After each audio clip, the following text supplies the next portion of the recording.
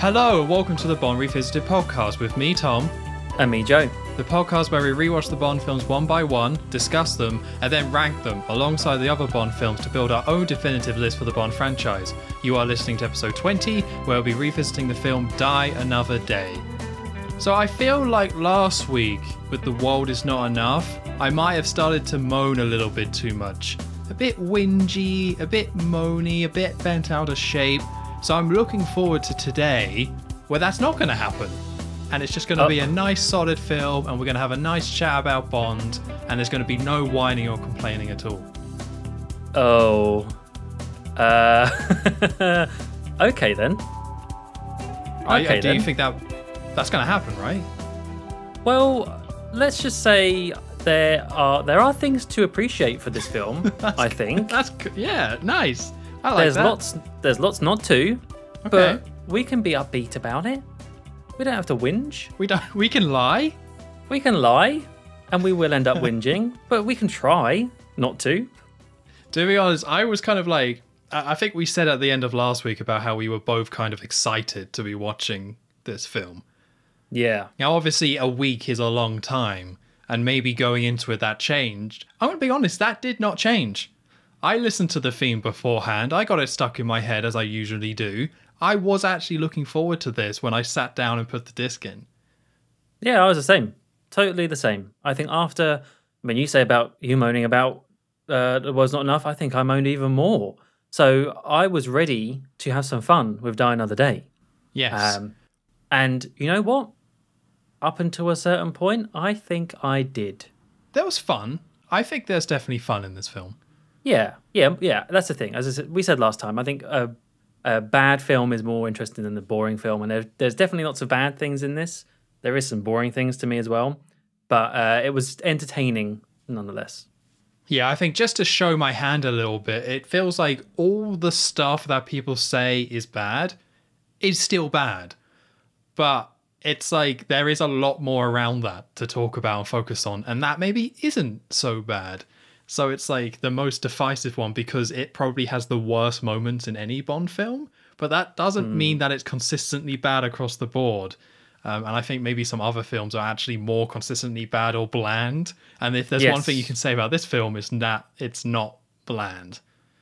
Yeah, I, I think it's you often see this film at the bottom of rankings on internet articles and things, and I do think that's a bit unfair. I think, as you said, it's it's got lots of things that people can poke fun at, and kind of these really big cringy moments that everyone talks about. But there are little bits of interest and actual potential uh, mixed into it. Some of them don't go anywhere, but it's definitely more than we've seen with previous Bond films, or some of them.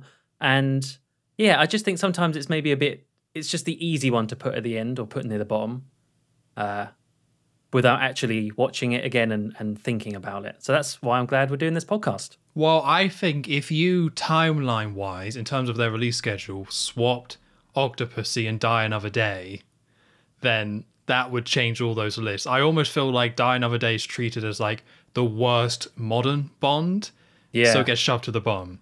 But a Yeah. lot of the other ones before that kind of get mashed into one, like especially the Roger Moore era, where there's like seven films.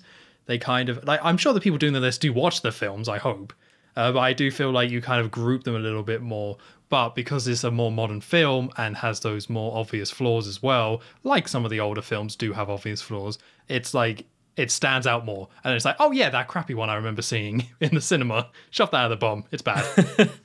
Yeah, I guess where it is newer, 2002, it is a bit. That is true. I think you can give a lot of the the bad effects or cheesiness from Roger Moore films because they were 30 years ago, but this was only 20 years ago, and so I think you can judge it a bit more harshly, perhaps, with some of the things it gets really wrong. Hmm. But this is also the case of I'm assuming you're in the same boat as me, as I clearly remember this film coming out. Yes. Oh, I mean, this. So yeah, this was 40th anniversary of Bond when it came out, um, and I remember there being a huge deal about it. I remember there was like TV shows. I remember one in particular was a uh, Best of Bond. I think it was. And it was hosted by Roger Moore. It was like the top the top Bond moments countdown, and I remember watching it. I, I remember taping it on VHS and watching it over and over again. I loved it. Do you remember any of those? Do you remember what was number one? I have a feeling it was the laser scene. I was going to say it had to be a Goldfinger moment for sure. Yeah, I think uh, near the top was like the parachute from The Spy Who Loved Me, but yeah, I think it was Goldfinger at the top. Okay, that makes sense. But yeah, I, I'm in the same boat. I still remember this coming out. I don't think I saw it in the cinema though, but I would No. have been 10 at the time. So I was very much aware of Bond, watching Bond films, and I remember this coming out, and I remember quite liking it when I was younger. Oh, And yeah? when it was my birthday the year afterwards in 2003, uh, in my room I had like a small, tiny TV, like one of those small CRT TVs, just to like watch stuff on with like an aerial that barely worked. Um, so you know the ones I mean, where they Oh, just, yeah. like, the Yeah. metal T- stuff falls off and you have to balance it at just the right angle to actually see. Who stuff. remembers TV aerials now? Blimey. I know, but they were crap. I'm glad they're gone. Um, Yes. so yeah, I had one of those. So for my birthday, uh, the following year, I got a VHS player or video player, so I could actually watch stuff. And alongside that, I got a copy of Die Another Day on video. And oh yeah. I, I get at the time I liked that film. I, I recognized it wasn't maybe the best, but I remember having fun with it. And that same copy on video, I still have. Uh, Wait. it's in my bedroom at the moment. I have a question about your VHS. Okay. tape. Is it the one that's like part of a series, and when they're all be- like next to each other, they make a picture on the spines? I It's can like go orange check, and black. but no, I don't think so. oh, I had a lot of those. I this is the one that it was like based off the original artwork with all the glass and ice stuff. It was Oh, like okay. purely the poster on this. Like this would have been like when it just came out. Oh, I see. Gotcha. And I also have GoldenEye as well on VHS, but I got that after this one because this is the one where I was like, here's the new Bond film in a VHS player, Tom. Go in your room and watch Die Another Day. Enjoy your birthday. Like, Yay. Now, was the TV Die Another Day themed? Oh, sadly not. Oh, I don't know what that would look like, but I don't think I want to know. Just a big ice TV or something, or a Ah. big, a big Halle Berry TV. The controller was like a glove on my hand. I could fast forward it on that. The power cool- of the sun. I hope you get the cool visor to go with it as well. Oh, that was Christmas. That was a Christmas joke. Oh, I see. Yeah. Uh, yeah, so we've rambled enough, but like this for me, extremely nostalgic. As a kid, I remember liking it. I then kind of went back to not liking it as I got older, especially with the Daniel Craig era. But it's always been a little bit of a back and forth. So obviously, when we started the episode, I put it in my bottom five. So at that point in time, I kind of didn't like it all that much. But most of the time, I've been more of a Die Another Day defender than a critic. I just think in that moment when I was doing the rankings, it was like an easy one to put at the bottom. Yeah. So I did. But actually, I've been probably more favorable towards this film than you might expect, considering my previous opinions on the other episodes. As in favorable right now for this episode. While we're going to get into what I thought of Okay. it, but going All into it. I was excited about it. But like, I did think that maybe I was too harsh putting it this low. Whether Okay. that was wrong or not, we'll find out. But All right. I do normally like back in the day. I remember liking the Vanish and stuff. I liked a lot of the stuff that made this film so silly and over the top. So we'll see. But was that just because you were 10? It probably helped. Yeah. it definitely helped. Now you're now you're old. What do you No, not really. now that you're past it. Um, Now we're older. yeah. I, I'm guessing some of those opinions will have changed. yes. Uh, But I'm looking forward to turning like 80 and when I start going senile and I start loving it again. That's what I'm looking for. You can track like a person's mental state and their mind by how much they like or dislike Die Another Day. I just now picturing all these old people in a retirement home watching like the steamy sex scene between Bond and Jinx. That's not bird watching, is it? Is that them Oh feasting? I don't know. Where are the birds? All right, let's get into it. Uh, I I could speak like for an hour about my history with Die Another Day in this film, but that's again just remember it so clearly. So we're gonna have to talk about the film itself. Okay, all right. So boom, circles come across the screen. It's the same walk as GoldenEye, as far as I could tell. So that means they never updated it for Pierce Brosnan in his run, which was probably a good choice, I suppose. Yeah, good walk. Doesn't need changing. Yep, solid walk. So we then get the Bond theme, and it's almost like a classic version of the Bond theme. It's not the same one that we had last time, but it still has like these crazy drums, like very like late 90s, early 2000s like drums in the background, Yeah. which I didn't dislike. No, I, I, I'll say it right off the bat. A lot of the music in this film, I think, is very good, and I think you know you can't really go wrong with a the gun barrel theme. They- They've generally been all good throughout the whole series. Actually, the little tweaks and twists they do on them. So Yeah, like all the Pierce Brosnan ones have had a unique version of that Bond theme, and they've all kind of stand out. And a lot of the David Arnold ones have been very tied to the the time and the era that it came out, which is charming in its uh, twisted way. yeah, But speaking of being charming in a twisted way, uh, Bond fires the gun as usual, but this time a bullet comes out and it comes flying at the audience and I guess hits the cam. Well, it doesn't hit the camera; it like goes underneath it. But yeah, like almost like a 3D film where they throw stuff in your face. You get that with the bullet coming at the camera. Yeah, it really did seem like a 3D film. It did make me think. Hang on, was this released in 3D? No, no. it's just, it's just they wanted to spice things up a bit, and I guess yeah, like I, I did mention that this was the film's 40th anniversary, so I feel like with that they definitely wanted to yeah, spice things up, make some changes, sometimes good changes, sometimes changes just for the sake of it. Lots of East like callbacks and references to previous Bond films, which I'm sure we'll point out along the way. But um, this one, the the bullet going down, I mean, it doesn't make any sense whatsoever. But I don't hate it because it's just so quick anyway. Like it really doesn't matter. Uh, it's fine. I think a lot of people like to just straight off the bat criticize a film like, oh, this stupid bullet thing. It's just what? Who cares? Right? Honestly, like who cares? I like the bullet. Yeah, And you know why I like the bullet? Because it's a tone setter. It's yeah. if you were gonna get you if you sat down thinking you were gonna get a From Russia with Love, uh, you know, a uh Goldeneye, you know, something like that. Nah, nah, nah, nah, nah. We're throwing CGI bullets right at the audience instantly. And to me, that's what I appreciate. I know you know where you, you stand then. I know there's going to be some dodgy CGI, some questionable uh, choices in this film, but it's going to be weird and fun. And I feel like even with such a minor thing, they're setting the tone. I can get in this frame of mind of like, okay, put on my city wacky CGI early 2000s hat. Okay, that's on. All right, proceed. I am ready for this film. It gives people a chance to leave if they're, if they're like, "What what have they done to the gun barrel? This is terrible. It's ridiculous." And then there's like, "All right, you you you can go now. Haven't even Other finished their popcorn. Please leave." Although we should say this film was actually, uh, I know we've barely touched this film already, um, but this film was a huge success. Um, Oh, which is what- massive. which is what makes it so interesting that it was, uh, it did a lot better than The World Is Not Enough, and it was the highest grossing Bond film at the time. So when we talk about this film being bad, a lot of that is in retrospect or the critics. This film was a huge success uh, for the franchise.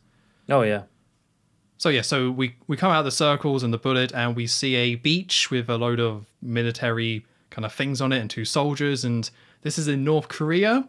I guess I can try and pronounce this name. oh Uh, uh, there's like a puck, Puck Chuong, maybe.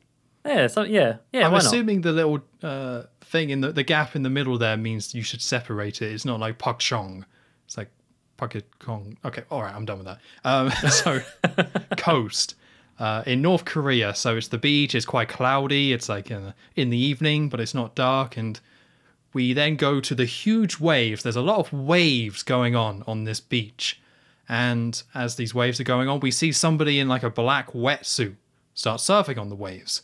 And they're just doing a little bit of wave riding for a bit. And there's then a shot of them surfing. Another wave comes over. And then another person comes out from underneath that wave. Uh, and then a little bit more surfing together. And, and then a third person shows up. And there's like quite an energetic feel to this as well. This is not like a quiet thing. This is almost like it's not a stunt, but it is supposed to be quite energetic almost. Like it's it's it's more Bond style music. It's not the Beach Boys again. Oh hey Roger. Hey, what's up, Roger? yeah, they don't get a Beach Boys uh, cover band to do the music for this one. It's more just like energetic Bond style music, and yeah, they spent ages on these waves. Um, I quite liked it to be honest. I was quite into it, and I thought it looked quite cool. But yeah, we get like a couple of minutes here of just people surfing on the waves on a Korean beach. Yeah, I mean these waves. I don't know if they did some kind of uh, special editing or tricks to make them look bigger than they are, or they really are just gigantic waves. But they look huge, and I think, yeah, it's not a massive stunt. It's not like parachuting out of Moonraker and all that, but I think it still has some intensity behind it. It's definitely a a, a bold start. I liked it. Yeah, I quite liked it. It gave me strong The Living Daylights vibes, to be honest, this whole setting. And you need this surfing to help set up the the infamous scene later on. So it all links together. Yeah. and so it's Christopher Nolan stuff, guys. It really is. Um, so yeah, so the men eventually get to the beach. There are two soldiers there, like patrolling the beach, but they don't see the guys, and they all then get to the beach. They, well, actually, I think straight away, uh, Bond just takes off his mask because one of them is Bond. Uh, he removes his mask, and it's him in the wetsuit, and they run along the beach with their boards, and Bond is doing some like hand signals because the other two people are, I'm assuming, South Korean uh, soldiers. Um, so they're kind of infiltrating this base, and Bond does some hand signals. One of the soldiers cuts a wire, which disables an alarm. Bond gets a knife. He stabs into a gra- into the ground, and a little radar dish comes out of it and starts beeping. And this sends a signal to a nearby helicopter. And when that helicopter receives the the signal, it then changes course. It goes into a different direction. So Bond and the soldiers remove their wetsuits entirely and run off. And we see the helicopter that was signaled before. It lands in this field a man gets out and he's all like, "What's what's going on here? I didn't know about all this." And Bond is there and points a gun at him. And he takes his briefcase and the man is wearing sunglasses. So Bond takes the sunglasses, puts them on, gives him a little cheeky smile as well. Yeah, and he's wearing the exact same clothes, which I did wonder how did they know the exact clothes he was going to wear. But oh. I guess that's what Intel's for, right? Yeah, that's recon stuff. Although, I because the idea is that Bond is going to pretend to be this man, which is why he's stealing his briefcase and sunglasses, I would assume. But yeah, I guess that is more there to sell it to the audience what Bond is doing because mm. I don't think the place is going. It's like, hmm, that's not his jacket. it, like they don't know what he looks like, but they're like, hmm, those aren't the shoes I would expect. Kill him. yeah, kill him now. Yeah. Uh, but I honestly really like that little moment of Pierce taking the glasses and then smiling at him. It, it goes back to what we talked about a little bit in The World Is Not Enough, where Pierce has his own brand of like cheeky Bond and the way he kind of says certain lines. So I, I really like that there was this small little humorous moment that is very Pierce Brosnan Bond. And I like yeah. having it up front. Yeah, yeah. So Bond is in the helicopter. It's flying over this forest and as is on board, he opens up the briefcase and we see it's full of diamonds lots and lots of diamonds. So he removes the diamonds, and underneath them, he puts some C4. So he just kind of fills the bottom of the briefcase with a ton of C4. He puts a little bit of a receiver, a detonator into the C4, which is like linked to his watch. So he's linked this up so he can blow up the C4 with the watch, and then he puts the diamonds back in. And then we cut to a military base, which is Colonel Tansun's Moons. Did I say that right? Colonel Tan Sun Moons. Yeah, HQ, yeah. uh, which is part of the demilitarized zone in North Korea. Now, if you don't know a lot about the demilitarized zone, well, join the club. I'm the same. I, this uh, this film. oh, I thought you were going to give us a, a lecture then, like a bit of a history lesson from you. Well, I was hoping you looked it up. Um, I, I vaguely know. I think. I like I, the film doesn't go into it that much. I'm assuming it's just a big chunk of land between the North North Korea and South Korea where you're not supposed to have military in it. Yeah, pretty much. That's just from what this film presents, and that's all you really need to know, which is exactly very nice. So we go inside the HQ, the base, and we see a man in like yeah, in army gear kicking a, a punching bag, kicking and punching, doing some martial arts on it, and eventually he stops and somebody else comes along and unzips the bag, and there was a soldier in there. He falls out, uh, and the guy who was kicking says, "That'll teach you for for lecturing me." They're all speaking Korean at the moment because they are Korean, uh, and it's all subtitles at the moment. So, so this guy is like quite a young person. So he's a very, he's like a an officer. He's clearly some some uh, someone of high rank. uh, but he's also quite young. So Bond arrives at the base. He just lands in the middle of it because it's a quite big open area with a lot of vehicles and then like a building nearby. So Bond lands in the, the middle and the officer goes over to greet him. So yeah, this is Colonel Moon. I actually took me a little bit to connect that because they say this is Colonel Tao Sun Moon's base, but I actually took me a second to connect that. Oh, this guy's Colonel Moon. like, Uh, well, yeah, because they keep, yeah, because all right, they, they, there's there's another Colonel Moon as well, isn't there? I suppose. yeah, there's another Moon and character. Yeah, yeah, yeah. Uh, yeah, so this is this is Colonel Moon. So he goes to meet Bond, and as Bond gets out the helicopter, we see somebody else, someone with a headset, uh, get his phone out and take a picture of Bond. So he takes takes the picture. So they've now got that picture, and Bond goes up to to Colonel Moon, and I think he says his name is Sal. It, it doesn't really matter. Um, but he, he was no no that's wrong. Sorry, it Sal is the name of the guy. Oh yeah, yeah. Yeah, yeah. So the guy with the headset who took the picture of Bond is called Zao. It's just when I very first read it, I didn't hear it correctly, so I put S A L for this. Sal. Better call Zao. Yeah. But yeah, it's Zao, which is Z A O, which I got right later. But uh, yeah, so Zao meets him. They, he says that he's late, and then Moon comes over to meet him, and Moon kind of starts talking quite a bit. So he's Korean, but he kind of has this like American accent almost, and he talks about how he studied in Harvard and Oxford, and you see that there's like a lot of sports cars all around. Um, and Moon asks, "Let me see the diamonds," but Bond pushes back and saying, "Well, I want to see the weapons." So Zao on his radio uh, sends like communicates to someone, and we see a load of hovercrafts enter the base. So these big old hovercrafts with the big like uh, turbine sort of thing on the back, they all hover in. And Moon explains how the demilitarized zone, there's this area where there's a lot of American landmines. Like they left, the Americans left a ton of mines to separate them, but thanks to my hovercrafts, we can just float over them and completely skip those mines, so it's fine. And I think Moon is saying how we've got like enough ammunition as well. Like he, he's talking about the military might basically, and we got a yeah a ton of am- ammunition and guns. So Bond hands over the diamonds to him upon seeing the weapons, and Zao and like some sort of diamond expert, we assume, go and ex- inspect them. So there's like a little table they set up nearby in this courtyard, and they're looking at the diamonds. And Bond says to them, "Don't blow it all at once." Oh, Hey. Uh, and Sal then gets his phone out because he receives a message and it has the picture of Bond and it says that he's James Bond, secret agent. So he now knows that Bond is a British spy, a, sp- a British assassin. They actually call Bond an assassin for most of this film. I don't think they use the term spy, maybe ever, uh, which I thought was an interesting choice. who? Who? The North Koreans? Well, I think most people call Or it just everyone? Yeah. Oh wow. Yeah. I did on that little screenshot on his phone where it has Bond's face and then yeah, like you know, name, occupation, whatever. I did notice there's a little bit that says uh, like physical appear or physical traits, and one of them was scar above his top right lip. And I was Oh. like, Bond has a scar on his, and I looked in the next scene and said, yeah, Pierce Brosnan does have a little scar on his lip. So there's attention to detail there. I like That is it. quite nice. But I'm assuming that's not part of the character, right? That's just what Pierce Brosnan looks yeah, like. that's just what Pierce has. Yeah. oh, interesting. But then there's a picture of him, so why would you why would you need that description? I don't know. Very strange.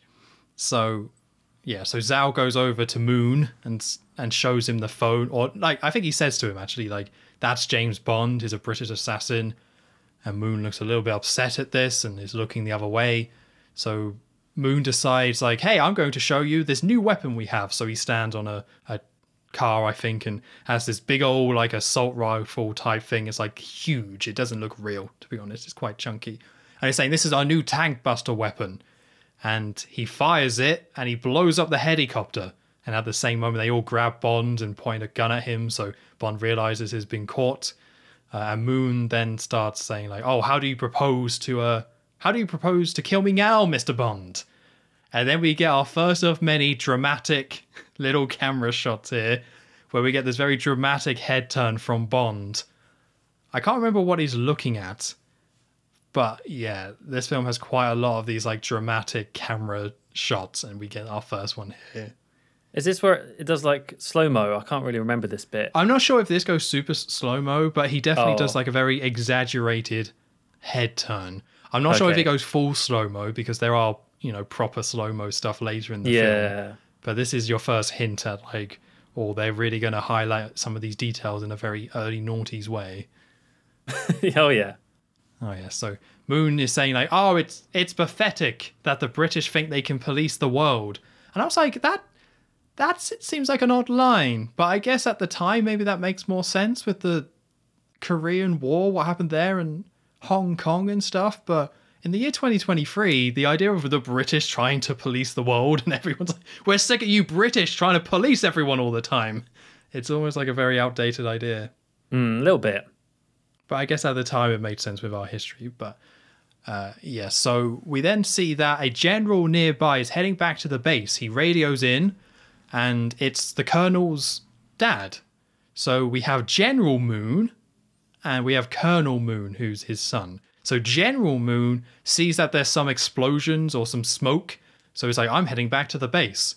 So Colonel Moon then starts freaking out, saying, We've got to hide the weapons. we've got to hide the weapons." And there's kind of this big panic, and Bond is, still has guns pointed to him, but he gets pushed back, and he starts kind of looking around while everyone is frantically trying to hide these weapons. And he then kind of quite casually puts his arms down, brings his hands together, presses his watch, and that sets off the C4 and causes a, an explosion from the diamonds. So he starts running. Bond just starts sprinting to get away. Zao, who was near that, just has half his face full of diamonds. Yeah. Uh, that's somewhat important, although I guess it's not really important for the rest That's of the just film. his thing. That's his thing now. Yeah, that's like his physical trait as kind of a henchman, but kind of not. It's half a diamond face. Uh, yeah, it's definitely visually something, but yeah, it's not like they give him. they don't give him superpowers or anything. he just has some some stones stuck in his face. Just has the diamonds in the face, yeah. So, yeah.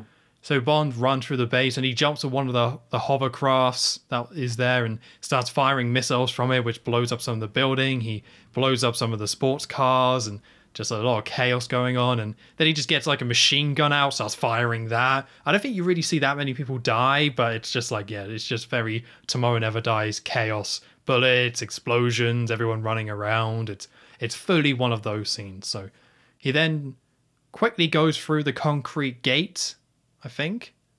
Or maybe he shoots it, I don't know. But yeah, so he escapes the base, but somebody else doesn't because the gate shuts just in time. Uh, but yeah, so he's going after the hovercrafts that are now being taken away. And there's a very big one, which is the one that Colonel Moon is on. So Bond is trying to chase down Colonel Moon, is trying to escape. So now it's a bit of a hovercraft chase where Bond is on one hovercraft driving it because he throws the driver out and is driving after these two guys, kind of going through some muddy uh, road. So Moon orders two of the hovercrafts to just turn around and charge at Bond, and Bond just nudges into one, and it just flips and explodes. So nice and easy. Um, and then the road kind of slightly splits a little bit, so Bond is able to kind of catch up with Moon, and Moon is on one side, and he's just like shooting. He gets on a turret and just starts shooting at Bond, but misses completely. He then gets a flamethrower out that he has and just starts like burning all these trees. He's trying to shoot at Bond, but there's these like trees that get burnt instead. So as they're doing this, they we then see a sign for the mines. So they're about to go into a minefield. So Bond enters the minefield and he starts shooting at the mines on the ground. He he manages to shoot one, and that blows up one of the hovercrafts that's chasing him. Um, and then somehow, I, I'm not too sure how he ends up in front of Moon's hovercraft. This was all a bit of a crazy scene. So, and there's like all these like separate paths through these trees. But yeah, somehow Bond ends up in front. So they charge into Bond and hit into the back of him. Bond decides to spin it, spin his hovercraft, and then shoot the driver. And then he jumps on Moon's hovercraft. So Moon just starts shooting at Bond, but Bond very cunningly picks up a bulletproof vest that was just there and just, and just blocks all of Moon's bullets.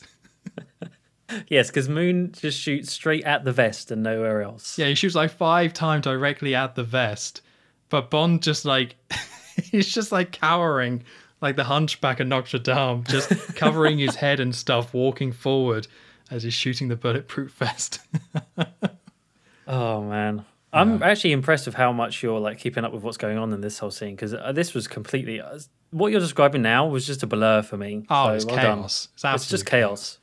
Uh, so Bond, yeah, approaches him because he uses the the bulletproof vest, and they start doing a bit of fist fighting. We see Bond, or not, sorry, Moon using more of his like martial art, but not much of it really. Just a little bit of some kicks and stuff, and Bond is just using like punches, like classic Bond sort of stuff. So it's quite even. Uh, Moon gets his flamethrower out and shoots it at Bond, but Bond manages to dive out of the way at the last second, and we get kind of an awkward shot of Pierce Brosnan diving forward with a fire behind him. And get used to Pierce Brosnan diving in this film. Like there are so many times in this film where he just does like a big lunge and dive forward.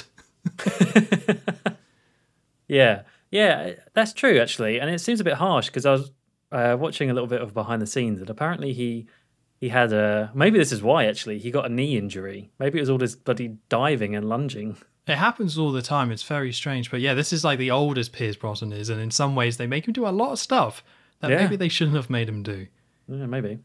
So yeah, so he dives out of the way, and we see that Moon has kind of lost sight of Bond. I, I don't know how, um, but he doesn't know where Bond is, so he's like creeping around a little bit with his flamethrower, and he's on one side where the big fans are that are pushing the the hovercraft forward, and Bond manages to sneak around to the front where the controls are. So he turns the hovercraft to max speed, and this sucks Moon onto the fan at the back, and there's like a, a small wooden gate that's up ahead and they go smash through into it. The hovercraft goes flying off the edge down a waterfall, and we think, oh no, they've both gone off. But we hear a bell ringing because outside of, or just after the wooden gate, there was a bell and like a big wooden pole that bangs the bell. And Bond was able to grab onto it and it's just swinging forward, hitting onto this bell. Um, so he didn't go off the edge. And he then drops down and he says, Joe, Saved by the bell. classic. That's yeah. As uh, any as, as good a time as any to use that line with a big you bell, got to. It's right there. which he was saved by. Yeah. it's correct. It's factually Yes, correct. yes.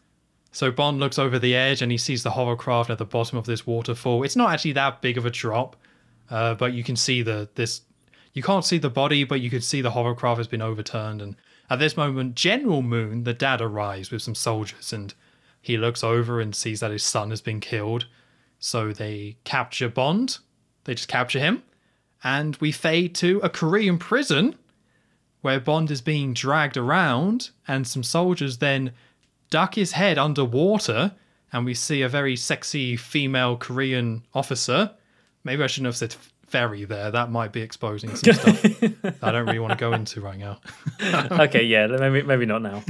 There's a female Korean officer. Uh, look over in that, and this then takes us into our opening sequence. And I actually quite like this one. I think it's got strong "Tomorrow Never Dies" energy, but I think I was going to say it's more grounded, but it's kind of not. But I don't know. I think it's very much that, but it feels a little bit more balanced. I think going from that surfing scene to them sneaking into the base, it's got a really good pace with that. It's not all just go, go, go.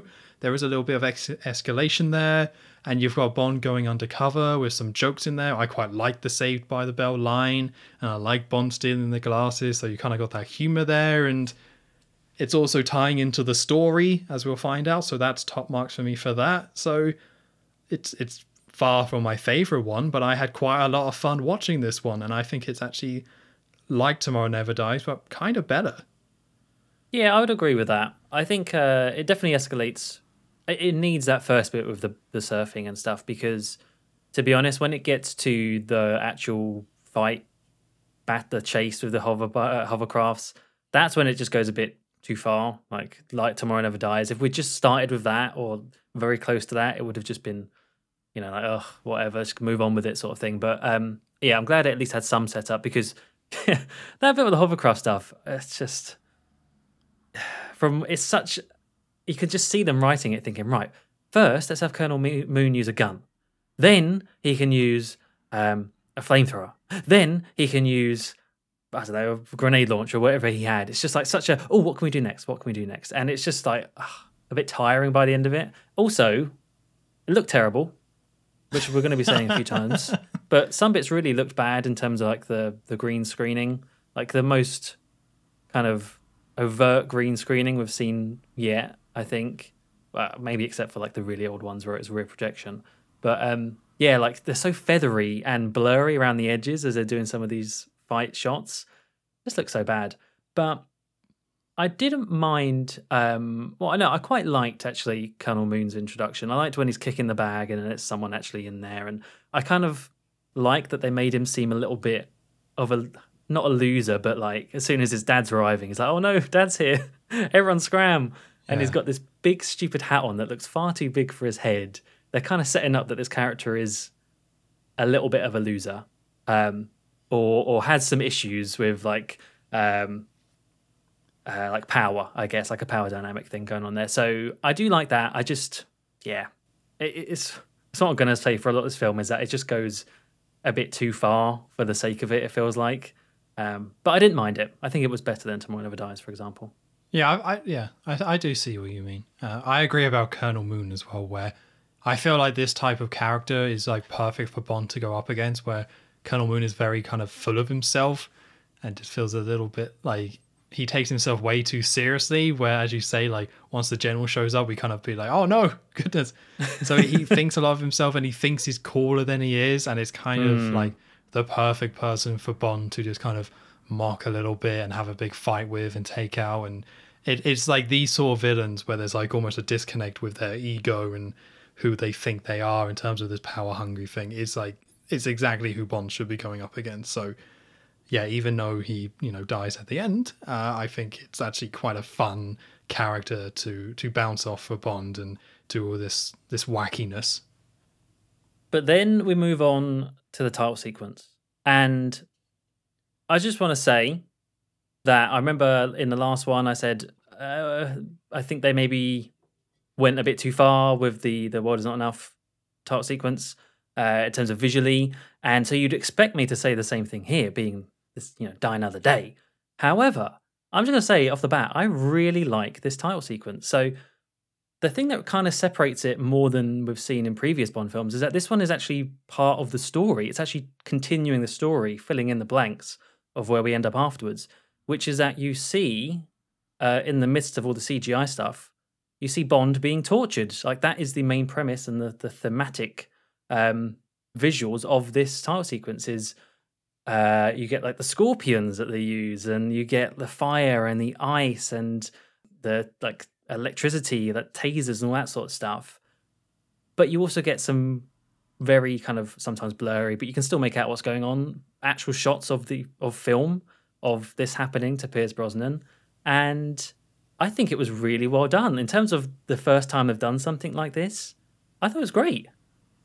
I really liked it as well. I, it was surprisingly exciting to see all this, and yeah, they still keep that quite strong visual theming. Like the scorpions are the big one, that they're kind of everywhere, which I quite like. They're quite distinct, the scorpions, hmm. and they're clearly CGI and stuff, but they they work really well as this to tie into the torture and what you're seeing on screen. And yeah, you then got all those women, and yeah, I don't know. I guess it kind of embraces the fact that it's all fake where you've got ice women and you've got fire women and there's like electric dancing women as Yeah. well. Like Yeah, women yeah. being sapped, which I guess is all tied to the theme of uh, Bond being tortured and stuff. But yeah, it was kind of strange and unsettling, but I guess that was kind of the point. And I was I was kind of actually ended up having a really awesome time with this one.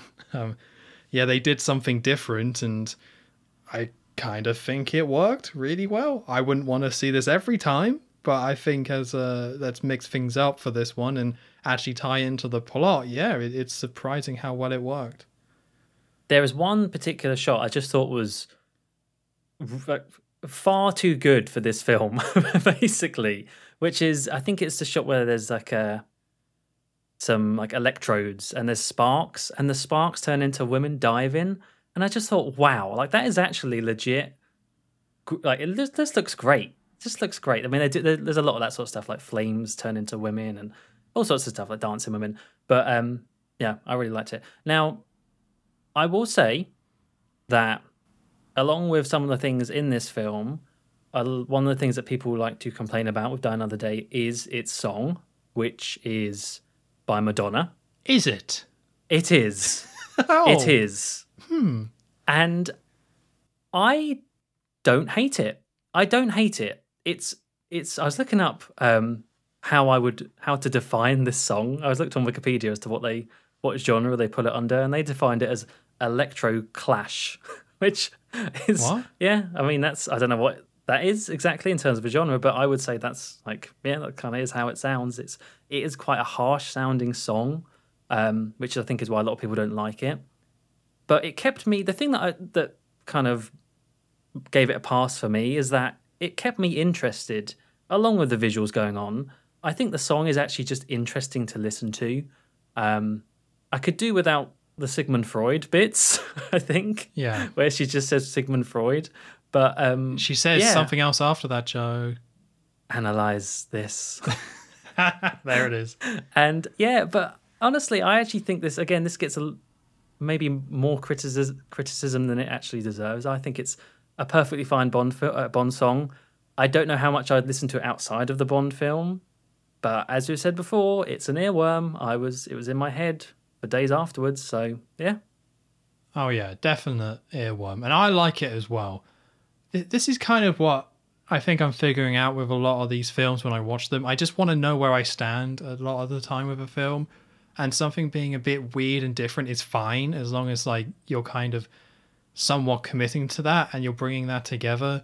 And I feel like that's kind of what this is. It's a full commitment of we're going to have this very different sort of action uh, or opening sequence, which has the the live action stuff, which has like Bond being tortured in a Korean prison, and we're going to go all in and just have Madonna sing this weird sort of song with these really this really strong string sound, but also this really kind of strong like electro sort of sounds as well. And I think it those two like the visuals and the song I think match up extremely well. Um, and kind of sells what they're kind of going for. So I think this song's a ton of fun. I, I really like it. I don't. I get why somebody wouldn't like it because there's kind of nothing else like this, and it doesn't help that Madonna is just kind of a really hateable human being as well. like, oh like she's not the most likable. Like nowadays, who cares, right? But there was a time where she was kind of everywhere doing really not great stuff, uh, which I, I think doesn't help, or just being very attention hungry. I suppose is is what I mean. Madonna, no, Yeah, yeah. Nowadays, when you say celebrity not doing great stuff, you think they're just like tweeting like Nazi stuff. So I, I want to clarify. I don't think she's a Nazi. I just think she needs a hug. Um, so, oh but, yeah. but yeah, again, I don't care about that much stuff anymore. And I think this is a really distinct, unique song. And I would take this over like an all-time high any day of the week. At least I Oh. remember this one. One hundred percent. Yeah, all, it's just night and day between that sort of song. Um, but anyway, uh, after the title sequence, we are back in the cell, North Korean cell, and on screen we learn it's been a whopping fourteen months later. That's a big old time jump for a Bond film. I don't know if we've ever had such a time jump. Well, I don't think a- so. a I thought it was very strange that they got the SpongeBob uh, narrator guy to do that voice. it was cool, but I wasn't expecting it. Um, but yeah, we see 14 months later, and Bond is looking very different, like we've never seen him before. He's got long hair, long, kind of dirty brown hair. He's got a massive, great big bushy beard. He's looking like he's been tortured. He's got you know scars and ripped clothes and bloody and beaten and bruised, and he uh, he looks rough. He looks rough. Who would have thought? So don't get captured in North Korea, basically. Um, but yeah, he is taken to uh, he's taken from his cell and he's taken to uh, the general, General Moon, that we saw in the, the pre-title sequence, and kind of sat down on the chair. And Moon saying, "Oh, I don't condone what they do here," but basically, we learn that Bond, throughout all of this torture, he has still not cracked. He's stayed silent, um, despite being abandoned, is what Moon is saying, by his country, by his people. Um, why, you know, why do you do this sort of thing? And uh, I think Bond does say something to make like a little quip. Somehow, I can't remember what it was now, but Moon does make note that he's still joking after all this time. Then he is Moon is like orders them to take Bond away outside, and you think uh, they end up going to this like misty bridge. And there's all these armed troops around there, and it's kind of looking a bit dubious. What's going to happen to Bond? And Moon starts talking about his son, Colonel Moon, and what happened, and how he's hoping that by studying in the west, west it would bring uh, the countries closer together. But you know, it's only kind of done the opposite, and that his son had an ally in the west as well, which is kind of a strange thing to bring up so early on in the film. I guess it does come back, but it's like, yeah, setting up that his son has an ally in the West as well. Well, this comes um, up a ton. Well, the Bond, the Bond thing does, but I'm like, well, why does Moons matter? Well, it's the same person. Oh yeah, it is. yeah, yeah. Because the line is, I no. think, it, I think. Sorry if you were going to say this, but General Moon says to Bond, "For the last time, who, who made uh, my son betray his country?" And then Bond says, the same person that betrayed me. Right. Although that doesn't now not hmm, I will get to it later on, but that doesn't make sense to me about another thing now later on. But anyway. Yeah. So it looks as though Bond is about to be shot. There's like a firing squad, there's people with guns behind him. Uh, but then Moon orders him to start walking, start walking across this very misty bridge. You can't really see the other end of. And so he starts walking, and suddenly behind him, all these troops stand down and he wonders what the hell's going on. Carries on walking, and as he gets sort of to the midway point, uh, another figure comes the other direction, and out of the mist you see it's Zao. What's going on? Uh, well, it's a prisoner exchange. they're, they're, being traded as part of an exchange. Uh, although to me, it seems like a bit of a security risk letting them walk across at the exact same time.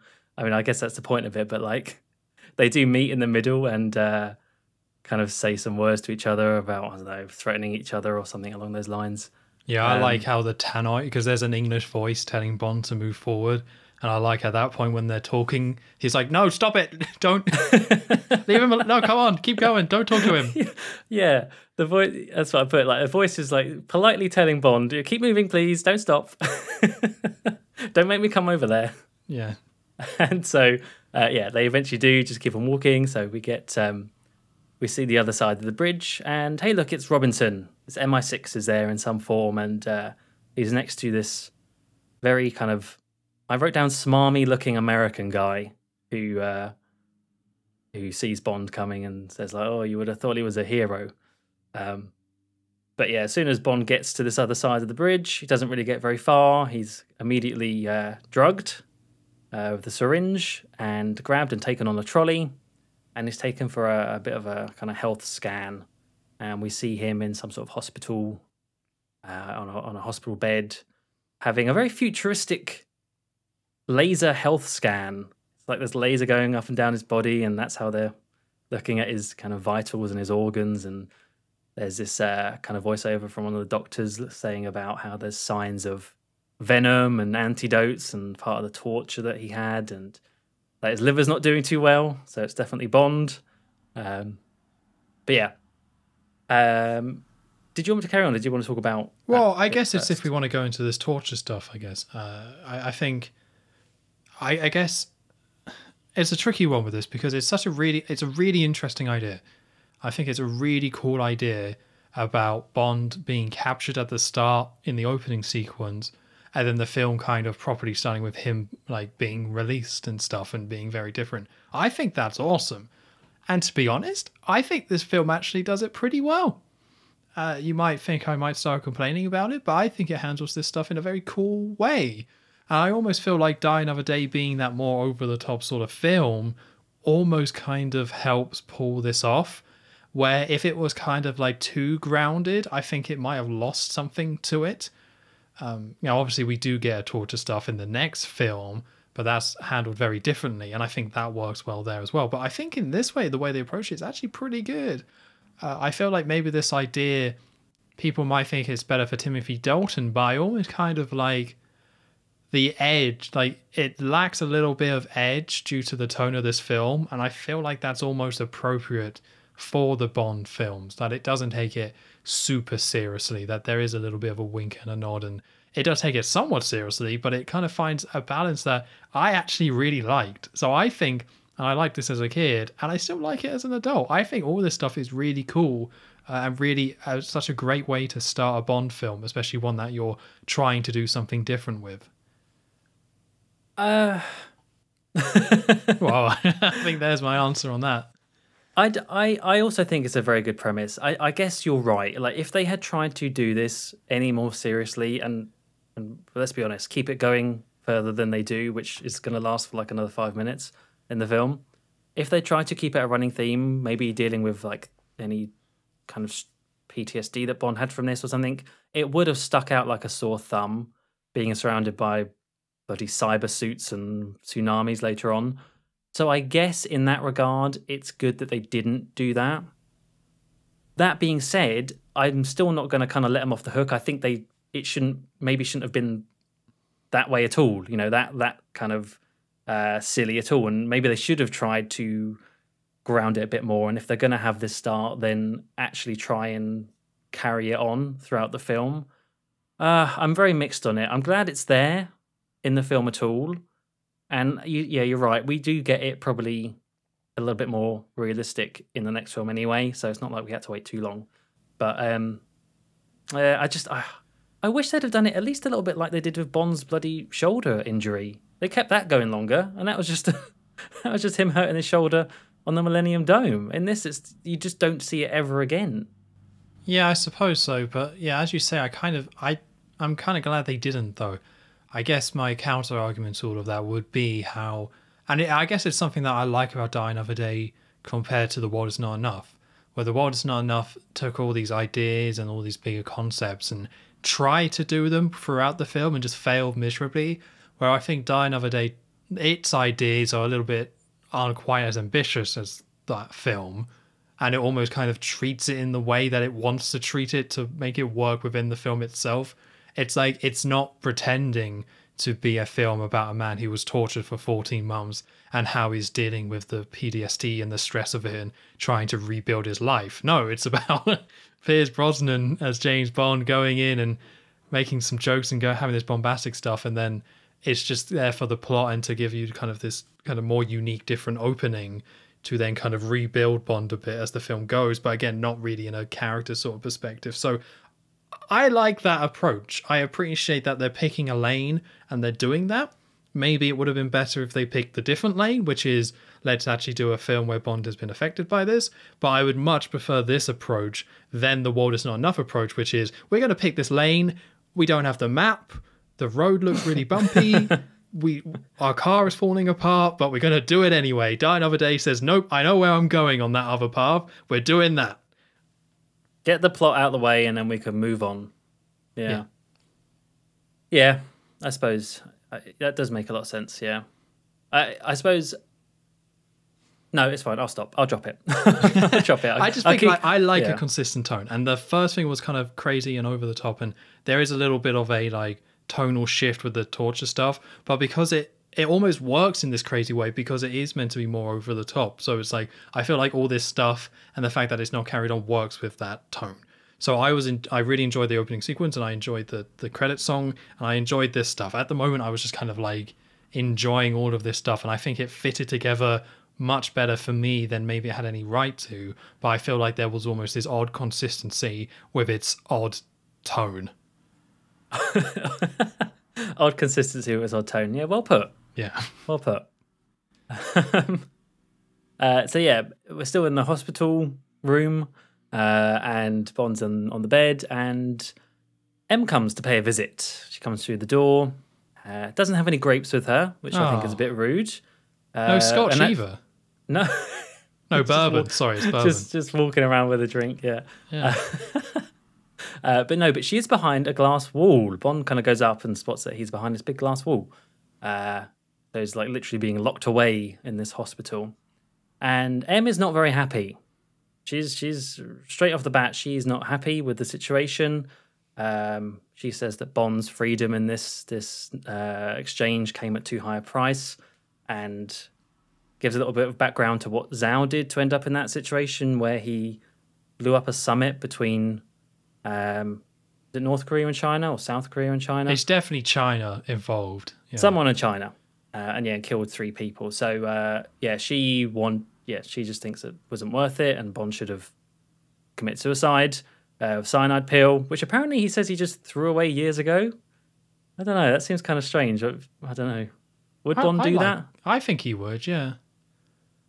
He's just so confident he'll never need to use it. Yeah, I f that's how I took it. Maybe the Bond Yeah. in the books would have kept it, but I feel like Bond in this Pierce film, Brosnan, it's yeah. like, nah, that's I'll just take it on the chin. It's fine. I'll deal with. I'll cross that bridge literally when I, when we get to it. Yeah. Um, but yeah, because of that, uh, because of that st- stuff with Zao, she's upset, and also the reason why Bond got out of there at all, out of the the North Korean prison, is that um, she says like a week earlier, a U.S. spy was was killed, and so uh, was killed in North Korea, and so the Americans think that Bond has started to to crack and hemorrhaging information to them, so they had to pull him out of there quick. I don't think they ever explain that point though, because I think we only get it here, and it'd be Yeah. interesting to hear if that actually is an explanation for it, because it's it's more specific than that. M is saying how they inter- they intercepted a signal coming from that cell, Yeah, which is which exposes the American agent, and Bond is the only person in that cell or in that jail where the signal came from. So that's why the American thinks it's Bond because he's literally the only person in there that could have given away that information. Which is like fair enough, but as far as I'm aware, that never comes back at all. I guess I guess the only way that comes back is that you realize who really did that later Uh, on. oh, okay. If we find that, I because I missed that detail. I don't know who did that. Oh, okay. Well, hang on. Now I'm thinking. It wasn't the No. very sexy woman, was it? I think it was. You think so? I don't think she, I didn't think she ever appeared in the film again. Oh no, not not that sexy woman. Oh, I thought you were trying to be like secretive. You're still thinking about that sexy woman. yeah. no, okay. Well, um, Analyze that. no, Uh, not the, not. I know who you're talking about, but I can't. Why would she be in North Korea sending a sick? I, I mean, I guess it would have to be, actually, I assume it's just hacking or something but like I, that. I, I, don't know. not. Do they ever actually say that though? No, I mean I didn't write down that plot point because I kind of forgot about it. So, oh. yeah, maybe they don't. I think you're meant to forget about it, but a lot of this stuff in this film they do explain later on. But now we're talking about this again. I'm like, you went to Bond's because I would just we we I don't want to talk about this too much, but we're already in it. Who would want Bond freed, or is it more about getting Zao freed? Yeah, it's- I think it's more about getting Zao back. Oh, righto. So they maybe didn't even know or care if Bond was freed or not. They just wanted Zao to be freed.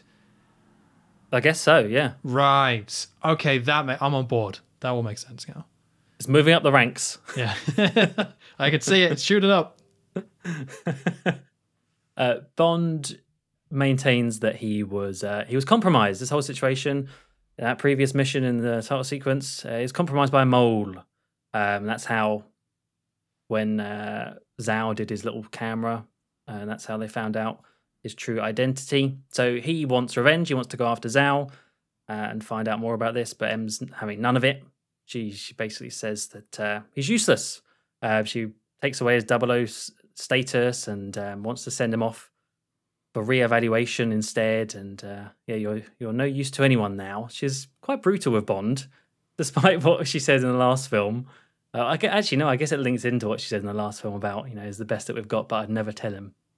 So she's that, that she's sticking with that line of of not even giving an inch away to Bond. She's uh, I do kind of think with how the rest of this film goes, and I don't know if they really drop any hints of this being the case that she might know what Bond would do.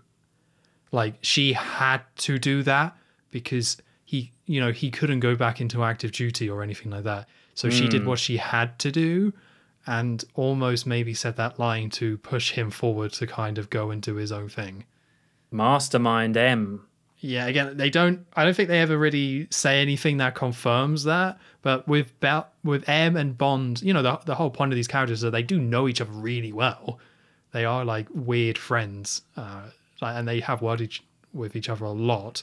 So I somewhat maybe think M knows that by doing all this stuff, she has to do it for political reasons, but probably knows that maybe Bond is not simply going to go like, "Well, I'll retire then." I'll To go off for this Hawaii. reevaluation and uh, have a nice time in Cuba or something like that. Yeah. Yeah. Um, no, I like that interpretation. And I mean, you're right. Like it does end up coming back about being off the grid. So yeah, yeah. I think you're a good spokesperson for this film so far. I've got to say. I was having a good time at this point, so yeah. Although, how about now? Because she leaves, and Bond is is kind of got his head against the glass and is clearly thinking of how to escape. Uh, and you see him sort of clock eyes with the heart rate monitor. Um, that's you know uh, attached to his bed and attached to him. So we then see Bond lying in bed, and you get like close-ups of his eyes as, as he starts to close his eyes, and hey, almost kind of a meditation mode, and you get flashbacks and clips of what happened to him in his torture, like when he's being tortured in North Korea, and as he does this and zones out, the his heart rate starts to drop on the machine the dangerously low levels, and eventually it says that he's going into cardiac arrest. So he induces a cardiac arrest from nothing, um, just from his pure mind power. And this obviously gets the attention of the doctors who who come in and start to treat him, um, get the defib out. They start to you know, about to do that, and then he just quickly snaps out of it, uh, zaps the doctors with the defibrillator, um, and and leaves. the door's open, so he just leaves. He he checks out, as he says. Um, there's a sexy nurse as well. That sort of there's a shot like where she's impressed by this. I don't know. She's like, oh wow. Uh, yeah, well, Bond's or like, thanks for the kiss of life. Yeah, yeah. Um, and yeah, he he leaves the room, and we see that he's actually on a boat because uh, he's sort of on on the deck of a boat, and so he jumps off the edge over the railing, and he swims to the shore and you wonder, well, where possibly could he be? When he gets up, and there's a big sign in the background, and he's in Hong Kong in the yacht club. So there you go. So, what did you think of the heart rate scene? you know what? I was fine with it. I was fine with it. I think um, they maybe could have done it a little bit less. They, maybe not a cardiac arrest. I don't know. I think getting the attention of the doctors is is the smart thing to do and then overpowering them. But did it have to be a cardiac arrest? like, well, I think that... his heart rate literally goes to zero, doesn't it? It's not that he yeah. lowers his heart rate to one safe level. It's not like, oh, it's twenty. It's like zero. Yeah. I don't know. I don't. I. I just think. Uh, it's just they have to go. They just have to go to the extremes of this film. So I guess that's it, isn't it? Yeah. Uh, yeah. It did make me laugh, and the reason why I laugh when you're talking about that is because accidentally a running joke of last week's episode with the world is not enough is about how about the film going to a dream like sequence oh, flashing back and a black and white sequence to something that happened before and like yeah. 10 minutes into this film it literally happens there's no dream fade unfortunately but it literally is black and white footage of stuff we've already seen in the past to explain what's currently happening and i was like wow I forgot that happened. Oh my god, you're right.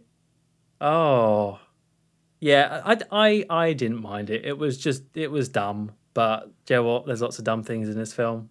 Doesn't necessarily mean it's bad. Well, this is the thing with this film, right? Like, it's almost like going on a train and going at different stops. There are so many different like if you're not you can either like get to the platform and see the CGI bullet and say I'm not getting on that train mm. and leave or you can get on and it gives you lots of different opportunities to stop. It gives you very clear stations to say, look at this madness. Maybe, you know, the chaos at the beginning with the, the hovercraft. Maybe like, actually, that's a bit too much for me. I'll get off here. And then we, you know, maybe Madonna does it. You're like, mm, mm, mm no, no, thank you.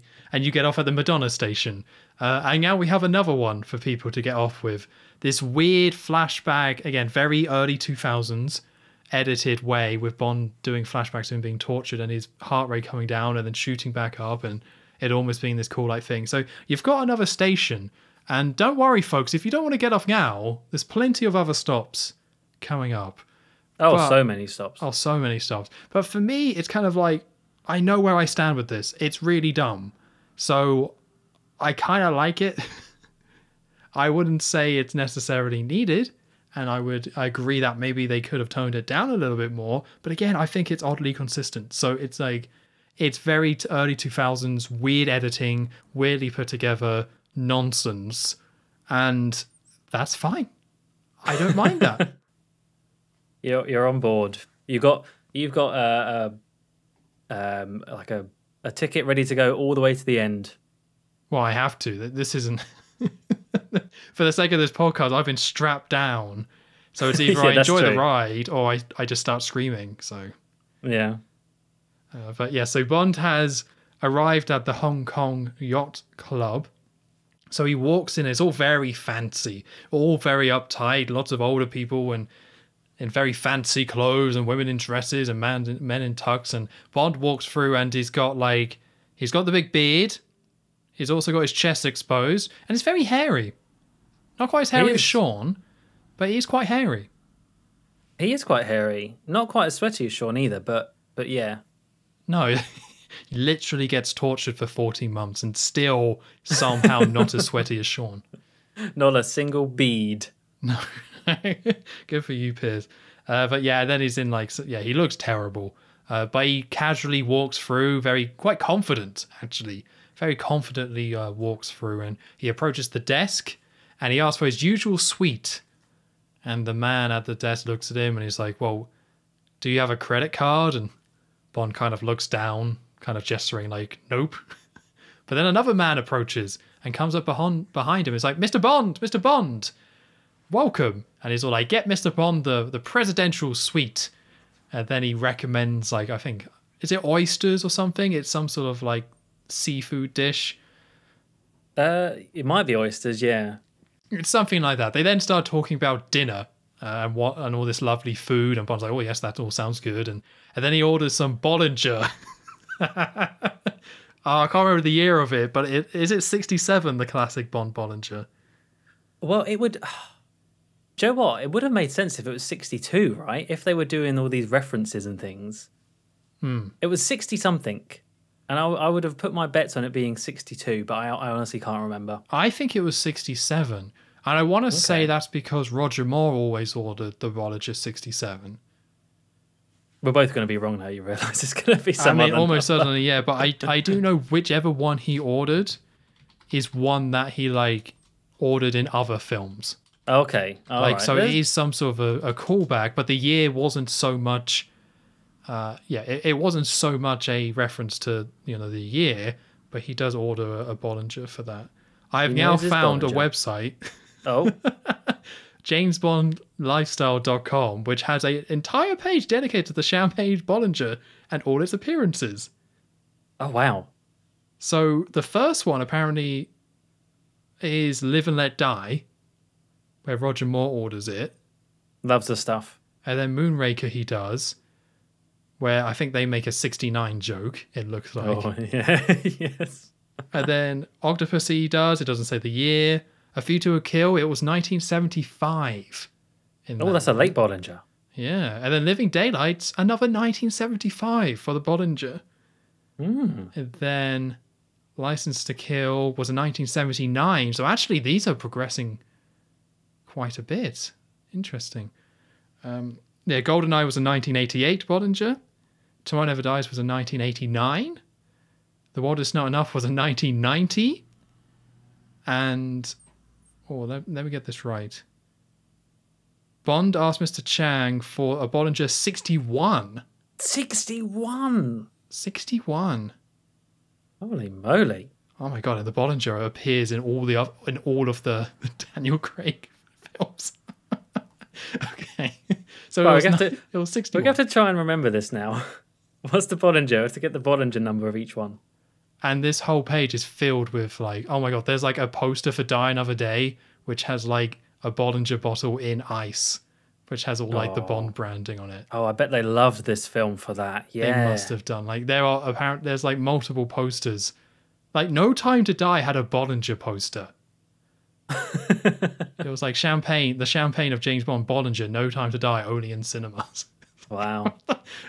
So it was it was 1961, unless that site's just lying, but we'll never know. I guess we're not going to watch it again. So anyway, so the Bollinger has been ordered. So I think uh, Mr. Chang is this character's name. I think Bond says, uh, "Hello, Mr. Chang," And Mr. Chang says, Oh, I've been busy, Mr. Bond, because he sees the state of him and he says, Just surviving. And we cut to Bond in his hotel room and is in a smart white shirt, smart trousers, and he's just finishing up shaving. So he's also had a haircut at some point during that. So now this is straight back to classic Pierce Brosnan Bond. Uh, all the all the hair is gone, and he's just wrapping that up. So Not on the chest not- though. Hmm? Not on the chest. Still there on the chest. Don't worry. Do we see his chest again? Not all the hair. Um, we must do. Wait, surely not in Iceland. and in Cuba, I think he's wearing that very casual blue shirt. Maybe. Do you know what? Maybe he did get rid of all the hair then. He might have done. Here's the thing, though. I like we definitely saw his chest in Goldeneye. I remember some hair, but not as much hair as we see in this film. Maybe just a little trim. Maybe. I don't want to accuse Pierce Brosnan of maybe you know adding a little extra hair because he knew what was, you know, padding his he- chest hair. But I'm not saying that didn't happen. Oh, oh. I see what you're going for there. Hmm. Slander. All right, sued. Sued. See you in court, Pierce. Uh, so yeah, so Bond hears and knocks at the door, and there's like a masseuse, a young woman masseuse there, and she enters in, and like he are like she says, "I'm going to give you a massage," and says, "Get down on the bed, go face down." But as she's kind of setting up and looking in the mirror, Bond goes up to her behind and starts kissing her, and she's like, "Oh, I'm not that sort of masseuse." Of which Bond says, "I'm not that sort of." What does he say? Not that sort of guy? That sort of customer? Customer. Yeah. Is it a customer? Yeah. And he says that because he finds a gun strapped to her leg between her thighs. So he grabs the gun and then he picks up an ashtray and throws that at a mirror nearby and it smashes the mirror. And we see Mr. Chang and two cameramen are there. So Bond points the gun at Mr. Chang and he was like, I know you're Chinese intelligence. I've always known. Um, so, and he's like, oh, we need to talk. So he sends the man, the men with the camera out, and the woman out as well, so him and Mr. Chang can talk. And you get a funny another line as well, which I quite like, where he's like, Chang still got his hands up, and Bond's just like, put your hands down. Please, come on. That's something I like about this film. Like, it's not the funniest Bond film, but all these little lines, for the most part, work for me, which is more than I can say for like The World Is Not Enough and certain other Bond films. Uh, so Bond is talking to Chang and is saying, I want to go over Zao uh, after Zao, and I know he killed three Chinese agents, and that was at the summit. So M said before that he blew up a summit and he killed three people. Those were three Chinese agents. So Bond is saying, I will go and get Zao for you because I know you're after him if you can get me into North Korea. And Chang's like, Well, what's in it for you if you're taking out Zao for us? And he just says a chance to get revenge. And Zao has info that he needs. So they all leave, and we cut to Chang at the front office at the, at the hotel. And Bond approaches, and Chang says, "Oh, here's a here's a thank you from us. Here's a box. Here's a little present for us." And uh, Bond opens it up, and there's a passport and tickets to Cuba. And he's like, "Well, Cuba? Why are we going there?" And Chang explains that that was last seen at Havana in Cuba. So, like, there's some sort of line here about give us a, his our best or something like that. And Bond says he will. So, now we're heading to Cuba. I think like a lot of this scene is more like a, a little bit of a cool down from the torture stuff Oh, because I feel like a lot of it is like more comedy focused. just a just a bit of breathing space, you know. Um, and and I don't know. I don't want to go into like every single thing that's like, oh, that's a reference to this film. That's a reference to this film because there's ton. There's a ton in this film. Being the 40th film, they just try to squeeze in so many. Some I think are more overt than others, but even in like little bits, you can see you could make links to other films like this one with the recording behind the mirror is a bit like from Russia of Love. Um, so yeah, I think it's good to have these moments that it's not just crazy action and you can get kind of smaller things like this and actually I don't know, pay attention a little bit more, I suppose, rather than just zone out with some things like like bloody hovercraft chases. Oh, you mean the references make you pay attention more? Well, yeah, like it, it, sometimes like little background details and stuff. There's some coming up later on where like you you really have to pause if you want to get everything. But even like this, to to the to someone who's not a Bond fan, it will just be like you know the, the film and that won't matter. But if you're a Bond fan, you might pick up an extra stuff. Hmm. Yeah, well, I'm going to be honest. I picked on up on very little of the references. Oh really? I got the Thunderball one. Don't worry about that. Picked up oh, on Oh, yeah. that. oh yeah. But I maybe saw like three or four, if that, references. Oh interesting. Okay. Uh, I kind of expected to see more, but I, I guess it's just how I watch films. I very much I I try to turn my brain off, which I guess is the right approach for this film. Uh, so for me, I don't really kind of pick up on those smaller details that put into films in general. So for me, I I didn't connect hardly any of these. I think that's probably a good thing though overall. It's better than it being the opposite where they just get in the way and seem too forced. So yeah, maybe not a problem. I did see the dead woman covered in gold in this scene though, like just in the closet oh. next to Chang. There was just a golden woman. Yeah, well you don't want to put that right in the middle of the screen. No, you just- just, have just- that on the side. Just for the true fans, you know. Yeah, it's like, what's that sparkling in the closet? Oh, it's the it's the dead woman. It's Jill Masterson. She's she's back. She's back. oh, they just put her in the closet. They should have buried her, maybe. But No, no.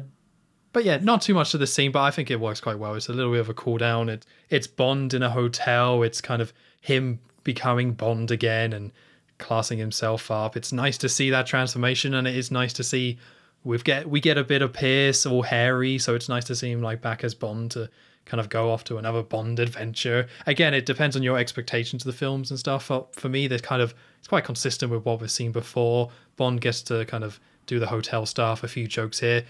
It's nothing amazing, but it's it's solid stuff.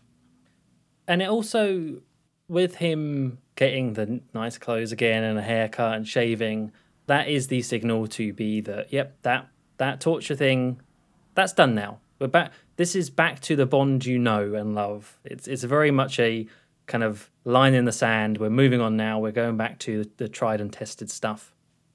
Yeah, we, we would see this shaving idea, which is not a sentence I would ever think I'll say, in Skyfall. They actually do the same thing. Yeah. Oh yeah. Forgot yeah, but we, we get a more condensed kind of, I guess, popcorn flick version of it. Mm. Yeah. So we just cut to Cuba. We cut to Havana. So that's something I quite like as well. That scene is not super long. Like I think the pacing of this film is pretty good as well. So, um, but anyway, we cut to Havana in Cuba, and we get some shots of the this town on the shore, and we get some very over the top like Cuban music. like very like da da da da da da like really over the top. So if you didn't know they were in Cuba, the music kind of helps sells that uh, for you. Yeah. Very in your face. I didn't. I, I quite liked it though. yeah, I don't mind it. It's like it again. It's just what this film is going for. It's not trying to be this slick, classy thing. It's Bond had this kind of funny city scene, and now he's off to Cuba. So ba ba ba ba da ba. um, so yeah, so Bond is walking down the street in sunglasses and in a this blue shirt. It's it's odd that I would mention it, but this shirt really stood out to me because it doesn't look like anything that Bond would ever wear. It looks like he's on holiday. Yeah, he, like he looks- looks like a tourist, right? Yeah. So we go from Bond being all in his suit and becoming Bond again, just for him to put on like some tourist gear. And some shades. And he's got the shades. Yeah, he can't. Oh, yeah. Pierce Brosnan cannot get away from the glasses in these He films. can't. He loves the stuff. At least he looks better than Roger Moore in Live and Let Die, though, in that blue get up, Oh, yeah. right? Oh, on the boat. uh, oh, he might have gone in the boat, but when he's with Rosie and he gets in that blue get up, Oh, yeah. Mm. Yeah. So, but, but anyway, so Bond enters this shop, which I believe is some sort of like sweatshop, a load of people making clothes. And Bond goes up to a desk and he, he says, I've got something to come and pick up. And he says, I'm with Universal Exports. And the guy's like, I don't know who that is. And he was like, phone it in. Just just ask the guy. So this guy at the desk who's like this older gentleman who doesn't look very impressed, he he phones in and says, like, yeah, Universal Exports. And he then says, Come on through. That's all fine. So then there's like, yeah, Bond and this old man just walk through a sweatshop, and it's a bit sad, really. I don't, I, it's like we never really see this place again. I guess this is supposed to be more like corruption to set up the character that Bond is about to talk to. Uh, yeah, I guess so. I because he's he's basically going to be like a bit of an intel ally character, isn't he? So, Yeah. but not a very nice one, I guess. By the looks of it, not very nice in terms of his own country. No, I just thought it was weird that they actually show this a sweatshop in a Bond film, but there's no weight hmm. behind it or anything. It's just a sweatshop, and there's like a man at the front of everyone working away, reading a newspaper over like a radio, just keeping up. I guess every just like reading a newspaper, everyone, so everyone knows the news. Yeah, I guess they didn't have radio, so they just had to. That's what they did. It's it's very it's a very minor thing because the film doesn't spend any time on it. But I was like, is that a Cuban sweatshop? Oh, and it's gone. Okay. Especially since it's just come after a very fancy looking hotel. It's just whiplash with uh, different types of settings. Oh yeah. So yeah, so Bond goes around the back, or I think he goes onto a rooftop potentially with the older man, and he sees a man with a cigar sitting down. So Bond sits down to talk to him. The the older gentleman who led him there gets a gun out, I think a revolver. And I did not write down the cigar man's name. I don't know if you did. I did. His name is Raoul. Raoul. Okay, I'll try to remember that. um, but yeah, so Raoul, this is a oh, somewhat older gentleman. He's got a beard. He's got like he's in like a white suit. Like he looks very kind of he looks wealthy, um, and he's there with his big old cigar. So I think the whole idea is that Bond ordered the cigar. Um, I don't know what the name of it is. Again, do you remember the name of the cigar? No clue. Okay, cool. But yeah, Bond ordered the cigar, and now the man is smoking the cigar, and he was saying, "Oh, I never thought I would light this cigar." And he asks, "Like, do you know what's so special about it?" And Bond says it's a slow burning, so it never goes out. So the whole thing with the cigar is that actually this man is Raoul is a sleeper agent. I'm assuming for MI6. So what Bond has done by ordering or asking for this cigar and saying it's from Universal Exports is, you know, say, hey, MI6 needs help. I think it's MI6, but yeah, he's some sort of a sleeper agent, I believe. Yeah, it's basically just a code word, isn't it? Yeah, it's just something to say, like, I don't think this guy is officially like, oh, this is me working for MI6 in this place. There's this like passcode. So if MI6 is in the area, they have someone to talk to, potentially due to the relations between Cuba and America. I'm assuming hmm. that's why all this is happening. Again, don't know that much about these sort of politics. I don't know about Korea, don't really know about Cuba, but you don't really need to know it. They've got funky music. That's all you need to know. I, just remember the music. That's all. I've That's all I need to know. Yeah, so uh, Bond explains that he's after a North Korean terrorist, a man called Zao. Um, and there's like a little bit of dialogue here where Raoul is saying how, well, one man's terrorist is another man's freedom fighter. And Bond's like, no, not this guy. He's not. That's that's not No, his no. deal. No. I think that's only in there because of the Cuba stuff. Like they, you want, they really want to jam in all this like Cuba references in here, like a sweatshop. This guy smoking a big old cigar, being rich with a big beard. It's like The they really want you to know this is Cuba. Yeah. Oh, yeah. Uh, yeah. So the Raoul says I can call in a favor, um, and I think he explains that. So um, Zao has been found on a small island nearby, and on this island there's a a very strange clinic that only like the leaders of the world and the rich use, and the whole point in this strange clinic is to increase their life expectancy and do all these other ones. And so uh, yeah, I think at this point they've cut into an office. I don't know why, but, but now they're talking in an office, and yeah, this is where uh, Raoul is explaining where Zoud is. Um, and once again, Raoul was all like, "Yes, our health system is second to none. It's like the best health system in the world." It's like, why are you throwing more Cuba stuff? We get it. Sponsored by Cuba. Sponsored by Cuba, I guess.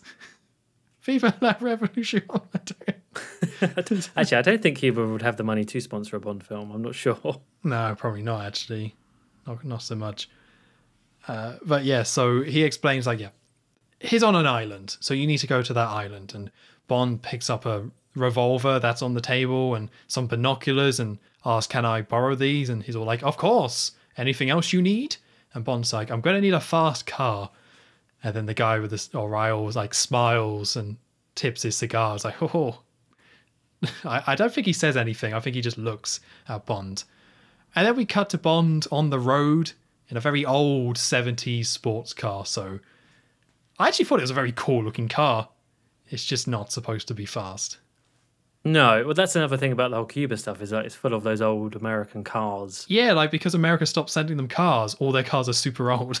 Yeah, and but they look, I mean, they look great. All these old, I I don't know what that is. I think it was a type of Ford, but um, yeah, they it's a cool looking car, and it's it's it's uh different to the usual BMWs and stuff. So yeah, Well, I think that's what they're trying to hammer home, right? Like Bond is on his own, so they're trying to hammer that idea of like, look at him driving a very non-Bond car, uh, and also tying into the Cuba stuff. But you know, again, they're they're having fun with it. They're not trying to make this super serious Bond.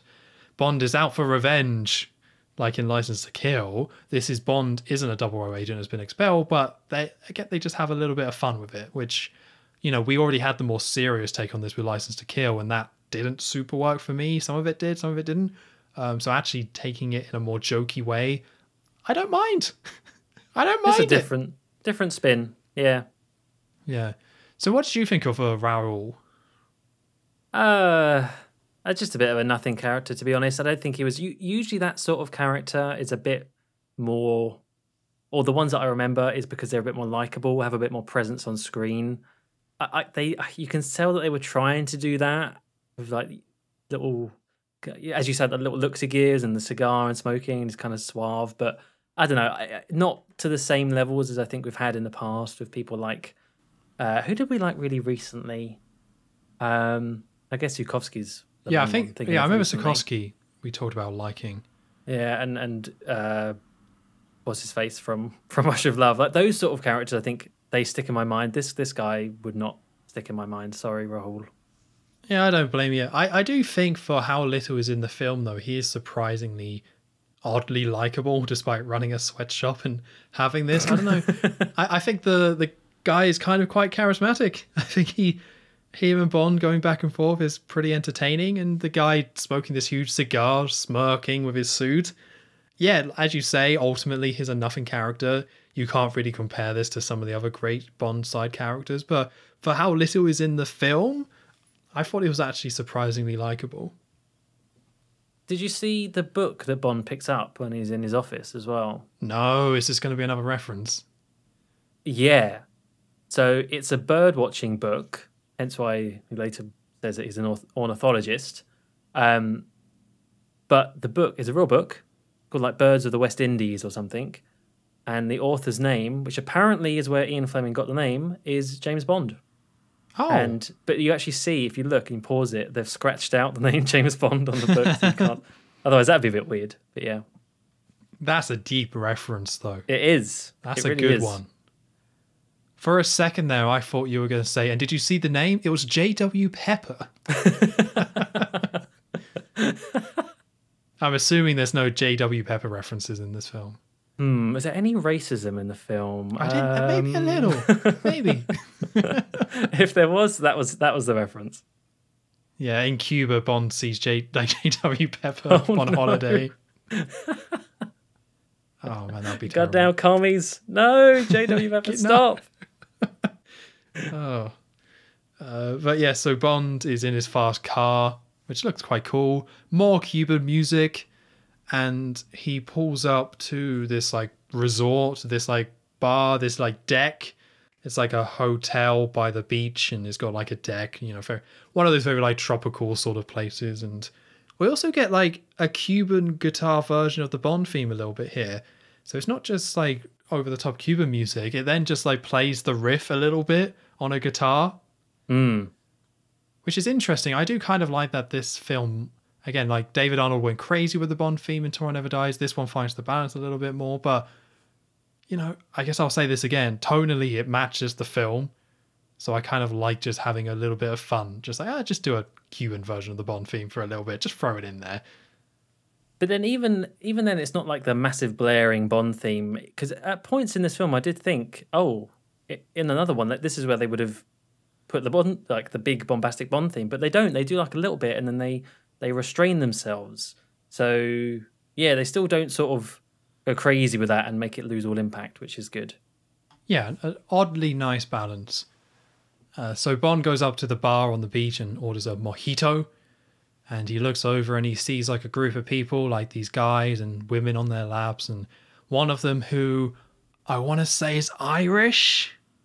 Oh, the annoying one. Yeah. I, I wondered at first. I thought he was British. I was like, I oh, thought great. he was like, yeah, Cockney or something. but um, it's South African. I looked up because I actually Oh. wondered that. Yeah, after the fact. Oh, interesting. Yeah, I wasn't too sure about his accent. It was a quite a unique one, but yeah, uh, he he's just very rude to a, a waiter. Basically, he's he points a gun at the guy's crotch and threatens to shoot him, and they all laugh. And he's like, "Bring me more drinks and girls," and they all laugh. So Bond then, and uh, you know, prepare to be shocked.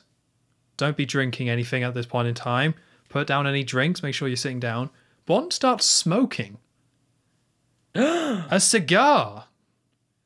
Oh, you're. Oh no, he does. Yeah, like all that all that work they did in the other Pierce Brosnan films where he was like knocking out people who were smoking and binning cigars.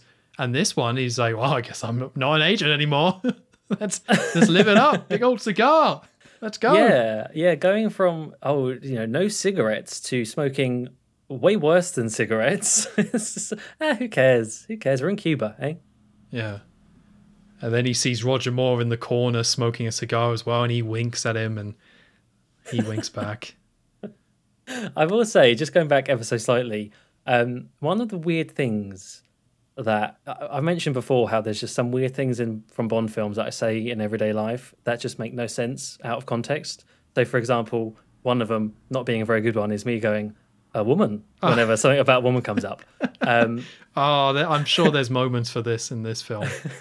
Okay. But um, one another one that I use is something about the way that Pierce Brosnan says mojito, because I guess he's doing it in an accent as if he is, you know, uh, speaking Spanish, and um, so whenever I'm in a bar now and I'm uh, getting a cocktail and I see a mojito and I want a, I want a mojito, it always has to be mojito. it's just he says Oh. it with such a twang, and I'm just like, oh, I didn't why- notice that. why do I do these things to myself? Well, out of all the things to remember in this film, why is it that I remember the way he says mojito so so stupidly? God That's knows. awesome. Mojito? Well, it is like if we break it down, it's an Irishman playing an Englishman trying to do like a Spanish accent. That's true. It's going to get a bit muddled. Yeah. Yeah, that's whatever that is is not going to be good. Well, maybe that is. I'm sure that probably is how you say mojito more accurately, but it just sounded funny to me, and funny, funny sounding things stick with me, I guess. So, assuming how Moonraker is where the woman quote comes from and is ranked very high, I would assume Die Another Day is going to be right up there because it's got another funny quote that will be in your head forever. Mm, you think so, wouldn't you? You'll see. Okay, You'll all alright. see. Oh, we'll put it all together here. So, uh, yeah, so Bond is smoking a big old cigar and he's looking through the binoculars because across the way is the island and the clinic. So he's looking at that with the binoculars and it's almost like a castle. Like it looks very much almost like a castle. This might have been like an old fort or something that they converted into a clinic because that's somewhat what it looks like. So Bond is looking around with binoculars and he then looks at the water and he sees Mojito? no, No. the woman one. oh, yeah. oh um, uh, Honey Ryder. No, wait. Wait, different, different one. Wrong one. Halle Berry. So he sees a woman. Uh, Oh, oh, oh! You set me up there. I'm so sorry. That's fine. It's fine. I'm so sorry. We've only I'm done 20 go. of these. Why would we have chemistry I'm just gonna go now. for a mojito? I could do with a mojito. They're delicious. Hell yeah! Hell yeah. yeah. Uh, yeah. So sees A woman? Oh, it's- it's- perfect. I'll just edit that so it syncs up. Please do. I'll just cut all this out and just put you going a woman there. It'll That'd be work. great. It's gonna be great. That'd be great. Uh, so, so yeah, so, so Halle Berry steps out of the water, and I only say that because she's so recognizable that there are just some actors where you're just like, that's that's just Halle Berry. Um, so Halle Berry kind of starts getting out of the water. Well, she like goes out of. She's not walking out of the ocean. She's like standing up in the ocean, and we get like a slow mo her going upwards in her bikini, kind of going side to side, and she's she's very posy. This is incredibly posy, I would say. So after that, and I think the music goes along with this as well. So after that, she does then walk out, walk out the water onto the deck and goes up to Bond. Or I think she goes near Bond, and Bond says, "Magnificent view," and offers her a mojito. She introduces herself. I'm Jinx, is what she says, and Bond says the line. I'm actually no, I don't think he says I'm Bond, James Bond. I think he just says I'm James Bond. Um, and I want to say they do that because they already did the Bond James Bond line before, but I never wrote down in my notes where that happens. But they definitely do it in this film. Well, she says, "My friends call me Jinx," and then he goes, "My friends call me James Bond." It's very, very flat, as it like a subversion of it. Yeah. Yeah, that's what it feels like. They they don't do it. Um, so there's a little bit back and forth here. I didn't write down all these because it went quite fast, and I I didn't really like it either. Oh, I, I don't blame you. This dialogue is terrible. yeah, so Jinx is saying she's called that because she was born on Friday the 13th. And then she asks what Bond is doing here, and he's like, I'm just here for the birds. And they then start just talking about birds for ages. Like, again, I didn't write any of this down because it's like, I think they are actually like, the whole point is that this is like a sexy scene of like two people going back and forth, and they're using like the analogy of birds but it kind of comes back on itself where it feels like they are genuinely talking about birds. Like this is no longer like a metaphor for them going away and having sex. This is just like no, there's actually quite a lot of local species. I'm very if you look here on page thirty-two, yeah. Here we go. Look at these. Uh, you know, they only come for two months of the year, so I'm here to check that out. um, but they end with like Jinx saying about like oh about what about the owls, and Bond's like there's no owls on this island, which is probably correct. Um, and he's saying there's nothing to see here until morning. And she asks, like, well, what do predators do when the sun goes down? And Bond says they feast like there's no tomorrow. And something I haven't mentioned about this scene is that there's a really awkwardly set up shot on Jinx's face for for this scene. So initially it's just them two talking, but when it's meant to be getting more steamy because they keep talking about bloody birds, they then do this like really awkward framing of her head where it just doesn't look right. And then you just have to put up with this really awkward line delivery from her with this, to be fair, awful dialogue. And yeah, I guess we've already said it. This is pretty bad. this as far as an introduction to the Bond girl, it's bad. She's the dialogue, both of their dialogue, because as, you- say, it's this terrible word wordplay, double entendre, risque stuff, and it's just falls so flat. It just goes on for too long. I think Yeah. you just it's just have a line or two and then move on. But it's like there's this whole conversation about predators, and it's just stop. I don't care. And there's also really one of my little nitpicks about this is that there's some really bad continuity in these shots, especially when she's having a drink of the mojito. Uh, it's just like if you, it's such a small thing, but if you actually watch her, the cup, the, the glass is moving all over the place from shot to shot. It really bugged me. Oh, that is bad. But yeah, I think um, not a great introduction to Jinx. And I'm going to be honest, I think it's kind of a sign of things to come for her dialogue. It's pretty much this way the whole way through the film. Yeah, as you At said, least in my the- opinion. yeah, the way they shoot the scene ain't great, and that's the main thing that stood out to me because it just looks so awkward. Some of these shots, it just doesn't work. I just don't think this director, who we haven't talked about yet, some of that is because I don't know how to pronounce his last name, uh, but it's another Pierce Brosnan film, so we get another new director. It's a man called Lee Tamahori. Yeah. Now, am I right in thinking that he did like a big action film, well known action film before this? Uh, I'm looking at it now. It wasn't Fast and Furious, was it? No, no. So No. Okay. if you're if you're thinking before this, I'm looking at the Wikipedia page. There's not much here. Oh, okay. Fair enough. Like Mulholland Falls is the main one I would recognize. Maybe. Oh, okay. Well, I don't know where I got that from then. Why did they pick him? Who knows?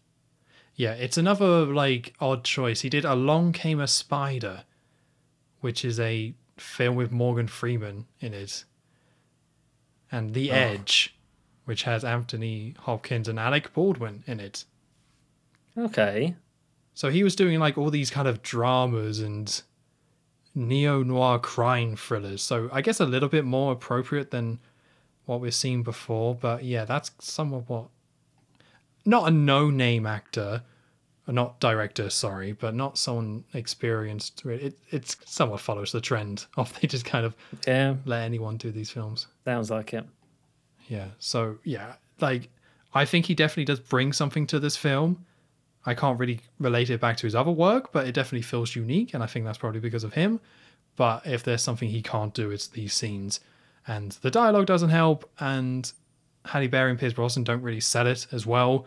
Um, it, it doesn't really bother me that much, but I guess it's another station to get off at. If you see Jinx come out the water and then starts talking about owls to Bond for five minutes, I would I wouldn't blame you for getting off at that station. Um, and yeah, there is something very very odd about how they try to do the Doctor No reference. I think it kind of falls flat on its face a little bit because of the way it's shot with Bond looking in the ocean with binoculars. It just doesn't have the same feeling at all. Um, so I don't think that reference really worked as well. No, I think that one is perhaps a bit. no, I was going to say it's a bit too on the nose, but there I can't say that because there are other ones that are probably equally on the nose that I don't mind, so that would be a bit hypocritical. I think doing uh, a Doctor No reference with like referencing Honey Ryder, that's a great idea. I think that makes sense for the Bond girl to do the same thing that the original Bond girl did. I like that. I just think it's shot in that again early two thousands way where it's all slow mo coming out the ocean and stuff, and then we go like it, it's just I guess the execution of it is kind of quite off and doesn't quite work. And maybe if Pierce Brosnan sung underneath the mango tree, it could have been saved. I was, I was going to say but that's sadly, we don't get that. No. Oh. You have to wait till Mamma Mia till you hear him sing. Oh no! Oh, oh, Oh yeah. Or don't. It's fine. It's up to you. that one hurt. Um, I was going to say, just going back to Lee Tamahori again. I I don't this.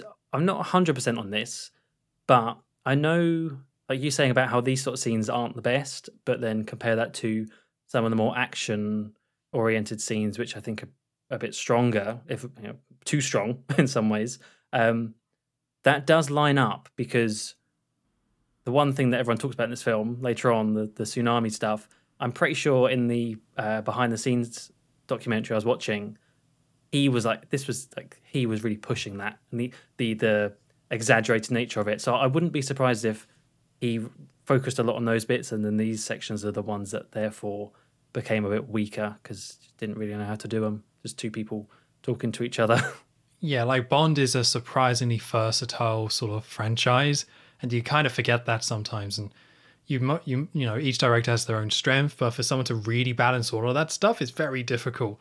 And normally, the ones who will do that would be like, I guess, a Martin Campbell that would actually probably just write some of that stuff out, or he just messes it up, like the beach scene. Like, no, like it's really hard to balance all of that stuff, especially with the modern era of Bond and how they do want to put more weight into the Bond girls and stuff like that. So it's an almost impossible task. So I don't blame him too much, but you do see like you know obviously Sam Mendes is brought on later on and does that stuff somewhat well. So you can kind of see directors' uh, strengths here.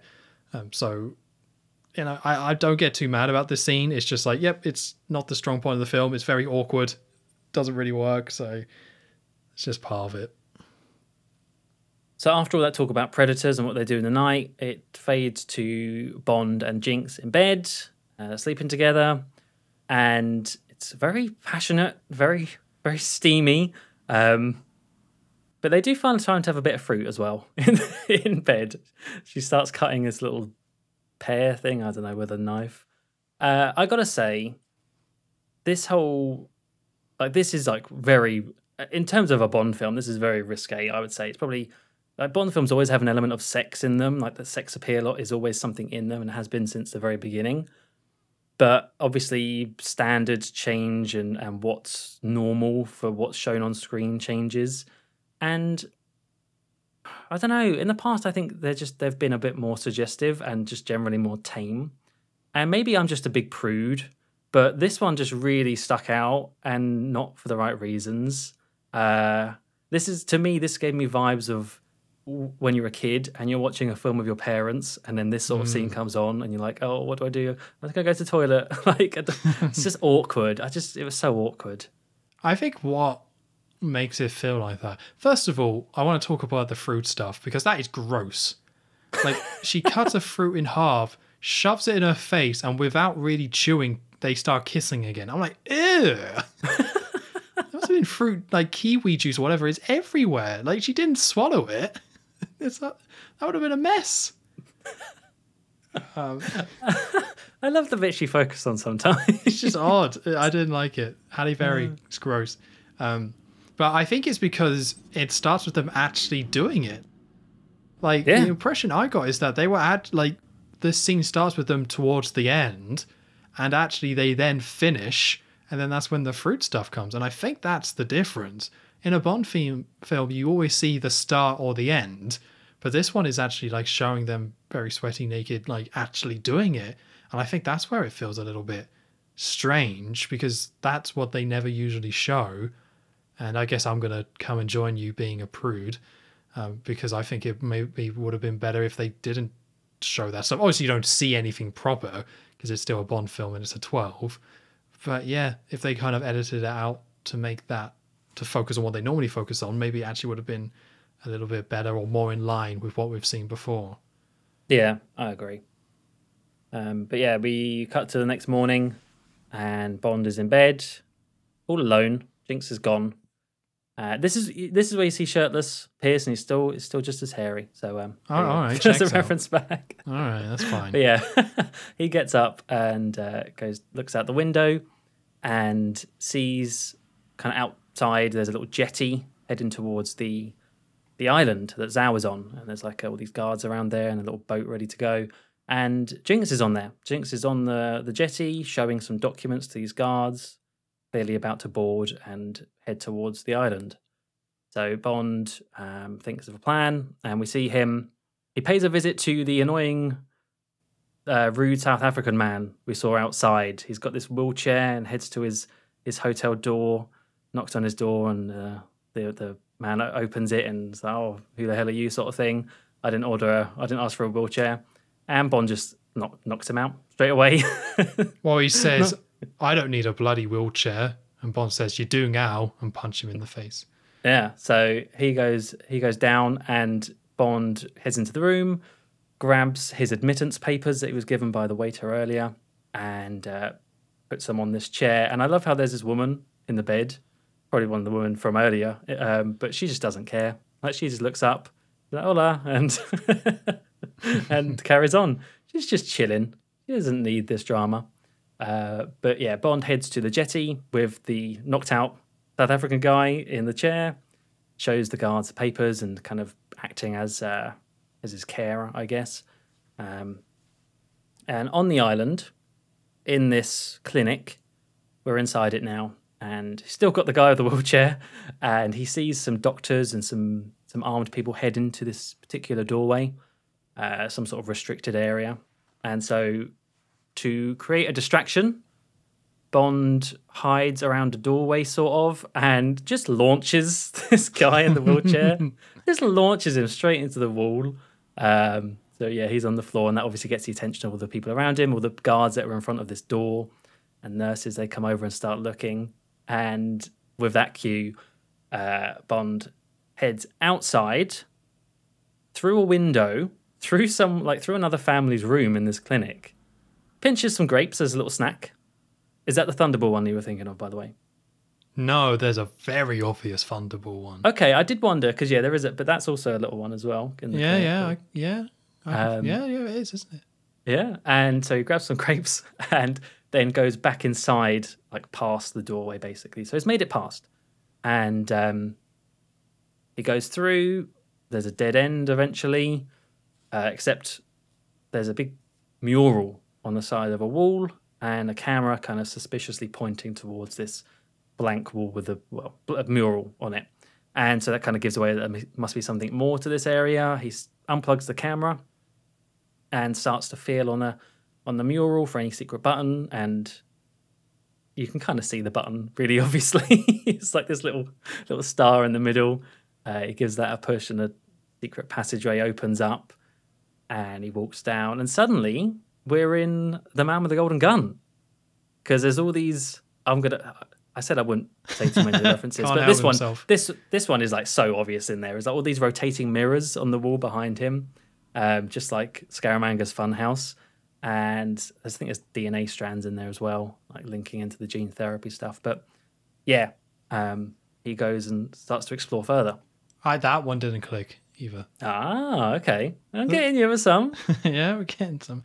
I do think that's really funny though about the star, as you mentioned, where it's it is quite obvious, but you can tell that like I guess Pierce Brosnan was told like, yeah, you're gonna have to search for this thing, even though it's right bloody there. So you just got his acting of like touching the wall, like, oh, where is it? Where could it be? Hmm. It's like when you're playing a hide and seek with like a young kid who doesn't understand the rules. So you have to be like, hmm, where have they gone? Goodness. Oh, there they are. And then he just presses it. Um, but this this was the first time and so, so something about this film that's quite famous as well is the product placement where they were a lot more aggressive with it which is something that never really bothers me all that much oddly but this was probably the most obvious shot for it because there's a shot of the camera that bond unplugs pointing at the wall and there's like a big old sony logo on it um, but I think this might be the most obvious one that I noticed. I know this film is famous for having a ton of them in.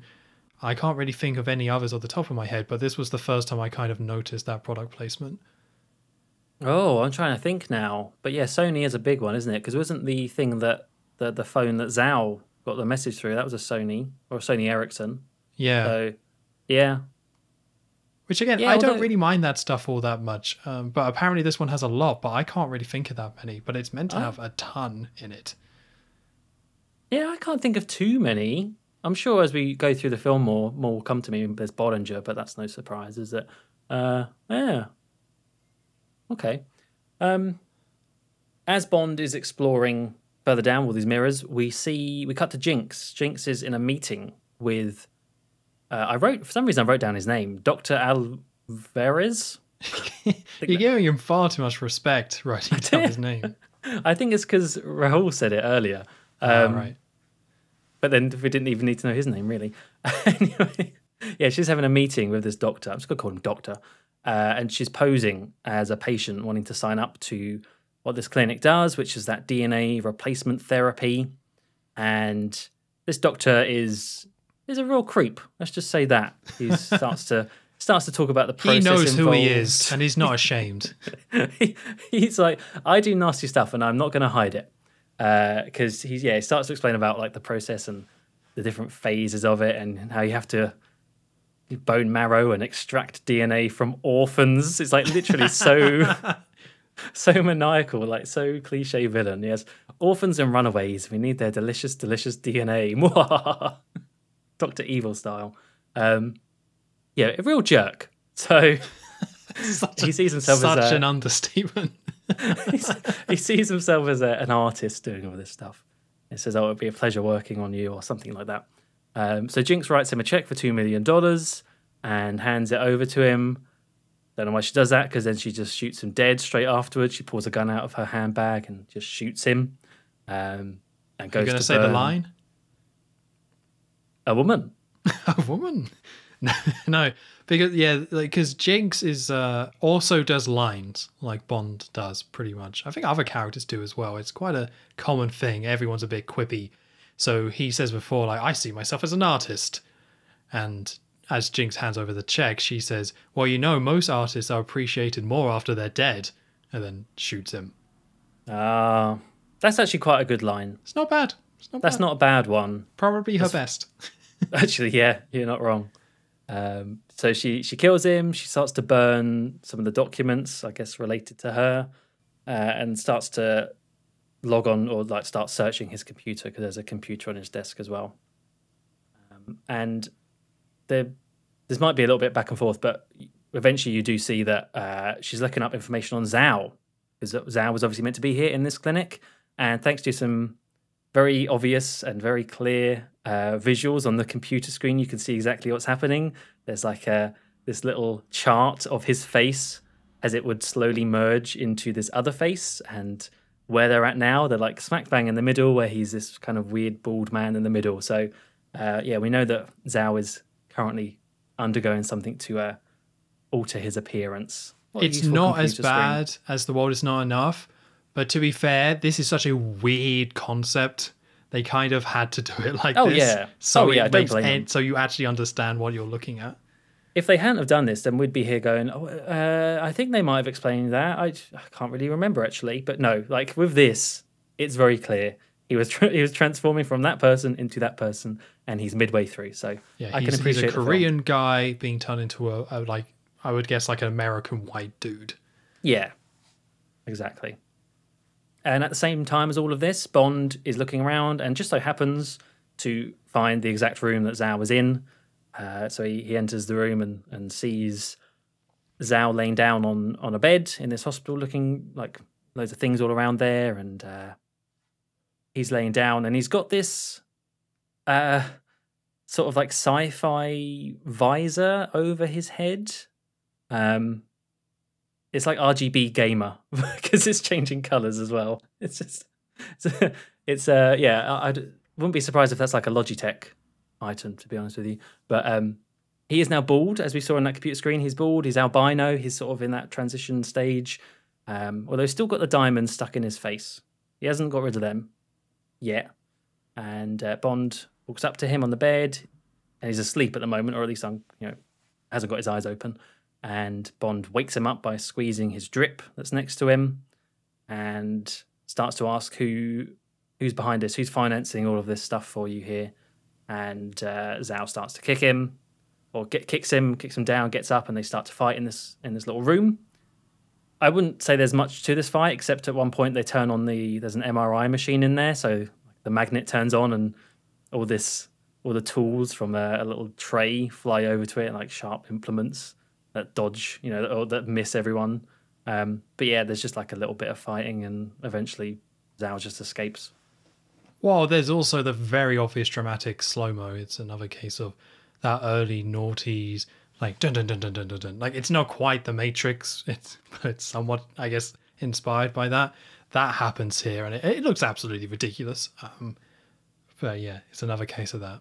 Oh yeah, imagine if they did do bullet time.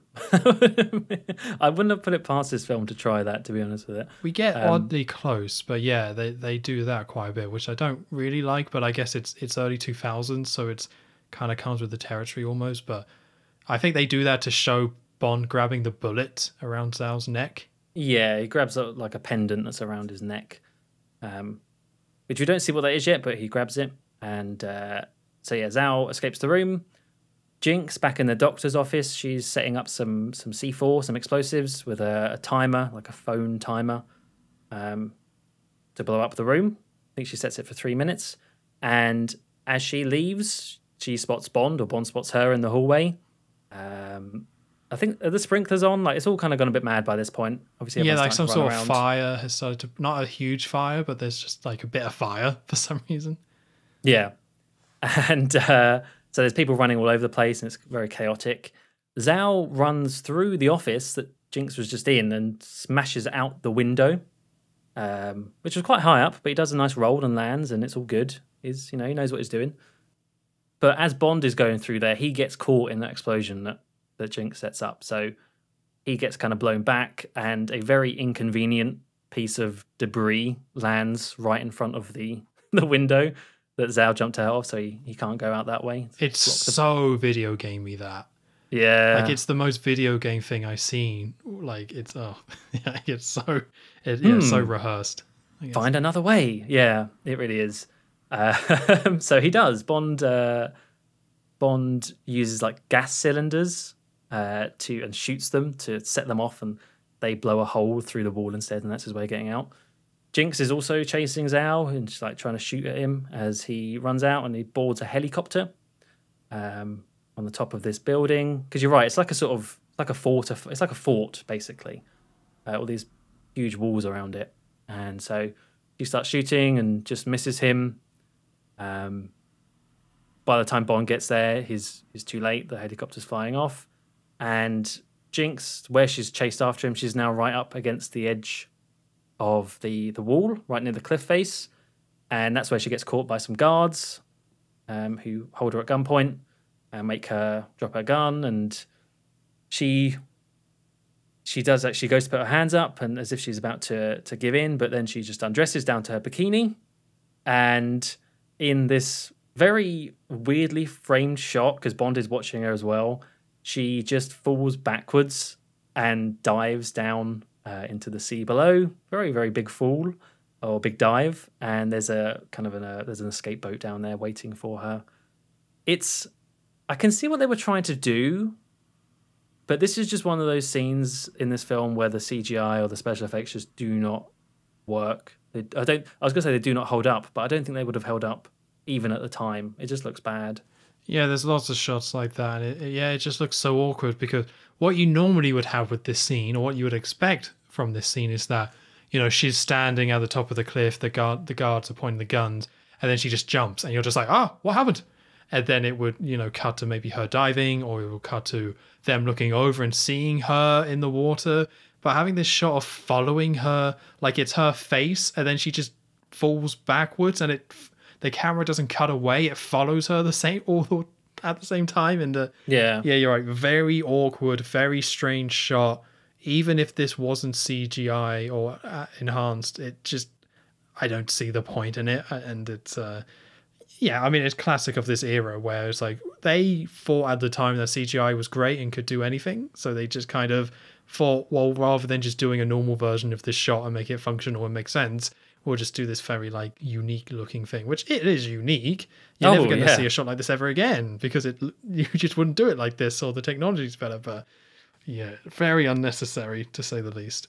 it's it's unique in the sense of when you see someone's like someone's just had a baby and they're showing you their baby and let's just say it's not the prettiest baby so instead you go oh they're, they're so unique it's that sort of unique What a special little guy.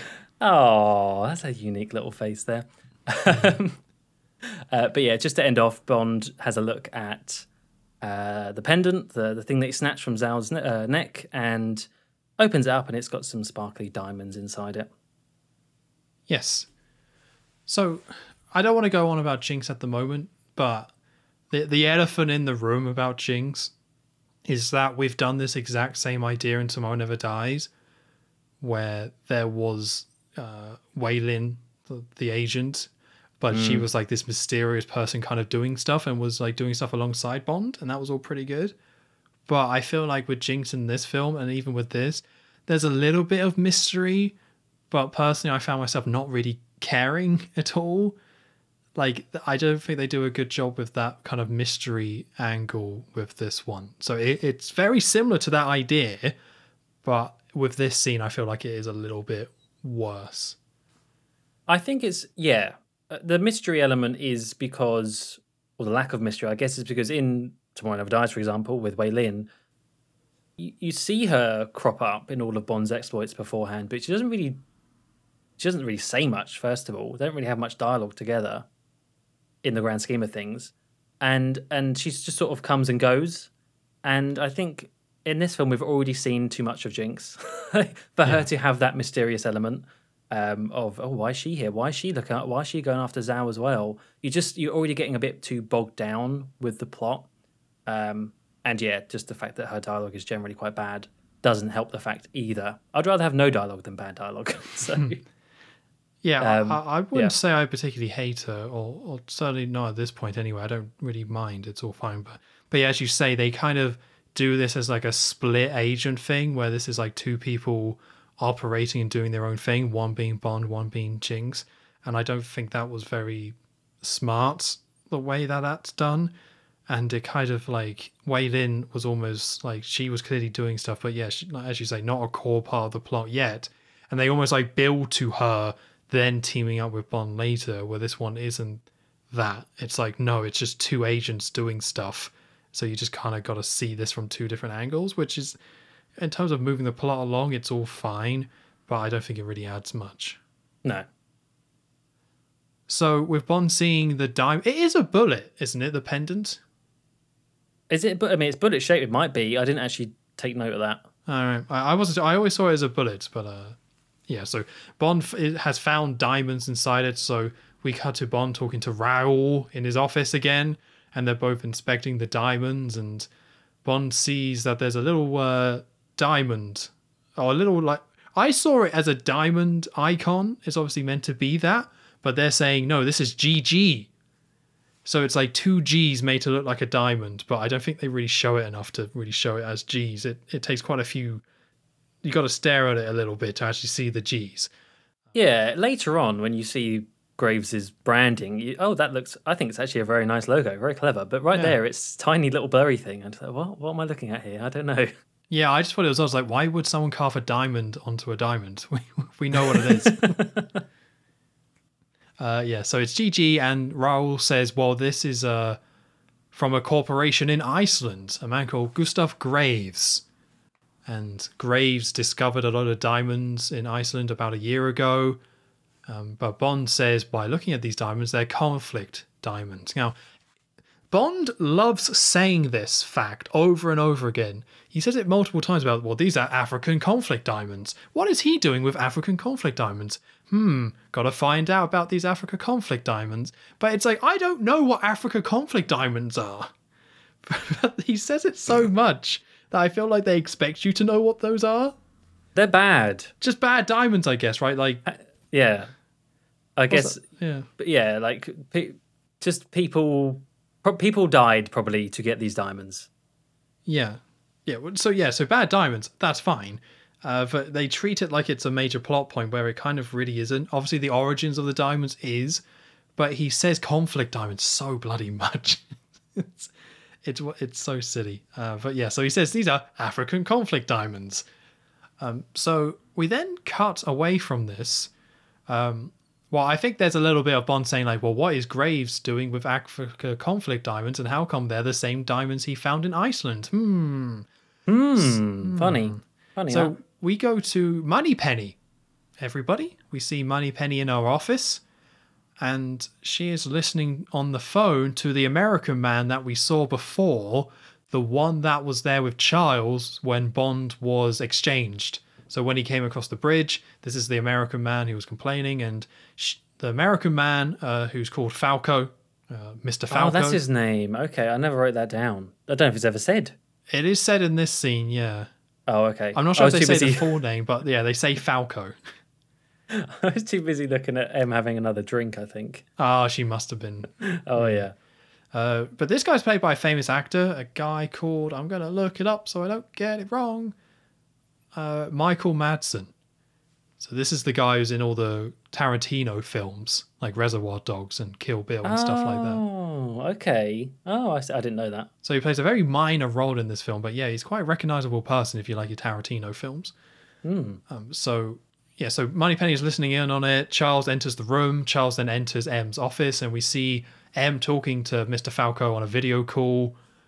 And Falco is yeah again complaining about Bond and doing his thing, and he explains to him like uh, Bond has torched a clinic in Cuba, and then says if you don't put your man in line, I will do it for you. And I think at this point is when M is saying, well, of course Bond escaped. It's what his you know it's what he does. We trained him to be good, so he is good. Uh, which I I really messed up the paraphrasing of that line. Bond no, good. I mean, yeah, Bond good. Yeah. but I, I and then like M throughout this with Pierce Brosnan has had really kind of like nice lines like this, and uh, it was nice to hear another one of those. Uh, but that's about it. That's that's that covered. So we then go to a plane, a British Airways plane in the sky. So I guess there's the other product placement, but we did that before in another film. So to me, it's not all that weird. Um, and we see Bond in first class having a vodka martini, and a a stewardess gives him the vodka martini, who I believe is played by uh, Deborah Moore, Yeah, you're is indeed yes. the daughter of Roger Moore. Yeah. I don't have much else to say about that, but that's quite nice that she's. Well, it this film. explains it explains the eyebrow raise. explains the eyes.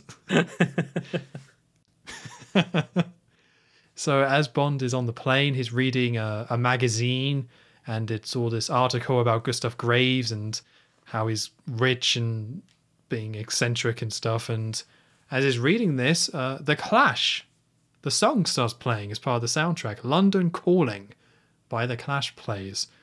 Um, yeah, no no mix on that. It is just that song. So that song is now playing, and we see a lot of press waiting outside Buckingham Palace or waiting around. And someone in the press tells a woman there who's is like, "Oh, your man's not going to make it." And at the same time, we see a man jump from a helicopter high up, and he starts falling, and then he uses a parachute, and it's a Union Jack parachute. So he swoops down. He then lands in front of the press, which I think at this point is when the clash stops playing um, as the parachute comes up.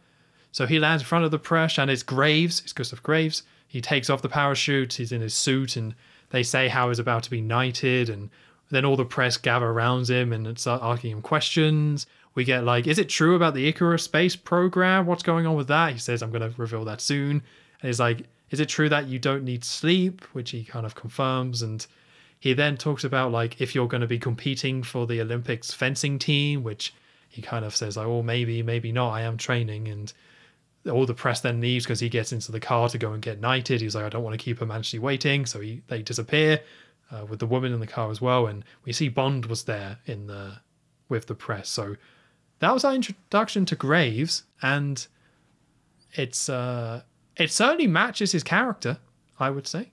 Oh yeah, yeah. I Joe, what I used to dislike Graves uh, quite a lot with this film, um, but I think, I mean, we haven't got anywhere near really his proper you know element in the plot. But with this intro of him, I I do think you get a I think it is good. I think you get a very solid idea of this character it, with the press all around him, the the showy parachute down onto it. It's it's so over the top, isn't it? And he's so smarmy. He's just got that such he's got like such a punchable face sort of thing going on where he's just like the actor. Is it Toby Stephens, the actor? Oh, he's just yeah, like going right.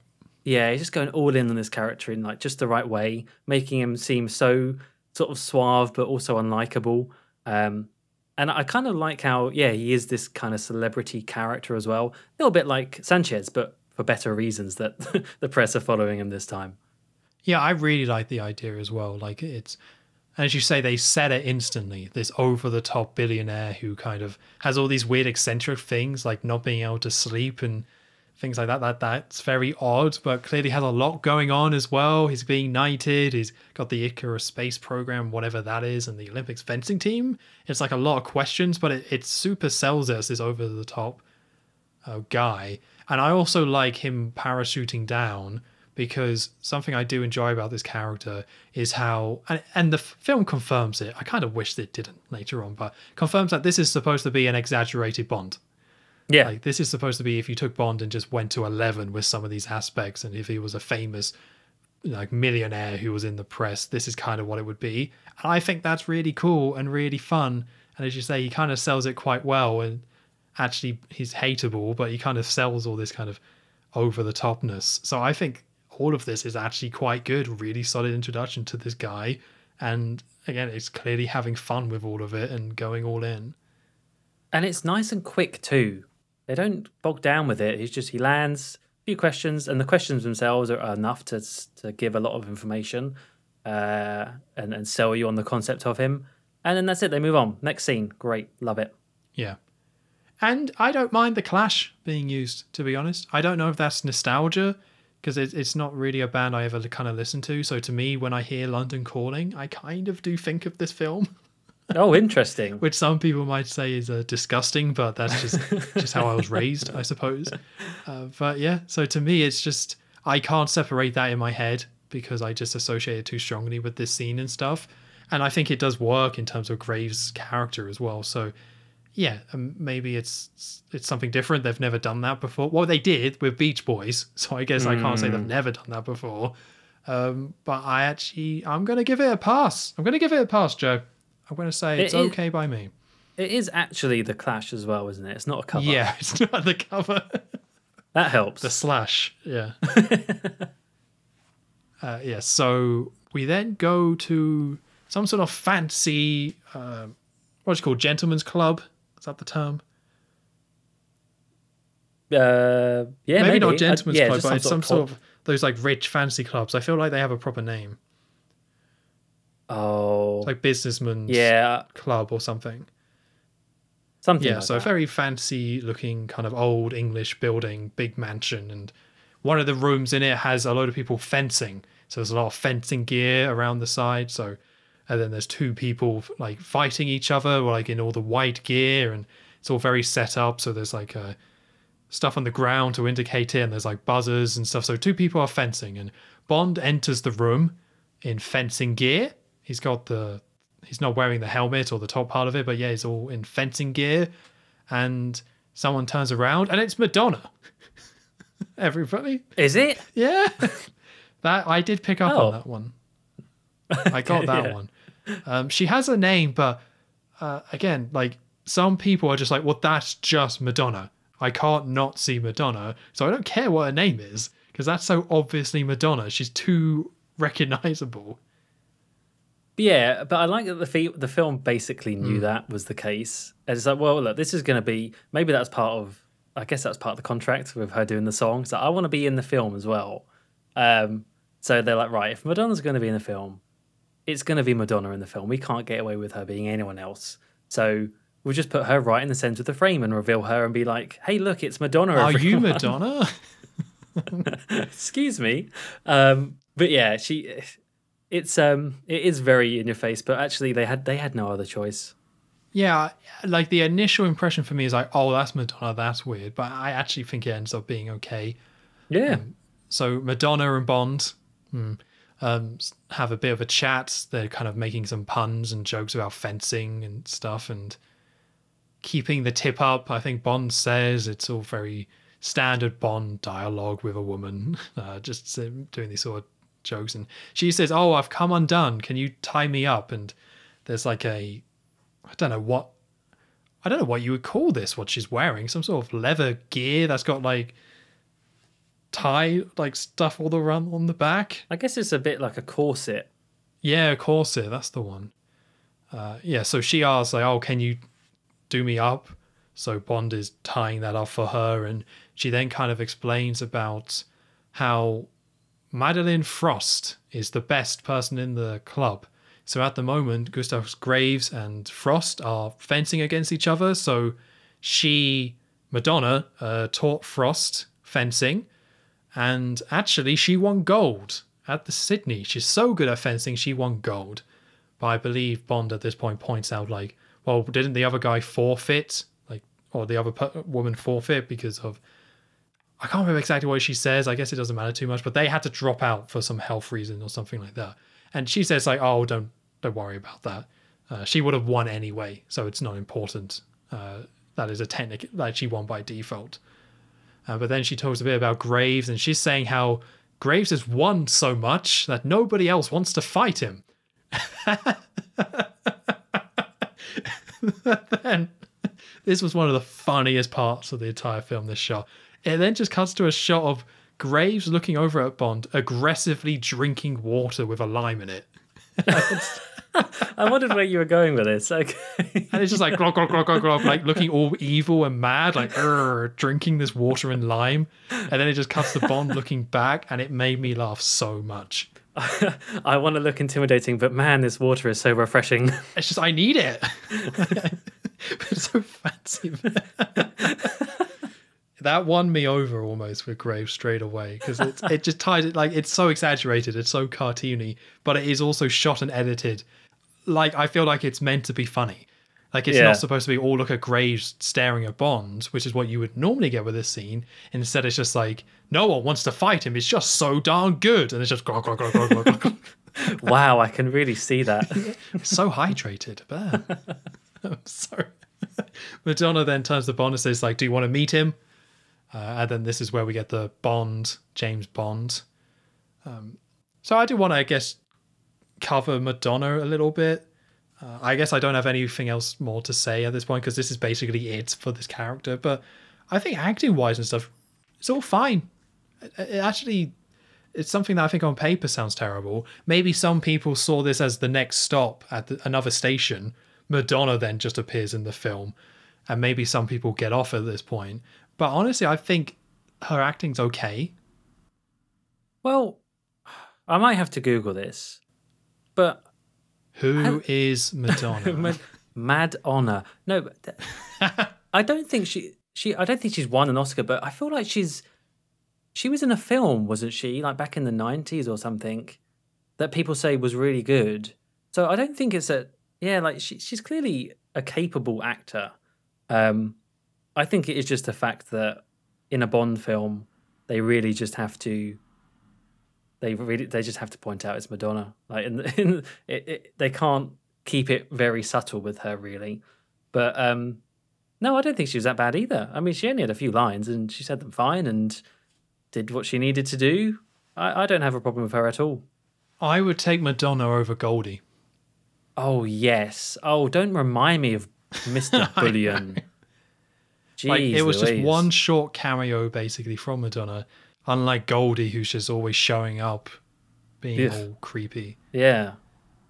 So yeah, so I guess it's one of those with Madonna where it's like, yeah, on principle, I guess why I can get why people hate it. I'm not a fan of it. If you ask me like, do you want Madonna in your Bond film or not? I'd be like, hmm, I'm gonna go no on the Madonna. Um, but it's honestly fine.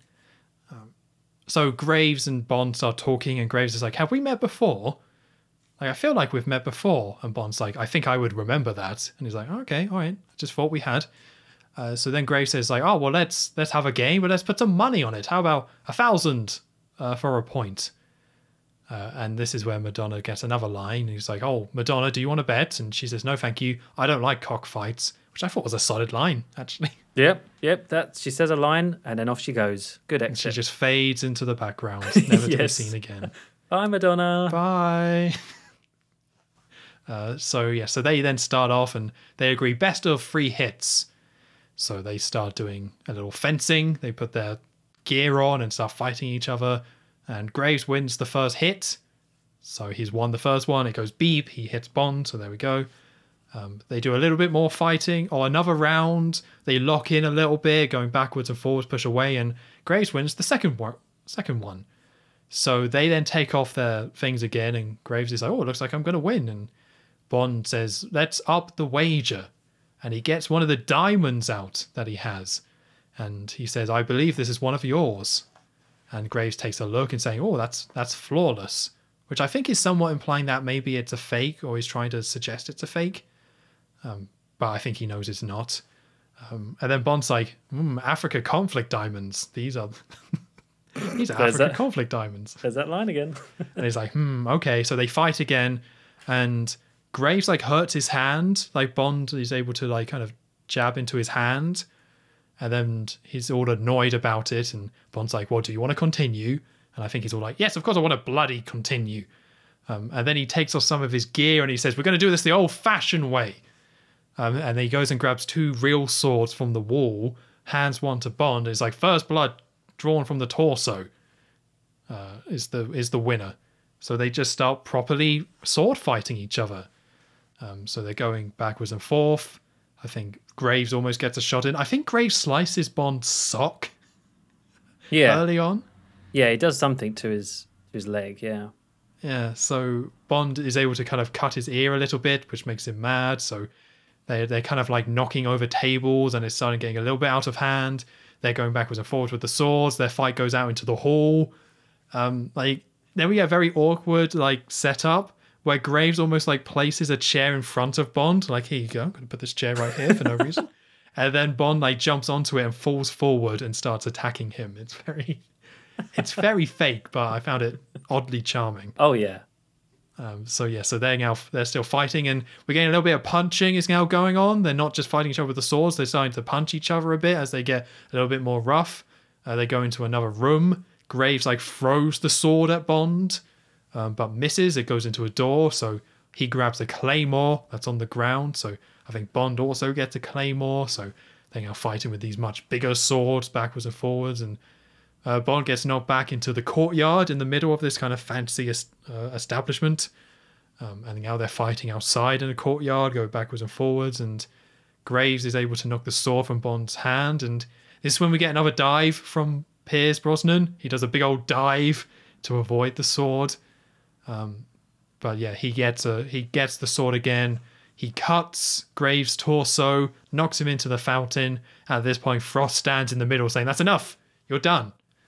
Um, and Gray stands up in the fountain, looks down, is saying, "Ah, you you have beaten me, Mister Bond. Very upbeat." He's like, "Maybe we should go and settle this outside." But they're both there, breathing heavily, blood on their face due to them fighting, and uh, yeah, that was that. And this was great.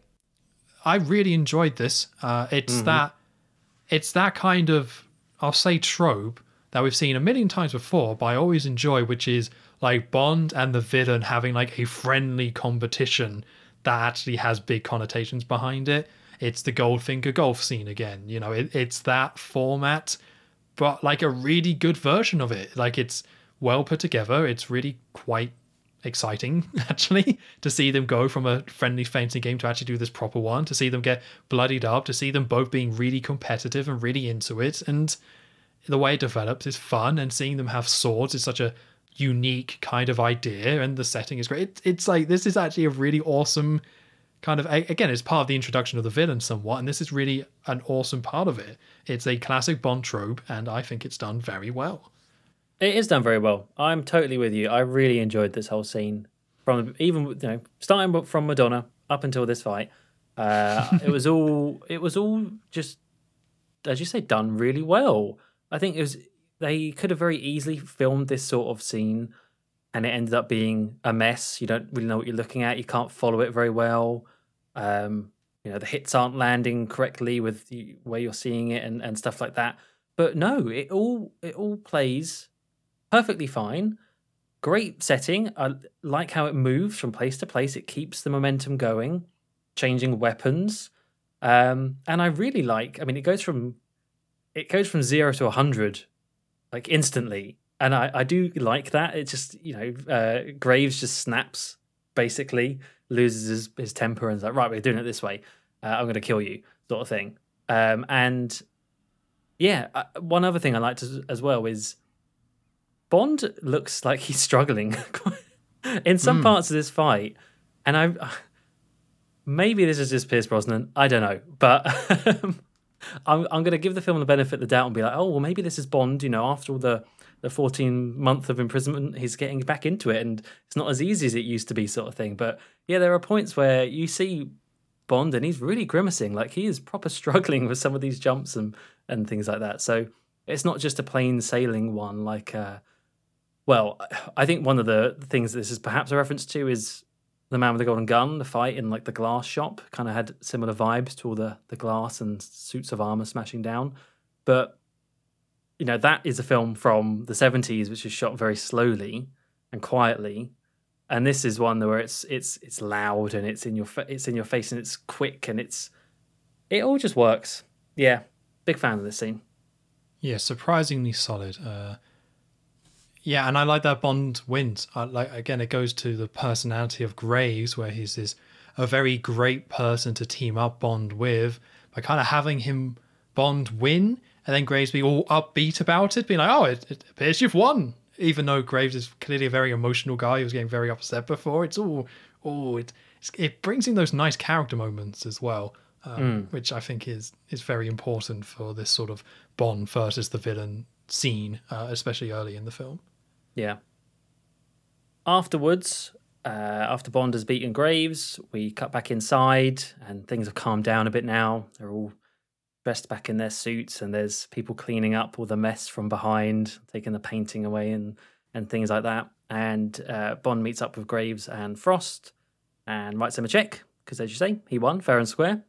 And because he's so impressed with Bond, he invites him to uh, the scientific demonstration of his Icarus project in Iceland for that weekend. Uh, the stuff that the press were asking about from before, and uh, I think Bond does say something to Frost about, "Oh, I hope I have the pleasure of you being there as well." And she's just she's having none of it. Um, she just shuts him down immediately, um, and they both leave. Uh, and before That was so so. That was so good. That moment, I love that moment so much. I can't Where, even remember yeah, what she she says, like, says. Can I expect the pleasure of you? No, it's not what she says. It's um, yeah, Bond's like, can I expect the pleasure of you in Iceland? And she says, I'm afraid you'll never have that pleasure, Mr. Bond. And then it cuts to Pierce Brosnan doing like an ooh face, like, it's like, Uh, that's something that's very surprising about the film. I'm not going to say all the humor works, especially the stuff with Jinx. A lot of it falls flat, but I was surprised how many of those small moments that are meant to be funny of Bond reacting to stuff actually really made me laugh. I think the the humor, especially revolving Bond, is surprisingly solid, and I like that they allow Pierce to do this sort of stuff. Him doing like an "ooh" face, like oh that's cold," it's really funny. yeah, they're not always going to be winners, Bond, and I guess he accepts that. Uh, but before the scene ends, there's a member of staff that comes over to him quite randomly, just comes out of the blue and says, "Commander Bond, you've there's a package left for you, and it's this envelope, and inside is this big, old-fashioned looking metal key." And Bond looks at it and sort of kind of I don't know if he like looks out and something clicks clearly, like he knows what this key is for. So um, we then uh, we then cut to London and we're at Westminster Bridge because the key is actually to a small door just on uh, the side of the bridge. And actually, it's a very easy Bond location to find in real life if you if, if you're into that sort of thing. I've gone to it because I've been like, oh my god, it's the door from Die Another Day. Uh, of course. Yeah, and you know what? If you're up for it, Shrek's Adventure is right next door. So perfect. your whole day's sorted for you. That's a hell of a Saturday right there. it's actually the same place where, if you're a fan of George Lazenby, the photo of him resting against the lamppost. The oh, one. that one. Didn't that get removed or something though? Oh, did it? Sort of... Oh, I remember reading something about people being upset about that. I'm not sure if you can do that anymore. Oh, okay. Oh, that's a shame. Anyway, um, yeah. So he unlocks this little kind of big, well, this big. Uh, no, it is little. It is a little door. What am I'm talking about? It's a little wooden door on the side and walks down some stairs, and he ends up on this empty tube station platform with M kind of ominously standing, waiting for him in the doorway. Uh, and it's an abandoned station for abandoned agents, he says, uh, as he walks towards M and, and gives her back her calling card of the key. And M is kind of get straight to the point. She wants some information on on Graves, what's Bond found out, what's going on, and Bond is quite bitter still about what's happened with the whole career stuff and like the way that M's treated him and oh now you need me sort of thing. Um, but yeah, M reveals that they only know the official biography of Graves. They don't know anything more malicious than that. So, uh, according to MI6, he was just an orphan who learned engineering, found a diamond mine, and uh, in Iceland, and then gave some of his money to charity, which I guess is why he was getting knighted. And um, Bond talks about all the gene therapy stuff that happened in Cuba, the diamonds that he found on Zao, um, which again prove it's all that smuggling conflict diamonds. So they are again. Uh, so yeah, maybe Graves isn't as clean as he's uh, he's making out to be. And with that, Bond is suddenly useful once again. M gives her approval, and uh, he can continue. Well, I say he can continue the mission, kind of semi-officially, you know, as an outsider under the radar. Yeah, it was. Uh, I thought this was very cool. I always enjoy the whole extra dimension to uh, MI6, and I guess with this one they kind of, you know, we're obviously not getting the classic sort of. Oh, we're getting an updated version, right? We're getting a a variant of all this MI6 stuff, but I, I think it actually works quite well.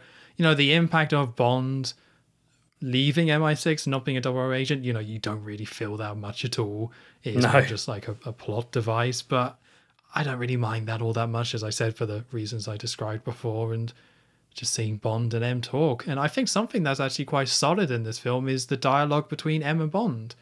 I think it's as maybe not as good as Goldeneye, but actually surprisingly really solid. There's a lot of solid lines between the two, and having Bond leave and not be a double O anymore kind of creates some interesting kind of dialogue between the two. And obviously, Judi Dench smashes it because she always does. Um, and Pierce Brosnan and Judi Dench have a good back and forth. So yeah, I really enjoyed all these scenes with Emma Bond, and it was cool to see this abandoned uh, sub like uh, underground station. It was all all good stuff. Yeah, that's the bit I liked. Uh, the, all the all the dialogue was fine. It was all very plot heavy sort of stuff. But um, I did like the fact that they they've changed it now to this this empty tube station. It felt very uh, Skyfall in hmm. retrospect, mm. um, just to change the scenery. I guess it's uh, that maybe they didn't want to blow up uh, MI6 anymore, or have something else happen to MI6 building, so they they stay well away. Um, Yeah, like this stuff stands out more to me than like the Scotland stuff in the world is not enough. I find this like obviously these locations aren't as striking or stuff, but I, I, I don't know, this works a little bit better for me as a way of mixing it up. Yeah, yeah. I know they are they are underground. Uh, they are literally underground and figuratively now for Bond. So it all works. But then actually after that scene, you think, okay, well we're in we're in the tube station bit, but no, we cut to Bond. He's back in his office in MI6. His office, which I guess we wouldn't have seen for quite some time. It would have been on Her Majesty's Secret Service, right? Uh, yeah. I think so. He's in there. He's he's sat down cleaning his gun with a little brush, um, and it's all it's like late at night. It's all a lot of lights turned off. It's quite moody, and he hears some gunshots from outside his door. Oh no! And so he, he's got his gun pointed, and he walks out, walking through the corridors, and he sees some dead bodies on the ground. He looks through into Moneypenny's office, and there she is, dead on her Not desk Moneypenny. shot in the forehead. Rest in peace, Moneypenny. Oh, Um, I want to say he made a quip, but I can't think of one in time about uh, oh, I guess the pennies oh. dropped. I guess it landed on heads because she got shot in the head. They're, both good, actually. I like them. Yeah. Um, Send in your um, money penny is dead puns, quips for Bond. Send them in uh, to the usual address. We'll read them all out next is this is a. Blue Peter competition? or something? Someone's going to win a badge, guys. Best one gets the badge. The Bond Revisited badge. oh, that'd be nice. Uh, so he's joined by uh, Robinson, joins him in the situation, and they, they carry on looking through the corridors. They head into M's office. Um, and M's in there, but she's being held hostage, and there's a few different men in there, uh, terrorists, I guess, and one of them kills Robinson, R.I.P. Robinson. No quips for him, don't care.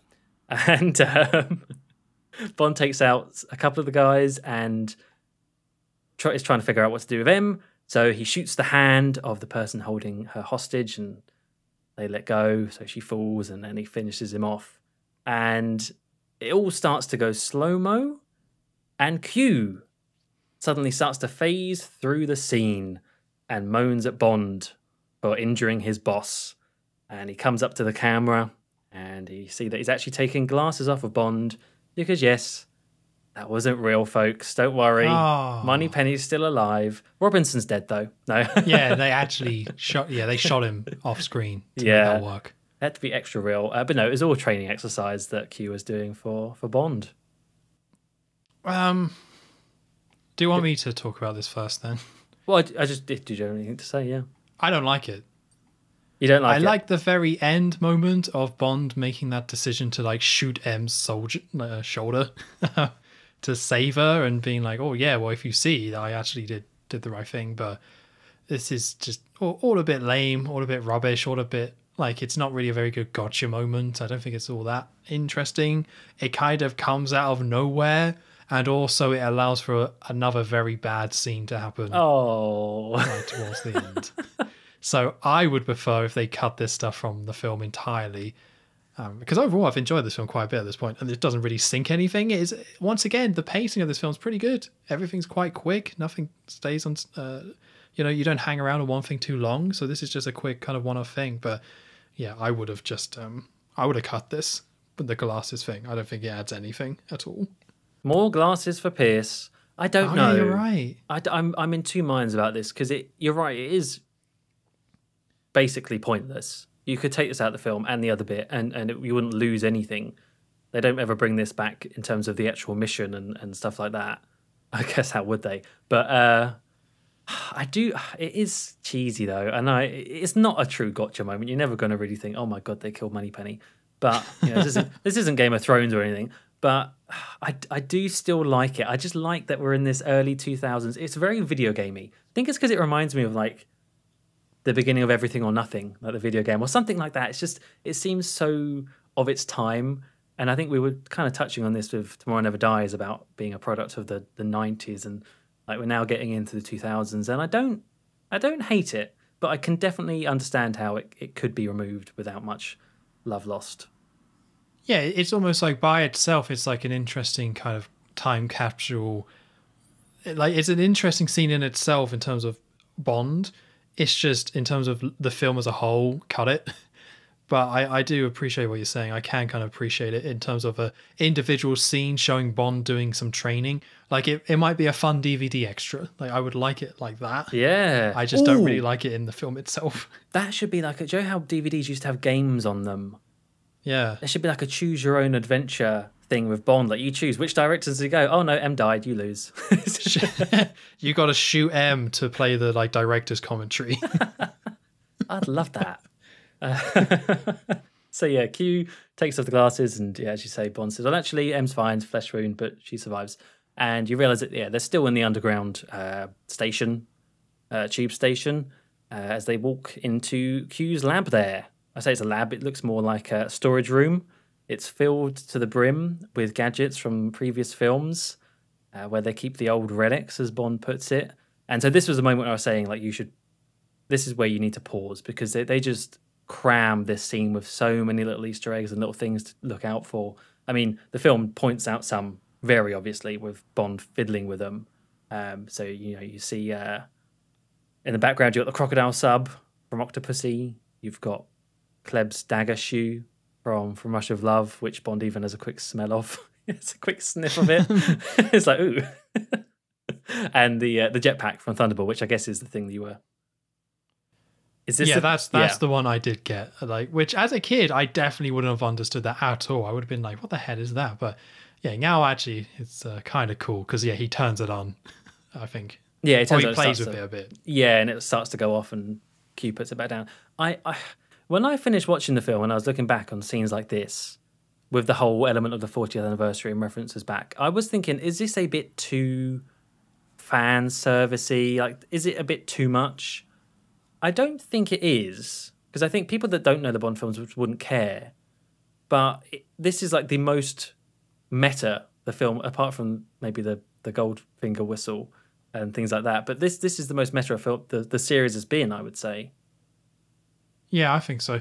I don't think it's over the top, but this this again ties into what I think the tone of Die Another Day is. This type of tone, I think for me means it gets away with it. The hmm. fact that it is a more fun, over the top sort of film, I think that means they can do it. Yeah. But if this was like a Timothy Dalton film and he just walks in and sees all this stuff, then I'd be like, that's strange. Why is Timothy Dalton playing with the Thunderball jetpack? but because it's Pierce Brosnan and because of the direction of this film, I think for me it works really well and just is a really cool uh, sort of set. I didn't pause, by the way. I didn't really take a big look at that, but I think even just seeing Pierce Brosnan messing around with the shoe and the, the Thunderball jetpack is enough for me. That's just fun. I can enjoy that. Uh, yeah, I just liked when you sniffed it. I thought it was really funny. Um, so we do get onto the actual gadget demonstration, not just ones from previous films. Q uh, walks Bond up to this bit of bulletproof glass and starts shooting to prove it. And he shows him this sonic agitator ring, which if you put your ring, put the ring to the, the glass, it shatters it. And he's got a watch, which he says is, uh, oh, this must be your 20th by now, or something like that, being the 20th film. And then they head out onto like an actual train platform area, and Q uh, triggers this empty stand to come out of the tunnel and says, This is your new transportation. Um, and obviously, it's just completely, it looks completely empty. Bond's like, I think you've been down here too long. And Q starts to walk onto the platform and walk onto the other side. And then you see his legs warp and distort because he's walking behind something. And then we get that kind of prompts a, a almost, well, I think it is word for word replica of Goldfinger, where Bond says, You must be joking. And uh, says, As my predecessor told me or taught me, I never joke about my work. It doesn't quite land the same way as good old Desmond, but uh, you can see what they were trying to trying to do there. It's it's all right. It's it's a big like nudge and a wink, isn't it, to the audience? But yeah, this is the uh, the Aston Martin Vanquish, or as they're calling it, the Vanish. It's a, a car with adapt- adaptive camouflage. It's all cameras over it and polymer, blah blah blah. But yeah, it's it's basically invisible. It's an invisible car.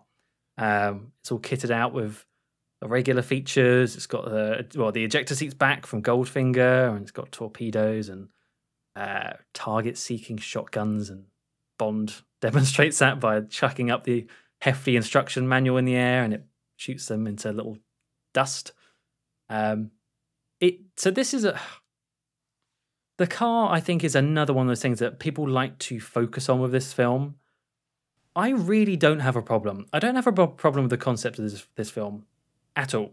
Uh, uh, the, the sorry, the concept of this car in this film at all, because as you said, the tongue is in the cheek of this film so many times, and the tone of it it it suits it. And also, we've had really silly fake sci-fi stuff in the past. Anyway, I really don't care that it's invisible. I think it looks cool. The only thing I do have a problem with is that this isn't. I was. I don't think it's used very well later on in the film, but on its own, I have no problems with with the vanish. No, I don't either. I always, I mean, maybe this is because I was a kid. I always thought the car was incredibly cool. I think it's so neat. Uh, but I really like the look of this car. I'm so happy we're back to Aston Martin because they just look so much better than the BMWs. You know, we don't care about cars that much, but I think anyone can just look at the BMW and the Aston Martin and be like, look how cool the Aston Martin looks compared to it. So it's nice to have a really good looking Bond car. And I really love the fact that, yeah, it's Aston Martin. The most iconic car is the DB5. Yeah, The DB5. So I like that we now have a new one, which isn't just that car, it's like a modern version of it. And I think it looks incredibly cool. Um, so I, I love this car. To me, when I was younger, this was the Bond car because it was Aston Martin and stuff. I didn't really have that concept of the DB5 uh, from Goldfinger and stuff. So this to me was the Bond car. It helps that it's all in all the video games as well. yeah. they put it in that as well. So this became like the Bond car, and I, I love it for that. So I don't know. In terms of the concept, I've never really thought about it too much. I I never really saw it as anything that crazy. So I kind of agree with you. If people aren't into it, fair enough to you. But I never really saw how this crossed the line compared to some of the other wacky stuff we've had in the past. And this film just has a lot of wacky stuff in it. So it makes sense to me that the car might be something a little bit more out there. And I think it does set up a couple of cool moments later on. So yeah, I'm for it. I think it's quite neat. I guess the other thing to point out in the scene is that this is this is now uh, Q, well, John Cleese as Q, just him on his own, no Desmond anymore. Um, and it's the only time we see him in this role. Obviously, he gets well, Q gets kind of written out for a little while in the series going forward. So, do you really? Have, I don't really have much to say. I think it's more of the same as we saw in The Was Not Enough, where I don't really.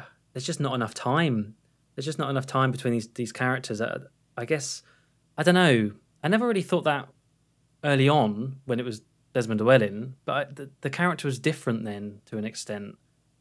And I, I I think thought this was just fine, really. The, uh, the thing that stood out to me is that this was written as if it was Desmond. yeah, It's just John Cleese doing it instead. yeah, So that's a bit odd. But I think because it is just a more traditional Bond Q scene, it is better than the last film because of that, because they just go through the motions a bit. And I like some of the lines. I like when uh, John Cleese is like, always an excuse, 000. so childish. But I liked it. Uh, but yeah, I think that's the thing. That's as you say, there just wasn't enough time for any of this, and next film he's gone. So it's like a bit. It just all felt a bit pointless at the end of the day. But you know, he does a decent enough job. It's just they never really found his feet with it, and this is a very standard Q dialogue back and forth. So it's all fine. It's all completely fine. It's just not really worth thinking about that much because it just didn't matter in the end. Mm, yeah. Oh well. Oh well. Poor John Cleese. He'll, he'll be fine. Uh, we then see M in her office, and someone enters the room. She looks up. Someone comes in, but we don't see who it is straight away because we only see M looking at them, and she starts talking about this person's mission to Iceland. So you think it's oh, it's Bond. Bond's come in, and there's one last little thing to talk about. But no, it's revealed it's actually Frost. Whoa! What? Bum bum bum. Yeah, Frost is uh, an undercover agent. She's also working for MI6, and uh, with M M's dialogue, we learn that uh, she's been investigating graves for for three months. She she's wanted to go on this this assignment, and after three months, she has not found anything to no avail. And uh, M warns that Bond is about to join in and and mix things up a bit and try and find out some more and basically keep an eye on him. Don't let things go out of out of control. Keep an eye on it all, and uh, and Frost is worried about this, saying that oh he's going to blow my cover. I've seen the sort of things he do he does, like with the the uh, fencing fight, um, and then the scene kind of ends with M pointing out that in all of her years of training and things like that, Frost has never fraternized with anyone, and uh, Frost makes it a point that oh no, she'll she'll definitely, you know, keeping uh, work and pleasure separate, especially with James Bond. I don't know, we'll see how long that lasts. Let's just put it that way. Yeah, that's a little bit on the nose, that. But Yeah, But I do like the description Frost gives because M's like, "What do you know about you know James Bond?" And I like the description where it's like, he'll if there's a yeah, he's a danger to himself of others. Kill first, ask question later. It, he likes to provoke, and that's how he gets things done. I think she's pretty on the nose. Like, does gives a very good description. Oh yeah, and I actually quite like that. I think Very that's fair. cool. very fair analysis. Yeah. Yeah, I think we'll talk about Frost later in the film. Um, but yeah, I guess interesting enough.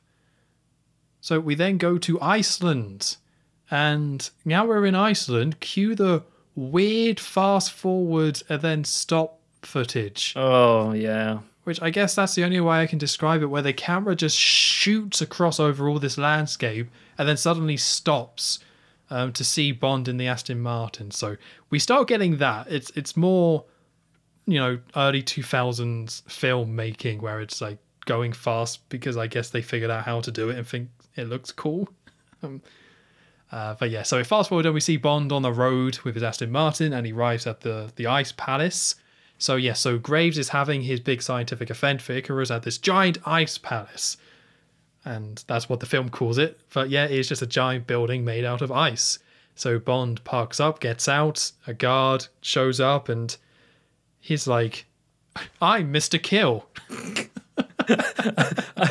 in my notes, I just put, "I'm Mr. Kill," and then okay, like, thanks, Yes, thank Like, you. It's really, really, really, really awkward. Yeah, there's no clever dialogue here. It's just a giant dude who looks like a henchman. So it's like, I'm Mr. Kill. Of which Bond responds, Now there's a name to die for. Oh, because of kill. Um, so Bond looks over and he sees like this speed rocket car out on the ice going very quick. Uh, and then it starts slowing down. It uses parachute and it stops right in front of the palace. And Graves gets out of the car and like some engineer comes up to him, who I didn't really write that much about this guy. This guy to me was always engineer. mm, not a nerdy science guy. Yeah, but he's not like an important character, but you see him a lot. Like he Yeah. hangs out a lot um, around Graves. Um, so he gets out and saying, That was a new personal best, so that was the fastest you've ever gone. And Graves is mad, saying one of the engine cuts out or something, make sure it's fixed. So Graves then goes up to Bond and they they enter the palace and there's a bit of back and forth between the two. It kind of ends with him saying like all the advantages of uh, never sleeping because he's going all in with this I don't sleep thing. He's saying I have to leave, live my dreams. Then he's saying besides there's plenty of time to sleep when you're dead. Um, so it's, it's a lot of that type of dialogue. I quite like that line actually. I, I like it. Yeah. I just think it's actually quite a good line. Virtues of virtues of not sleeping. I have to live my dreams. Like, hmm, yeah, I could I could see that on a on a poster or something. Yeah, well, it fits in with this eccentric millionaire who's in love with himself. he Yeah. say all this stuff. Um, so yeah, that happens quite quick. Not too much between the two. Graves leaves, and instantly Frost then shows up and greets Bond. Uh, and I think Bond. I hope I get this right. Bond says like, "Oh, a palace of ice. I bet you feel right at home." Because her name's Frost. To get it? That made me laugh quite a bit. a lot of this stuff does. This was like the maybe the most I ever laughed at a Bond film, and not even at it in a lot of cases. A lot of these little quips just really got me. They're so blunt. They're so on the nose. I'm just like, fine, let's do it. Um, but yeah, so she explains that the palace was built all just for this event. Like it's all very uh very over the top. So they built this for this event, and next door is the diamond mine, which doesn't come up again, I don't think ever. Uh, but she just mentions the diamond mine is actually nearby next door. Um, so as they're talking, we see Jinx arrives in a red sports car. So Jinx is here, um, part of the event, and Frost then takes Bond to the ice. His, I put ice hotel room because that's what it is. Bond has a room, Yeah. so Frost escorts Bond to his room and and leaves him in there. So we then cut to later that evening, where we're in the large main hall of this ice palace, and there is a dance remix of Die Another Day playing as the, the music for this. Oh. Is that the song that plays over the credits as well? It probably is the same one. Yeah, I didn't connect those two, but it's definitely like, you know, that long form dance remix type of thing. Yeah. Wow, I completely I, I call it on the credits. Obviously, I completely missed it here. That's surprising because I don't know if they say any of the the actual vocals, but to me it was pretty pretty in your face. Joe, what? I was distracted by this point. I get I seem to be distracted on very inane things in this film. Earlier it was M's drink. In this scene, I was distracted by the fact that everyone everyone in that place would be absolutely freezing. Oh, most of yeah. all, most of all, Jinx, who we are going to see soon because she's wearing a dress with like open sleeves and everything, they would be freezing, and there's absolutely no breath visible, and it was really bugging me. Like you would see people's breath. Why do they not put breath in? They didn't have the tech yet. No. Well, the, yeah, I guess the the practicality of this ice palace is something you shouldn't think about. yes, that's a good point. yeah. This is another st- a stop for people. If you're like Ice Palace, you might get off at I, this station. I nearly did. I stepped off, but I was like, You Joe, saw what? it. podcast. I'll get back on. I'll get back on. So, all right, one more. We can keep going. Yeah.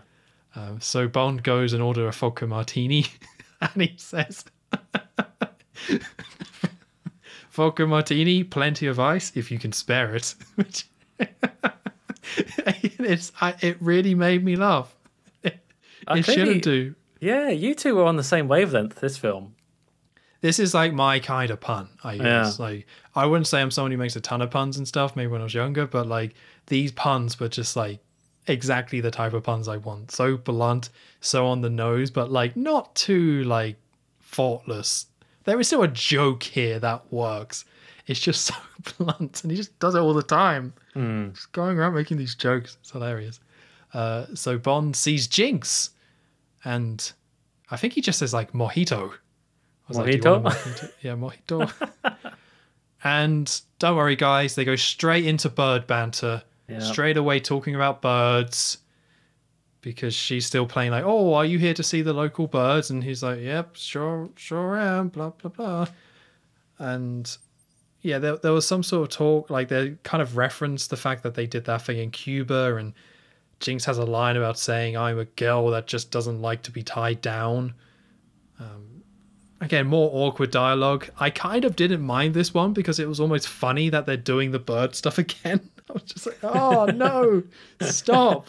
But it's so ridiculous that they just instantly go back to bird puns and jokes. I'm just like, all right, I kind of like that in its own dumb way. That's all they have in common. All they can talk about. So they got, man. It's just awkward otherwise. Um, but yeah, more bad dialogue from those two. So we see a van pull up to the ice palace, and there's like a man in a hood that kind of gets out, and he enters the palace, like, or maybe not the palace, but he's like entering a building nearby. Um, actually, is that building nearby the biodome? Is that where the diamond mine is? I think so. Yeah. That would make more sense, actually. yeah, yeah. Okay, f- fair enough. I never Although connected those. it doesn't look like a mine because it's jungly, so I, I don't No. quite get that. But yeah, I think that is supposed to be the biodome mine. I don't know. Right. Fair enough. Biodome mine. Yeah. Yep. Uh, so yeah, so this man enters this room and he sees Graves is in there and he's wearing like a weird neon rainbow face mask. So it's somewhat similar to what we saw Zao wear before, but this one's a little bit more over the top with like these strands going on him. So he's lying down with his eyes closed with this big uh, mask on him. So the hooded man removes the mask and then he reveals his face and it's Zao. Zao is there and they talk in Korean, saying hello, hi, I guess. Um, and then they hug. And Graves actually explains that the insomnia is real. So when he's talking about never sleeping, that's actually true. And it's because of this DNA therapy that is currently going through. Um, but Graves look at looks at Zao and saying, "What's going on? What happened? You didn't, tran you know, you're still, you look a bit odd." Um, and Zao says it was Bond. You look a bit odd. something not right about you. what Your is it? diamonds Hair- are off. haircut? Oh, S- something glasses. Zao probably misses his old class. um, but Graves explains that Bond doesn't even know who he is. He got this close to him and then gets very uncomfortably close to Zao um, and says, like, oh, Bond doesn't even know who I am. Um, and Zao explains that General Moon still mourns your death. Oh no. whatever that means. So we go back to Bond, and Bond and Jinx is still talking about birds, probably, uh, but this time Frost joins them. And I think the only reason is for one joke, because this dialogue is completely pointless and a waste of time. But I think it's just one joke where Frost says, Oh, has Bond been explaining about his Big Bang theory? And then Jinx is like, I think I got the thrust of it. Awful. Just- Boo. and then Frost just leaves. oh. It's like, oh, they set this little scene up just for that joke, and it's a terrible joke. Yeah. That sucks. So, but let, let's think about this though. Thrust of it. So, is that because Big Bang Theory is the origin of the universe, and the universe takes place in space, and the way we get to space is with a rocket, and a rocket has thrust to go into space? That's the PG version, yeah. No, but I know the the double entendre side of it. But I mean, in terms of like the connection between Big Bang, as in like the concept of the actual Big Bang, and thrust, in terms of making the joke work, I think that's it. Big Bang's a space thing, and space thing's like a rocket, and rocket has thrust. Wow, I, I did not think about it that much. I would have, I guess I would have read that as maybe just the thrust of the like the bang. It's just on a very very I, I guess so. Maybe it is the thrust of the bang, but would you ever see something? and then the universe was thrust into existence. I don't. I honestly don't know. This is why this is bad. It just doesn't make sense. Yeah. Now the Oh, yeah. ice joke, classic. This one is just so forced and so awkward. Like, oh, it's more awkward, bad dialogue, and the way Harry Berry says this line, it's like it's supposed to be like sexy and funny and cool, and he's like, ooh, it's none of those things. Harry. It's none of these things, Berry. Calm it down. Yeah, yeah. It's just stop. Yeah. So we then cut to everyone is now outside. Um, and Graves is on a stage and there's lots of lights and he starts doing a little speech. Um, and Bond is in the crowd and he sees three Korean men nearby. So he, he takes notes of those. So three Korean men are here watching the speech. Um, so Graves hits a, a switch. He has like this control panel in front of him. He hits a switch, and we cut to space. Speaking of uh, Thrust. the thrust, Yeah. we cut to space where we see like this satellite almost, and it's like turning in space, and like the front of it opens up to be this like big circular mirror, I suppose. It's I don't know what the best way to describe it is. hmm. Yeah, a big dish. Yeah, it's like a dish, but it's almost like I I thought it was like a kite. it was the best way I could describe it. Very expensive kite. Very expensive kite, yeah. Very uh yeah. So yeah, stuff is going on there. So while that is all kind of setting up and Graves is giving his speech and he's talking about there being a second sun. Imagine if there could be a second sun, like a diamond in the sky. Uh, then he hits a button and says, Let there be light. And the space thing, the satellite, with this big reflective kind of dish on front of it, reflects sun ra- sunlight down onto the crowd. And it makes it look like it's day, although really it's just very white. And he's like, I give you Icarus. And everyone's like, Oh, very good. I like Icarus. Very good stuff. Oh yes, bravo. Yeah, so he turns off Icarus. So that was the demonstration. So Icarus is a giant satellite where there's like this big mirror thing in front of it. And the general idea is that you can then reflect the sun anywhere on the world, which is supposed to be like, oh, we can stop world hunger. We can have plants growing all the time and, and things like that. So like, like it's, he presents it as like a, oh, we can actually have, or we can have like solar energy. Like he's presented as this like environmentally friendly thing that we can now control sun rays by reflecting stuff in space down. And he does that by saying, oh, look, it's daylight, even though it's actually meant to not be daylight. It's terrible. Looks terrible. I, I guess. You're saying the CGI is not. Well, not yeah. I don't know. I don't know if they just got to set that day and they were like, "Oh, who who brought the lights? Did anyone bring the lights?" Oh, I thought Bob was doing it. Oh, Oh, I didn't bring them. Oh, Joe, what? We'll do it in post. We'll just crank up the Or white, just whack, yeah, just whack up the contrast. whack it up, and then it will it will work. Don't worry, we got this covered. Lee, don't worry. Get on with your filming. And it's just no, it doesn't work. It looks terrible. Yep.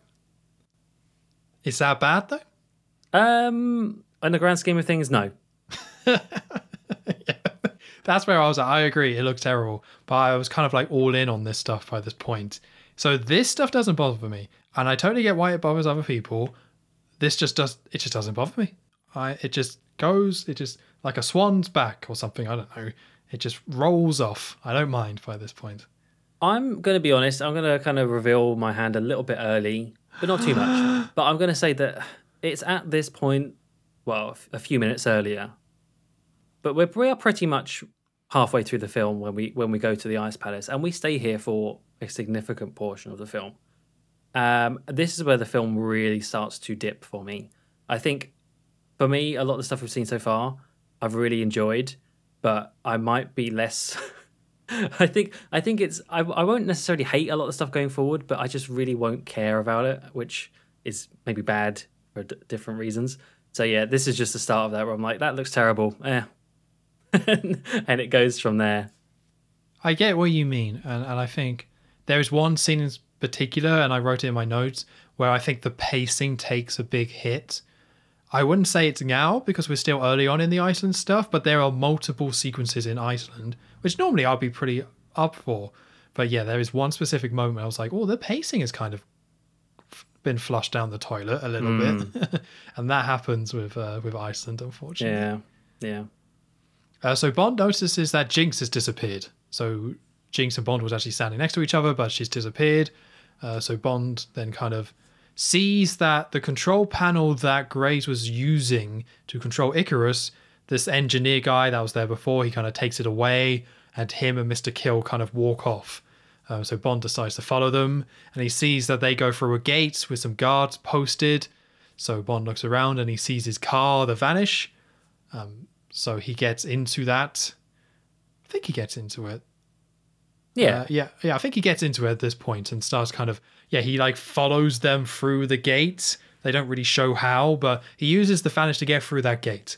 Um, so he's following the engineer into another building, and they they go inside. I think they use like a, a card or something to get into one building, and then from the car, Bond sees Mister Kill use his hand to open the next door, and that's how they get fully into uh, the biodome that we mentioned before, which is this building next to the ice palace, which is this very tropical like greenhouse area. Um, so that's where Grace was before and Zao was before, and now that's where Mister Kill and the engineer is going. So Bond steps out of the vanish, and then he like heads towards a pipe or heads towards part of the biodome, peeks through the window, sees a pool of water, and then walks off. And that's very important for later. It's a bit confusing, but that's very important for something that like, happens later. But it's very confusing. hmm, water. Okay. Hmm, I'll make a note of that. I also one other thing. I just I don't want to start moaning too much. And I, I, I said before, I like the car and I like the invisibility stuff. But as Bond is in that car, sneaking behind them, invisible behind the guards, he is so close to those guards, so close, like stupidly close to those guards, that that must have the quietest engine known to man, or it's an electric car. I don't know. It just just because it's invisible doesn't mean it doesn't make sound. Yeah, they wanted to have a shot in the film which was the guards walking forward or Mr. Kill walking forward, and then the tire tracks on the snow reveal itself. yeah, But to have that all make sense and for you to understand what's going on, as you say, the car is really close to them. so you can see the tire tracks and then the guards right in front of them. Yeah. Not a massive fan of that bit. It's a good thing Bond didn't sneeze because that would have really ru- like ruined things for him. Or he just stalled the car or something embarrassing. Oh crap. He just turns on the radio, the Clash starts playing. Like, oh no, Oh, my favorite song. no. uh, yes, so we go inside the biodome, and Graves approaches this engineer guy, and the engineer has like this glove, and Graves is like, "Is this fifty thousand volts going through this?" And he's all like, "A hundred thousand volts." He's like, So Graves has like an electric glove. What's the point of that? Um, so Bond, back to Bond. Um, so a guard just kind of sees Bond, I think, while he's sneaking outside. Bond is able to like knock him out, but Mr. Kill just sees him and sounds the alarm. Yeah. It's like, oh, you're there. So, so it just sounds the alarm, and like two guards come out of the biodome to try and find Bond. He just like hides near this like valve and decides like, oh, I'm gonna turn on the valve, which just shoots like a load of steam or something, which knocks out those two guards, which just just got nothing to so nothingy. um, but Graves on his PC inside sees there's an intruder, and you can tell because his PC screen says "intruder alert" in massive letters. It's so useful they program that in. so handy. Um, so, but yeah, Bond is able to kind of get away. Yeah. So because he knocks out the two guards, the alarm's still going off, but Bond is actually able to just sneak around and walk off. So as he's trying to get away, Frost grabs him from behind a car and starts kissing him. So Mr. Kill and some guards are looking around trying to find him, and Frost is basically doing it just to keep Bond cover. So at this point, she pretty much reveals that she's MI6. I'm assuming that Bond already knew, because why wouldn't he? But we don't really get a scene of Bond finding out that Frost is MI6, so bit are strange. But yeah, at this point, Bond definitely knows. So they're kissing, and there's a bit of thing where she's all like, "Oh, I hate this," and Bond is like, "This is great." And then she starts being like, "Oh, I know what it is with you: sex for dinner, death for breakfast," and lots of kissing. And it was a little bit too sloppy for me. This kissing, Yes, that's exactly what I wrote down. Very wet kissing. Yeah, it's a bit gross. Some of the sounds and some moaning coming from them. It's like, didn't need this. Didn't need this at all. I just found it strange that yeah, like there's this big intruder alert thing, and as you say, Bond just walks out. There's no alarm. There's no lights going off. I was really expecting there to be a big red light flashing, but no. They the guards just quite slowly walk out after him, and and yeah, that's when Frost grabs him. Very Yeah, low key. Very low key. Yeah, again, once again, a little bit awkward, a little bit strange. Doesn't bother me, son. Doesn't bother me. I'm on for the ride, so I don't really mind. But yeah, I could have done without the the sloppy kissing. But all that other stuff, I don't know. It's all so very silly. Graves being like a hundred thousand volts, ha ha ha, and Mister Kill. We're talking about Mister Kill here, people walking around and steam. It's all, yeah. It's not meant to be cool. I hope. Um, so I don't really Yeah. mind it. And uh, let's just be thankful that sloppy kissing from from Pierce and Frost, or uh, what's her name, Rosamund, but at least no biting. We saw how much Bond loves to bite, but he restrained himself in this film at least for now. Yeah. Hmm. Um, anyway, uh, as the two of those, uh, two of them make their escape, and we do get a bit of cutting back and forth between what they do and what Jinx does. So I might just squish some bits together to make it easy to explain. But we do see that um, Jinx is there. She's all suited up, like to break in. She's at the top of the the biodome. I'm calling it, and She's she's, in her stealthy red leather spy gear. Oh, so stealthy. When Like you go to Iceland, you want to at What night color? red, bright red. Yeah, That's a good point, actually. Yeah. Uh, but she's at the top of it. She's cutting open, using a laser to cut open a panel at the top and uh, descends down on the rope all the way to the bottom. And she starts to look around. And as she's looking around, she snoops and finds Zao, who is in the uh, the Dream Machine. I don't know how I wrote. Was Dream Machine? Did someone say Dream Machine? Did you say it Dream might Machine? be. I know there's the whole thing about. I think, yeah, I think Grave says, "Oh, that's how I dream using the machine because I Okay. can't sleep." I just wondered how I got the phrase Dream Machine, but maybe I heard it somewhere. Uh, He's yeah, dreamy. Zao's a bit dreamy, so very dreamy. probably So why. he's in that, and uh, as she gets quite close to him, about to do something, uh, I think she lifts up the visor, uh, but nope, doesn't get very far. She gets zapped by Graves's zappy power glove, Nintendo. yeah, Um, and then we are back with uh, Frost and Bond. They go back to their the ice hotel, and to keep up the uh, charade of, of being lovers, Bond says, "Oh, you've got to stay in my suite." Oh, yes. Um, and so they head to the the lovely ice swan bed and start to undress. um, and get into bed together. And Bond puts a gun under his pillow. She calls an occupational hazard. And uh, later on, uh, afterwards, he's getting dressed, and uh, Frost. They kind of make a point of this, but Frost gives him back his gun um, from under the pillow and says, "Be careful, James," sort of thing. Uh, with Jinx, we see that she has been. Oh, we're up to this bit. I'll just see where we are. Uh, she's been restrained to a sort of table on a um, on a robot arm. Well, it's like a like a car factory robot arm. yeah, I don't know what you would call that. It's just like, yeah, it's like a table, but it's like mechanical, so it can move. Yeah, it's it's, it's certainly something. And Zao's there, um, who is threatening her and asking about um, who sent her, giving her some zaps with the glove. And I just got to point out, I wrote this down. The zaps, that the electrocution in this film looks worse than in Gold uh, Goldeneye. Yeah.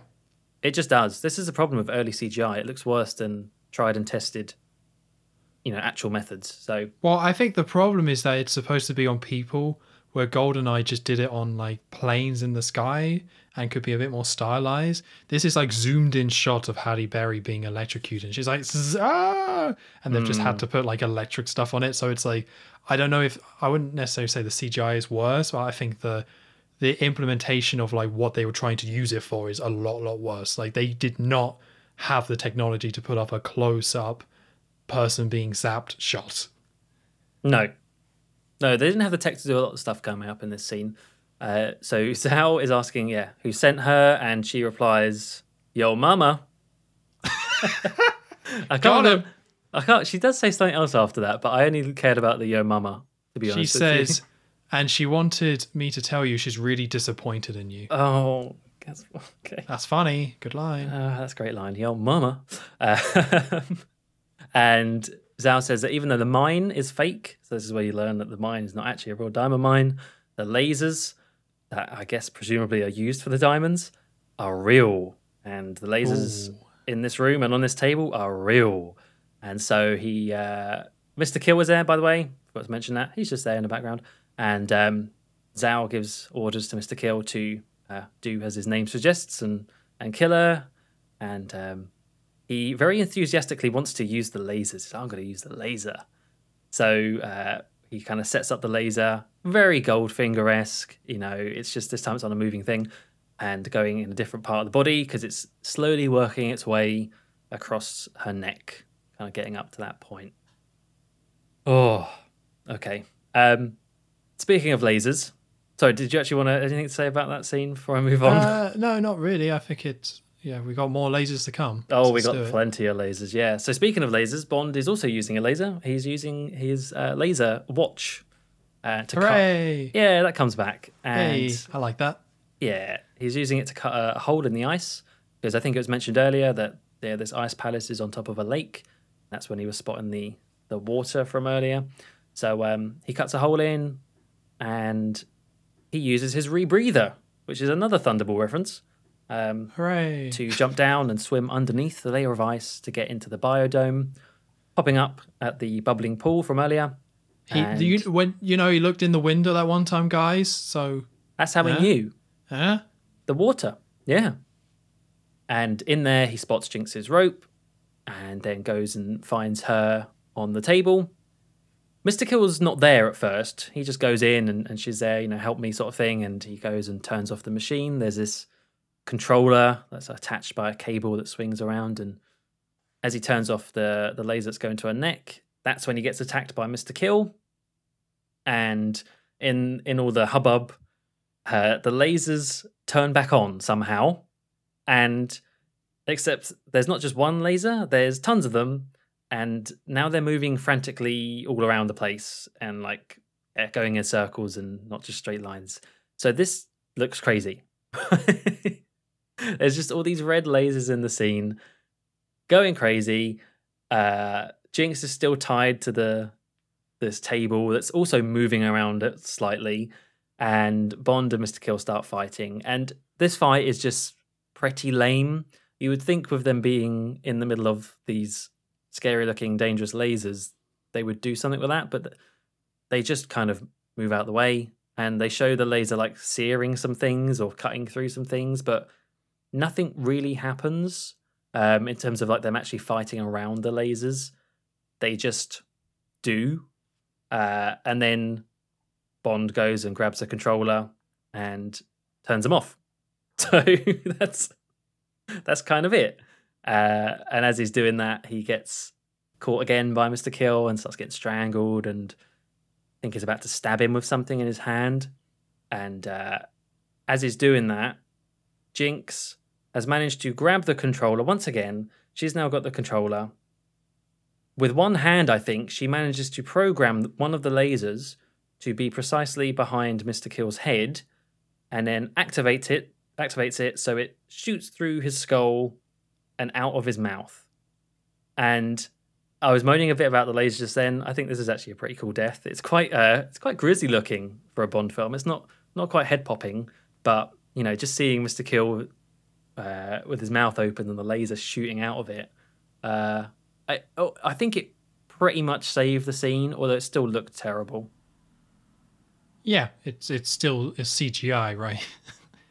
it's CGI, but also just it just makes it makes no sense either. Like it, if you're gonna have these crazy lasers spinning around, then you you'd think you'd have moments where I don't know, there's more thought into like dodging them or them doing something, but they don't. Like it's just shots of them in between Bond and Mr. Kill all the time, and there's just no tension there. They just look like wacky waving things with fake lasers on top. So that side of it's bad. I like the Mr. Kill death, but the rest of it is, is pretty bad.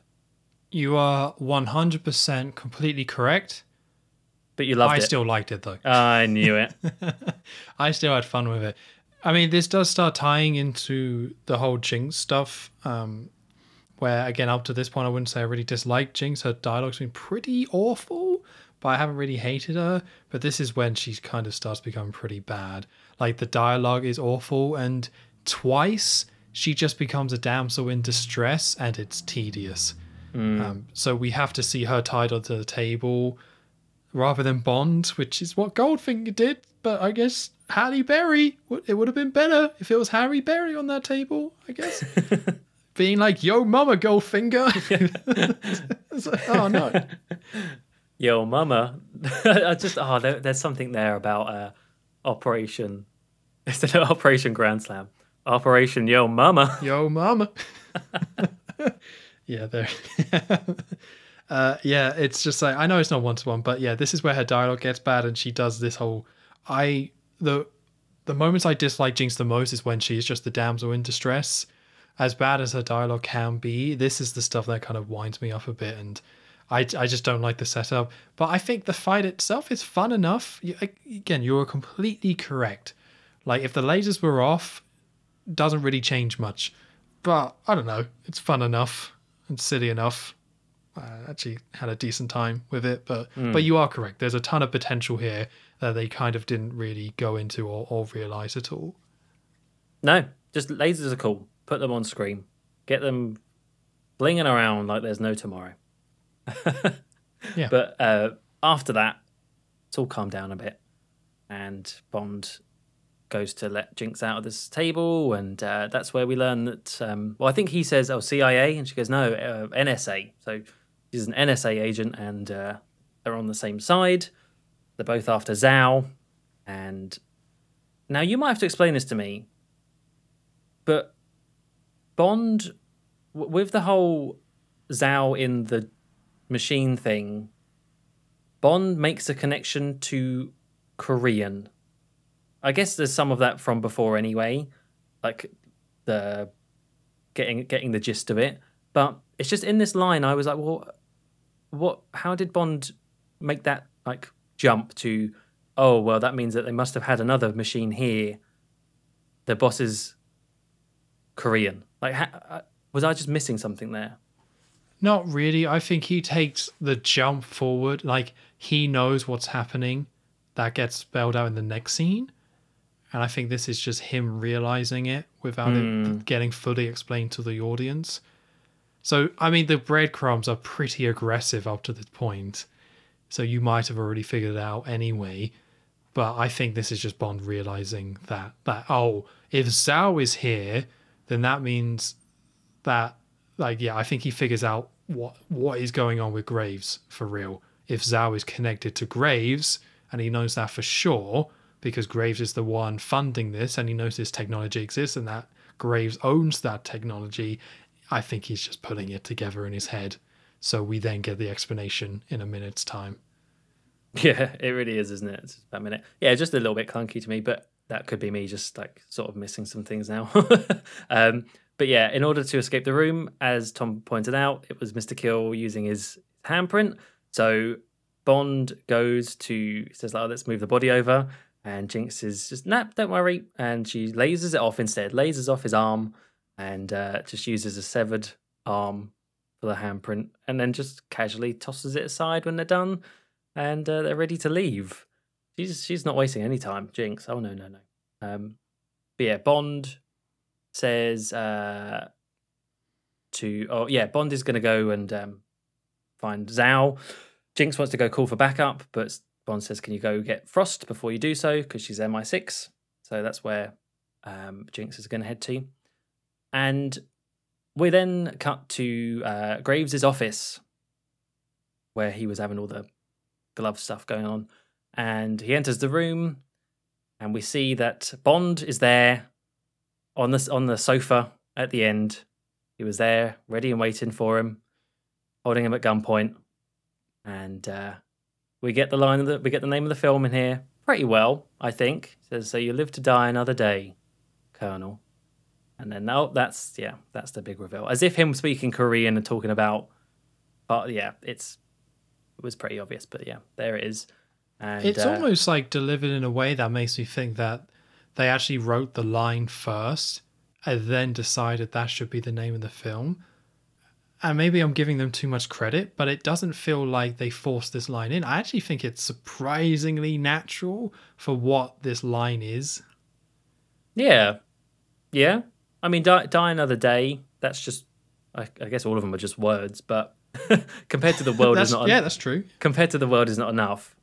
Someone could use the the words "die another day" more naturally, I suppose. Yeah. But I mean, like, even if we go all the way back to "You Only Live Twice," you know, they they go to Blofeld and he's like, "You only live twice, 007. Like, it's that was the start of this. This almost feels like a little bit more natural, which uh, I I kind of like. But obviously, you do know the name, so it stands out. But I do feel like maybe they actually wrote this line first based on these characters, and then said, "Oh, actually, that works quite well. Die another day. Let's let's shove that in." Hmm. Yeah, I wouldn't be surprised. I would not be surprised. So yeah, this is actually Colonel Moon that we saw in the pre-title sequence, and he's had Who? Colonel Moon, not General Oh, right. Moon, Colonel Moon, Righto. and uh, he's had a woman. No way. Um, he's had the gene therapy stuff, and that's why he now looks like Graves. And he's been toying Bond along the whole time, right under his nose, sort of thing. And he starts to talk about the the process of of uh, transforming and how Bond left such a, a lasting impression back in North Korea that uh, Graves modelled his new face on Bond's. As Tom was saying, like this is this is like a kind of alternate reality Bond, one not tied to MI6 maybe. Uh, but yeah, he says you know the unjustifiable swagger, uh, the crass quips, that sort of stuff. So kind of makes sense. Like yeah, you could see that guy as a, a very nasty Bond. All makes total sense. Yeah, I do almost wish like they didn't 100% point that out and you were kind of left to do that yourself. But I also get why they did. Um, so I don't mind it too much, but I do wish that was kind of left for the audience to figure out. Well, we've had villains before that have almost been they've all, they've admired Bond uh, in like a twisted way. They're impressed by him, and some some of them want him to join their side, sort of thing. And this is just a kind of a different different way of doing that, where the villain actually was so impressed by, by Bond who wants to actually copy his style. So I, I like that as a as a as an idea. But yeah, you're right. Maybe I don't know. Maybe it could have been better without it or not. Maybe just let it, let it say more than it actually does in some ways. Um, Yeah, and I think just speaking on this twist, because we're about to get another reveal very shortly, uh, this is something I used to really hate. And before rewatching this film again, I would always look back on it. I was like, oh yeah, that really stupid one where, really stupid villain where a Korean turns into like a British dude. Like that's really dumb. Uh, I actually didn't mind it watching it again. I don't, I don't know why. I don't know if it's just this effect of this film on me, I suppose, but yeah, it's absolutely ridiculous, but I actually kind of think it works in its own twisted way. It's not something you can ever take seriously, but I think the way that the actor for Graves plays it works, and I think actually the characterization of Colonel Moon in the opening bit also kind of works. It's all it's so kind of hammy and cheesy in the way it does it that this is again another plot point that in another Bond film, stupid no, get rid, awful. But in this one, I think it works. So something that I normally would have looked back and saying that villain is bad because of how dumb the backstory is, rewatching it, I was actually like, that part's fine. I'm actually okay with it. Yeah, I didn't mind it either. I didn't mind that idea of him turning into Graves at all. We've had slightly similar things. I guess Thunderball again, actually. Lots of links to Thunderball with the guy having plastic surgery to look like the pilot. Uh, and this is just an ex- extension of that, just going a little bit more all in and a bit crazier with like a total uh, appearance change. And honestly, like, we've had invisible cars, we've had all sorts. I'm not going to question a DNA therapy thing. Cloning Blofeld as well. Yeah, exactly. Exactly. The doctor, creepy doctor, is very good at getting that orphan DNA. So I'm not going to question his his skill there. Well, he's no, an artist, sorry. so- He's an artist. He's a dead artist. um, yeah. So uh, with that, Frost walks in. Frost walks in, um, which Bond is pleased about.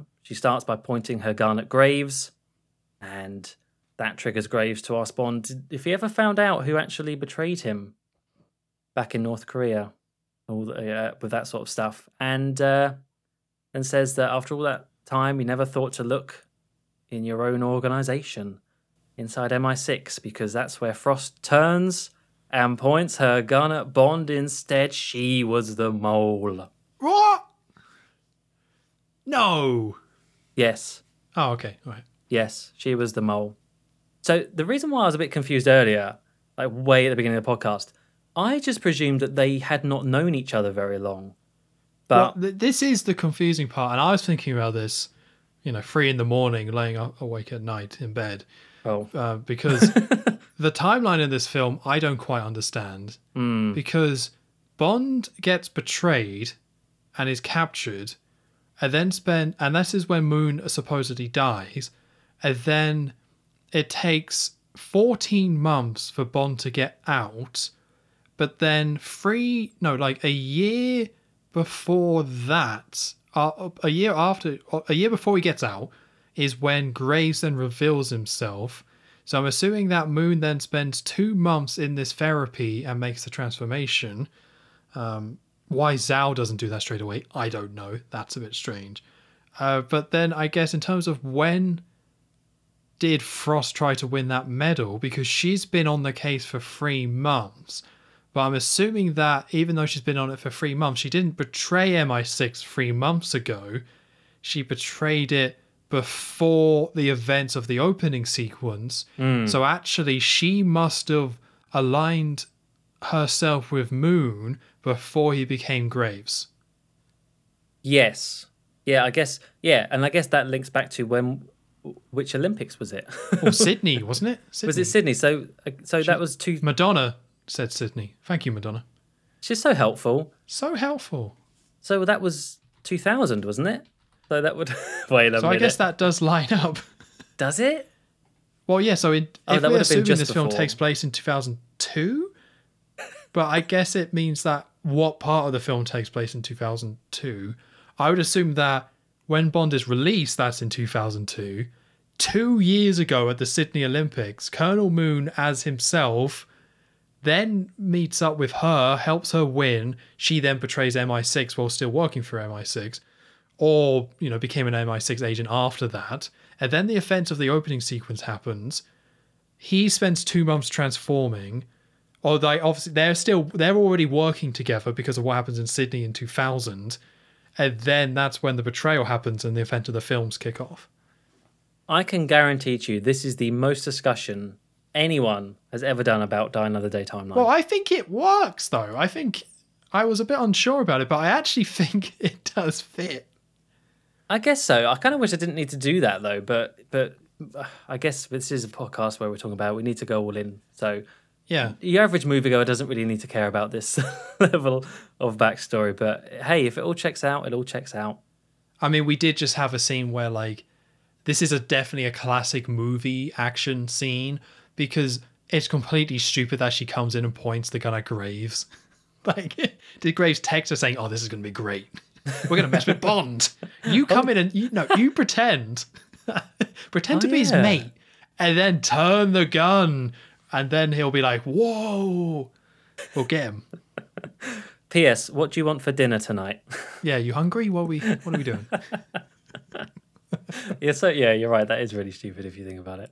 But no, Graves is relishing this moment when when uh, Frost reveals her her true identity and that she was the mole. He's loving it. You know, that's when he says she was right under your nose the whole time. And Bond, he has a gun still, and he just goes to shoot her like right there and then, just straight away.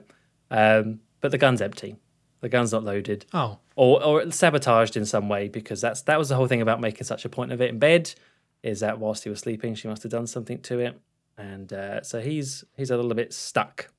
Uh, but yeah this is where you learn that graves uh, won over frost by sabotaging her opponent in the olympic fencing competition and is now using you know, her mind her her brains her body her sex all that sort of stuff and uh, bond says that although they can kill him, there'll be others after him, meaning Jinx, though we do see her go into the room to try and find Frost, as Bond told her to do, and then she just gets locked in. So she's not doing too well either.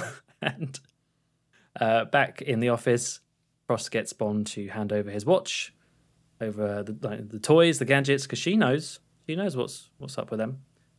And as he's doing that, he says something. He gives a little quip to Zao, he I don't know if says, um, "I've missed your sparkling personality." Mm, because of the diamonds in his There's the diamonds, and he gets punched. Like Zao punches him in the stomach. So I assumed that that was on purpose to purposely get on the floor, because when he's on the ground, the the floor of this office is all glass, and so just as Frost is about to shoot Bond, he's wearing his ring, his activate his sonic ring, and activates that. So all the glass shatters, and he falls down into the jungly bio area below.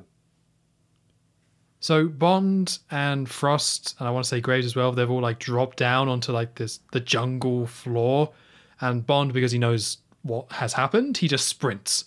It's another scene where Pierce Brosnan's Bond just sprints, just the old arms up, straight arms and hands, yeah. doing his sprinting. He loves it. Very Tom Cruise run. Come to Yeah. think of it, yeah, yeah. Yeah, but he does it quite a lot, so we get another one in here. So they're shooting at him, but he's just like running full sprint, and he gets to the wire that Jinx used to enter the building. So Jinx came down with this wire, this like electronic wire that allowed her to go quite a long distance down to the ground, and Bond saw that earlier, I believe. So he's now he just runs to it, attaches himself, pulls it up. He goes shooting up to the top. Um, he then uses that to run down the side of the building as well. I don't know if we can call that a Tomorrow Never Dies reference. That's probably a bit generous.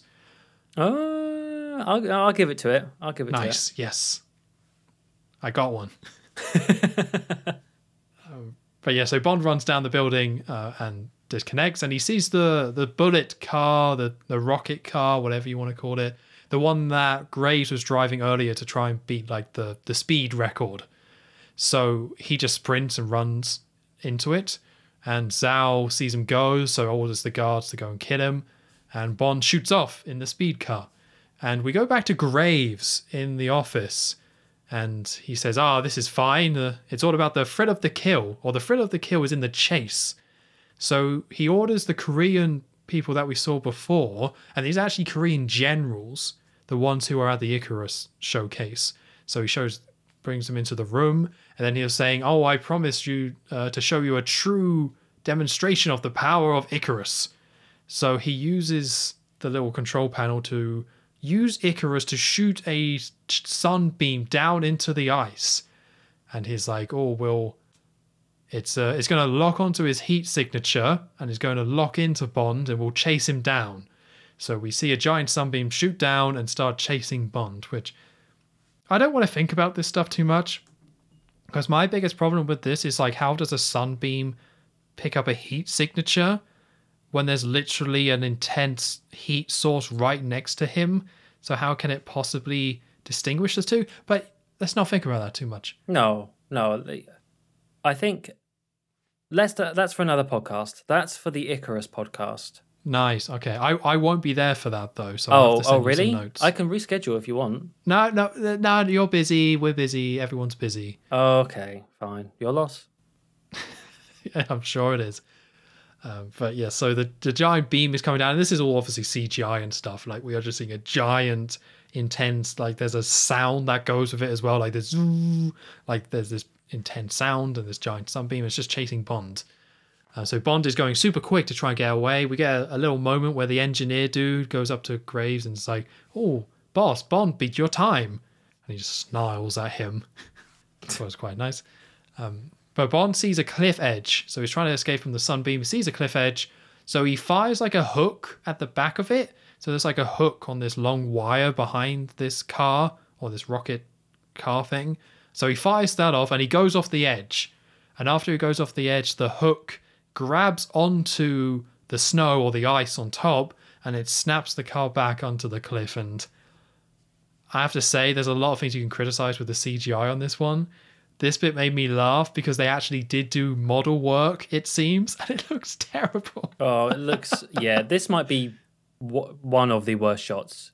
This actually might be worse than the shots coming after this. Because I think so. Yeah. At least CGI into CGI mess, it all flows. Whereas, as you say, that is a model shot, and it it's clear that they like the scale of it just didn't work. So they the only thing they could do was slow it down, and it's terrible. I don't know how that made it into the final cut. Yeah, you just get no sense of the weight or the scale of things. It just clearly is a model of a little car on a cliff. It's so cute almost. I don't understand that because they've done model stuff amazingly well in previous yeah. films. It's just really dropped the ball, dropped the dropped the car with this one. Yeah, I think it's the the fact that it's all this ice doesn't help. I don't think, and I think it's like the scale of these cars and the motion. Normally, it's supposed to be something like that's quite big, but this one's just like a tiny little car snapping against the wall. I think it was like really naive to think they could pull something like that off. Mm. So yeah, so Bond is now hanging on the cliff in this car. So he starts climbing out. He he gets the parachute from the back of the car, and then he also like gets rid of the door, removes that, and the hook slips a bit. So he starts falling down. And Graves decides because the sunbeam is waiting for him at this point. Uh, it is just waiting at the top. So Graves decides like, oh, I'm going to use the controls of Icarus to just cut off the side of the cliff. So instead of going forward, he just cuts off this edge of the cliff which starts uh, it's all like starts dropping down. Um, so we see Bond attaching the metal door to his feet as this giant ice cliff completely drops into the ocean, and we get a line from Graves, which is global warming. It's a terrible thing. That's a very good impression. I've said that a few times. That was actually legit a good impression. oh, cool. you, you could you could pass. You could, although actually, I think um, this is minor tangent, but uh, Toby Stephens actually did come back to do uh, Graves in uh, 007 Legends, so hmm. I don't think you need to. He'll do it. He needs the work, maybe. I don't know. Mate, I hope he's doing all right. I think I quite like him in this film, so yeah, I hope he's okay. Yeah. Uh, yeah, so he does that line to the generals. They're all impressed. Uh, but we cut back to Bond and his surfing on the water. Oh, that it's sounds a, cool.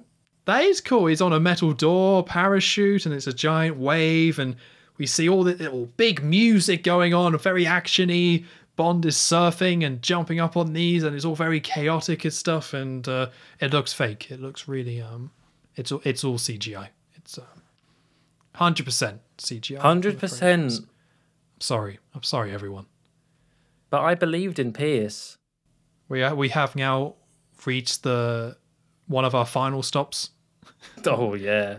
Have is- pure CGI station. I, I can understand if if this is where you get off.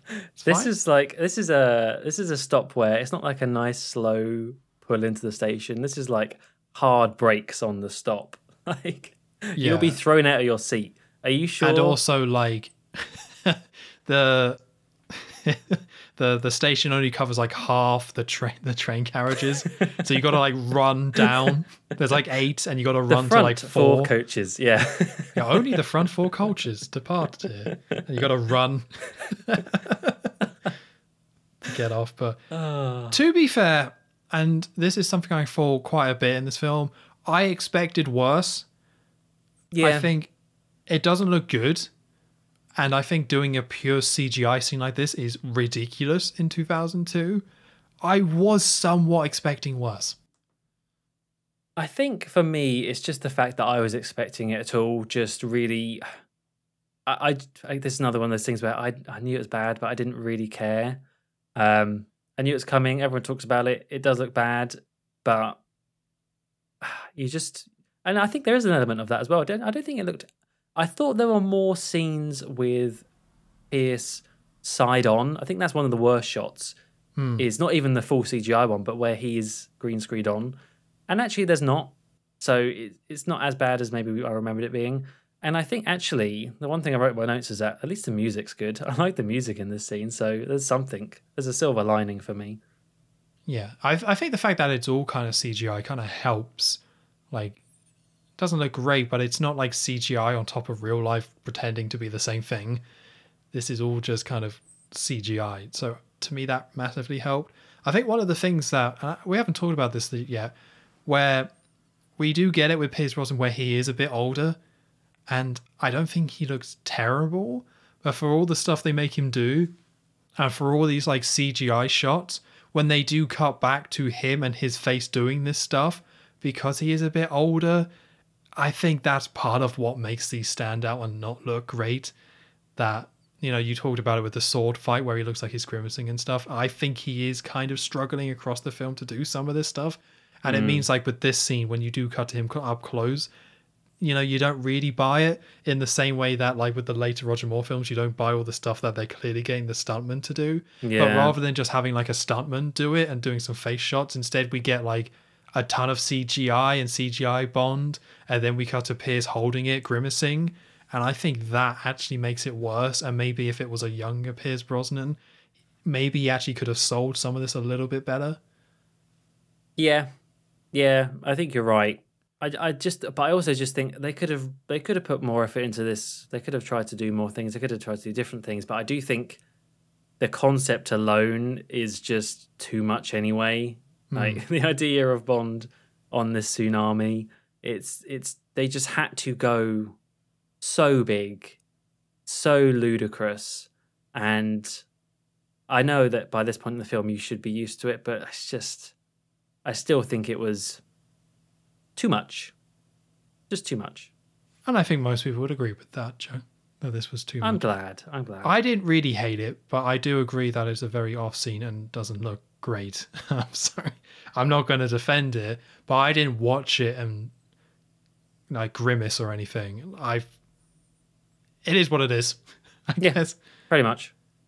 Um, so yeah, so the visuals is just him bouncing off all these waves with this ice and trying to get away, but it ends with him seeing like a the ice land for let you know actual proper ice that you could land on. So he like launches himself up, and again we get another kind of awkward shot where Pierce has to like lunge forward to prepare himself. Um, so he lunges forward and he he lands on the ice, and you get a nice little shot at the end of Bond on the parachute landing.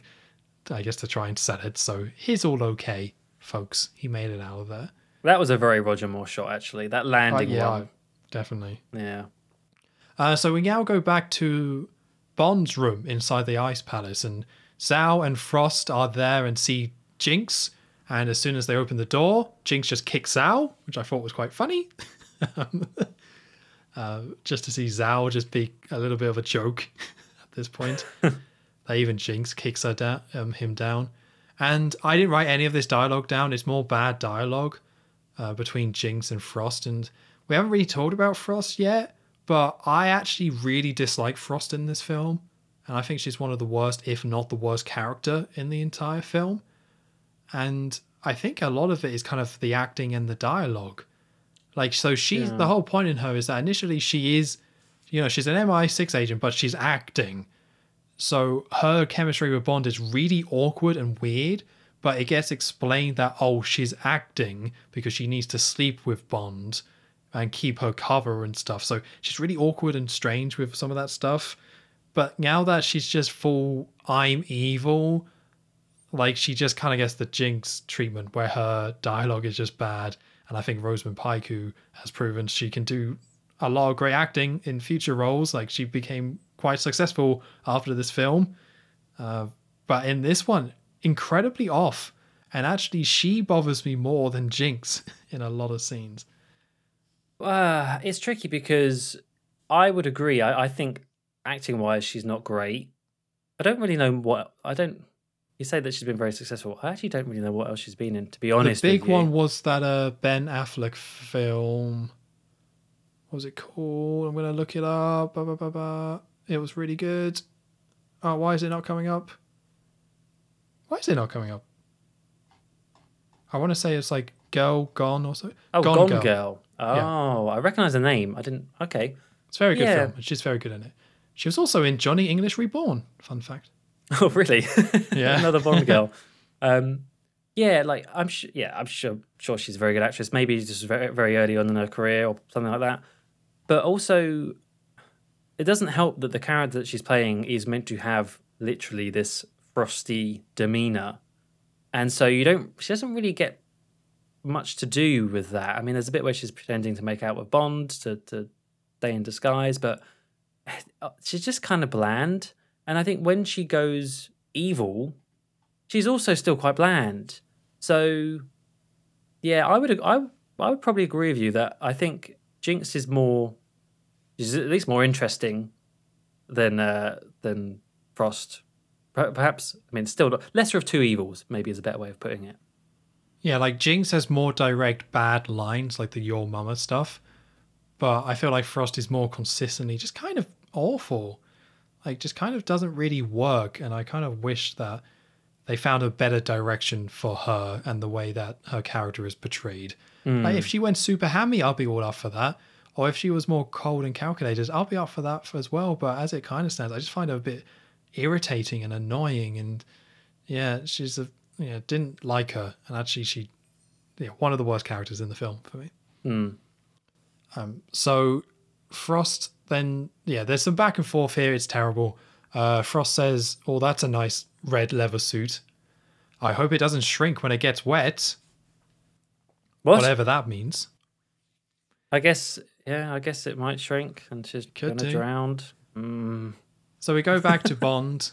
yeah, so so Jinx is logged in the room ag- again, which was great scene, guys. Very helpful.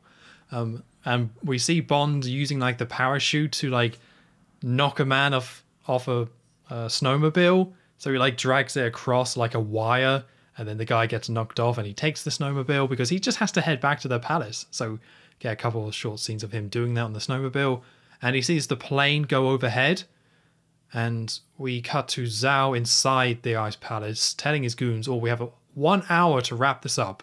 We got to wrap this up." And this is and Bond sneaking into the palace. This is where I think the pacing takes a giant hit uh, because we've literally spent a lot of time in the palace. We had a big old action sequence. A lot of stuff has happened, and now we literally are seeing Bond sneaking back into the palace to then well leave the palace to then do another action scene.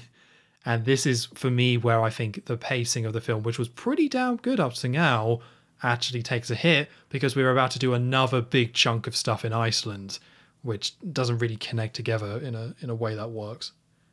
They really wanted to get their money's worth out of that set. Yeah. That must be it, right? Like, why would they have any other reason to stay in Iceland?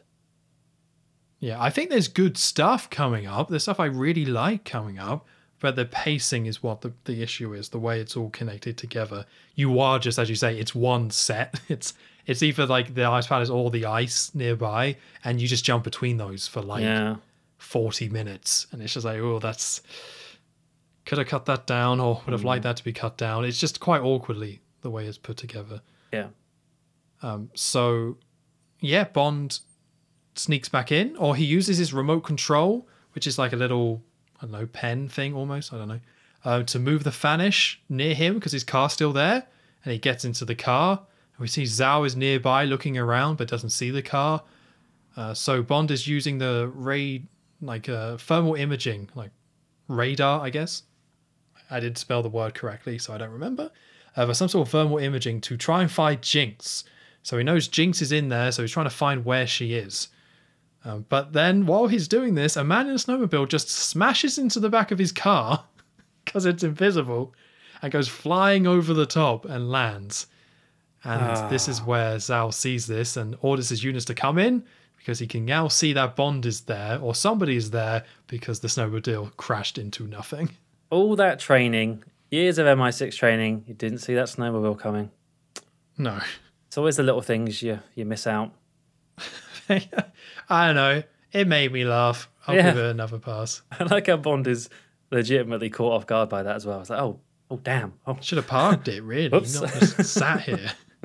because he's taking off his jumper or something, and then he just gets caught, caught out. Yeah, not very Bond-like. No.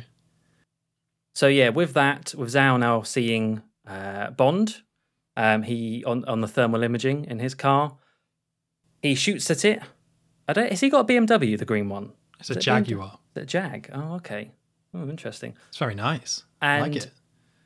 immediately, like by shooting it, breaks the invisibility functionality of it. And I gotta admit, that really annoyed me. Um, it's clearly just because they were like, "All right, we don't want this whole chase and have to do invisibility CGI stuff." But it's like, well, why? I know they've used it a couple times, and they're gonna use it again. But none of this chase has any like gimmick around that, and I just think like, why? Well, I know why, but Yeah. but do it. Like it was, if you're gonna have that car that does that, make the effort. Just, it really bothered me.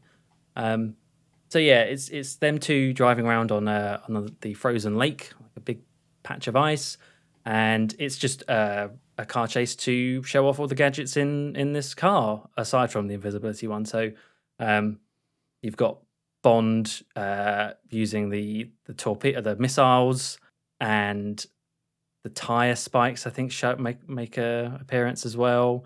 Um, at one point, I think Zao is like locking on to Bond uh, onto the Aston Martin with some sort of missile, and then how does it, how does the car get flipped? That's what I forgot. So yeah, there's a little bit of like Bond handbrakes turn and they shoot missiles at each other, then he turns back. But I think Zao actually does hit Bond almost. It's just like hits maybe his wheel, and that missile causes the car to flip. Ah, okay, yeah. Because all I remember is the car is upside down, and Bond opens up the uh, the sunroof. The roof opens up, and just as the Aston's about to get hit by another missile, Bond triggers the ejector seat, which causes the car to flip back up and dodge out of the way. So that stuff I like. Like, give me all that stuff. It's it's very um, uh, Living Daylights, just showing gadget after gadget and basically getting them out of the way. I think another point he uses all the little um, uh, target seeking things to shoot down more missiles or torpedoes or whatever. And I, I don't mind all that. I just wish that they had had something with the invisibility in there. I'm going to keep on moaning about that just because I, I think it's a, such a missed trick. I guess so. I think this is so good though. I, I really do have a ton of fun with this. It's you know you got some more naughty zoom ins and zoom outs and stuff, which I'm not. I, I, don't really dislike because they're just so over the top that you can't miss them. But I don't know, seeing an Aston Martin and this Jaguar chasing it, like basically two Bond cars going up against each other, it's awesome. And I think that's what I personally focus on. I don't really think about the Vanish stuff here. I just kind of focus on like, yeah, two people using Bond cars to try and take each other out and the back and forth. And that shot where he uses the ejector seat to spin the car and the missile goes past, awesome. That's like one of my favorite like chase moments ever in any Bond film. I I was Again, it's a shame that the pacing of the film as a whole takes a hit here because it does kind of bring this scene down a bit for me. But I think as a standalone chase scene, it's so much fun. I, I really enjoyed it. Yeah, I, I liked. I did like the location of it as well. I think it's quite cool to just have because usually in a lot of Bond chases, it'll be you know, going around bends, going through alleyways or streets or whatever, and this is just two cars on a big patch of ice, nothing to hide behind, no cover. I guess that's maybe why the invisibility stuff wouldn't have worked very well anyway, because it's like, what are you going to do in a big in a big patch? But um, yeah, I think that's pretty cool. I guess, man, I don't know. Something about it I still didn't love though. But anyway, um, we see on back on the plane, the plane that uh, Graves is in. Um, he is using his big remote control interface for the Icarus satellite, the one that the nerdy engineer guy made, and uh, he says, "Time to give the American her bath." Not not such a great line, but um, he loads up the interface and turns on the Icarus beam directly onto the palace, which obviously starts to melt it. And so Jinx is still trapped inside, and everything starts to melt, and she's trying to break down the wall, but not really getting very far. Bond uh, spots the palace starting to melt in the distance, and so heads towards it. And there's there's like outside the entrance, there's a couple guards on snowmobiles that start shooting at Bond. He just plows straight through them. They go flying. Yep. These two. I don't. I didn't really get the point of why they're even there, but I thought it was funny the way they bounced off anyway. yeah, but he just uh, smashes straight through into the palace. Zao is still on his tail, um, and we're kind of getting the second section now. We've had that bit I was just saying about in the big open bit. You've now got that bit of a car chase where it's all going around bends and stuff because these two they drive around this TARDIS ice palace. By the looks of it, this place is huge on the inside. They're just going around bend after bend and floor after floor. Um, all very thankfully uh, just wide enough for cars to fit through as well. So as it's all starting to collapse, Jinx is starting to get submerged, starting to drown. Bond in the Aston reaches uh, a dead end, or at least a spot quite high up where he can't go any further. And Zao is right behind him. And it looks as though Zao is about to. He gets out these big and like spiky things on the front of the car and is about to sort of ram Bond off off the edge down below. So, in great timing, the invisibility functionality on Bond's car works just in the nick of time. So he turns it back on and also activates the tire spikes, the traction, and goes invisible. So yeah, Zao goes to ram him, but hey, the car's not there. He flies straight through and down into the ice and the lake below because Bond turns back on uh, and he's actually driven up the side of the wall out of the way. So hey, they you know they did use it there. Credit where it's due. They did use it a little bit, so I can't get too mad. um, so yeah, Bond uh, Zao is now like in the water. He gets out the car um, and is swimming to the surface. Bond is driving back down. He on his way down, he shoots a massive chandelier that just conveniently is right above Zao, and that falls down and crushes him and kind of churns all the water as it falls on him. It's kind of a similar shot to uh, Alex or Alec, sorry, um, with the satellite falling on him. But yeah, he gets crushed by the chandelier. All the water churns up and turns red, and that's the end of Zao. I thought that was really good. I think that's really good death. Good death. like the guy who had all the diamonds in his face gets crushed by the chandelier. That's oh, that's perfect. It's poetic. Yeah. Yeah. Yeah. And yeah, I yeah, like Sal isn't really that much of a henchman. When at the end of the day, I think the henchmen in this film are a little bit confused because you got Mr. Kim and Zao, but I still quite like Zao's actor, and he's a weird looking guy with diamonds in his face. Yeah. And I think it was fun having this big chase, and yeah, I love how like casually Bond shoots the chandelier as well. It reminds me of in The World Is Not Enough, where Bond shoots the lock to free M. He just like pops out the window of the car, shoot the chandelier, and drive off, which causes it all to to land and kill him. It's very casual, which I thought was quite cool. He knows what he's doing. Yeah, I didn't mind Zao either. I think, um, as you say, very, very memorable visually with all the diamonds and stuff and the, the bald head and the white skin. I guess he didn't really do too much in the film, but I, I, he was in there enough. And I'm, Joe, what I've, you saying about Mr. Kil, I'd already forgotten about Mr. Kil. He sucks. I'd much rather have Zao than him. Um, Yeah, and I think, you know, I've criticized the pacing of this bit. I like that now all the henchmen are out the way. it's uh, it sets up the finale a little bit better because after this Iceland bit, we're going to the finale. So I like that Mr. Kil was killed in that laser scene, and I like that Zao kind of gets this death here to cap off Iceland. So we're not like, I wonder what Zao is up to for the next bit. mm. Yeah, that's true. Well, there's. How would you define Frost? Um, I Something. don't, I don't, she's, she's yeah, she's in it for sure. Yeah, she's in it.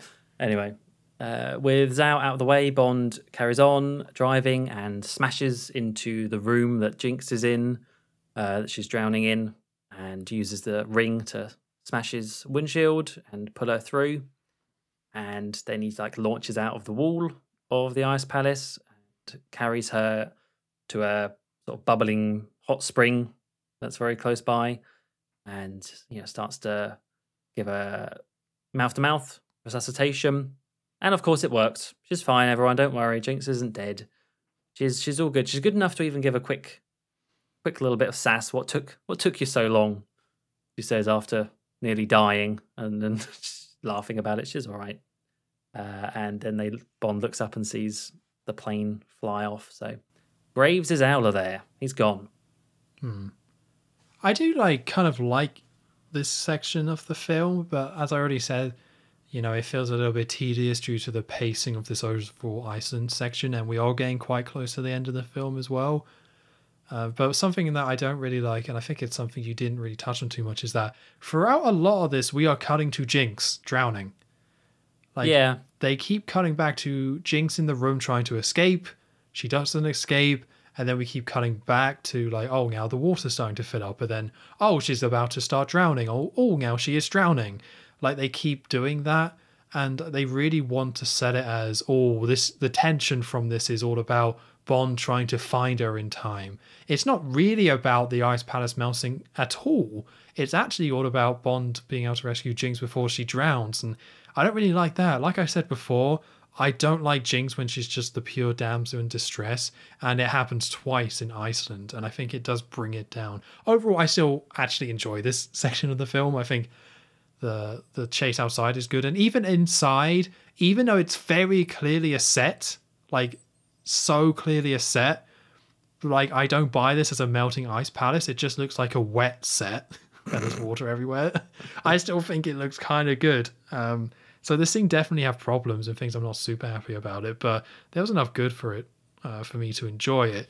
It's just yeah, it's uh, definitely flawed. Um, this bit. Yeah, I, I like I say, by this point, the Ice Palace stuff, I was kind of getting checked out. I, I just, well, I mean, we'll talk about more at the end, but I was so, I was getting really sad because I was, re- I enjoyed the start of this film so much, and then I was just slowly like going down and down and down in terms of mood.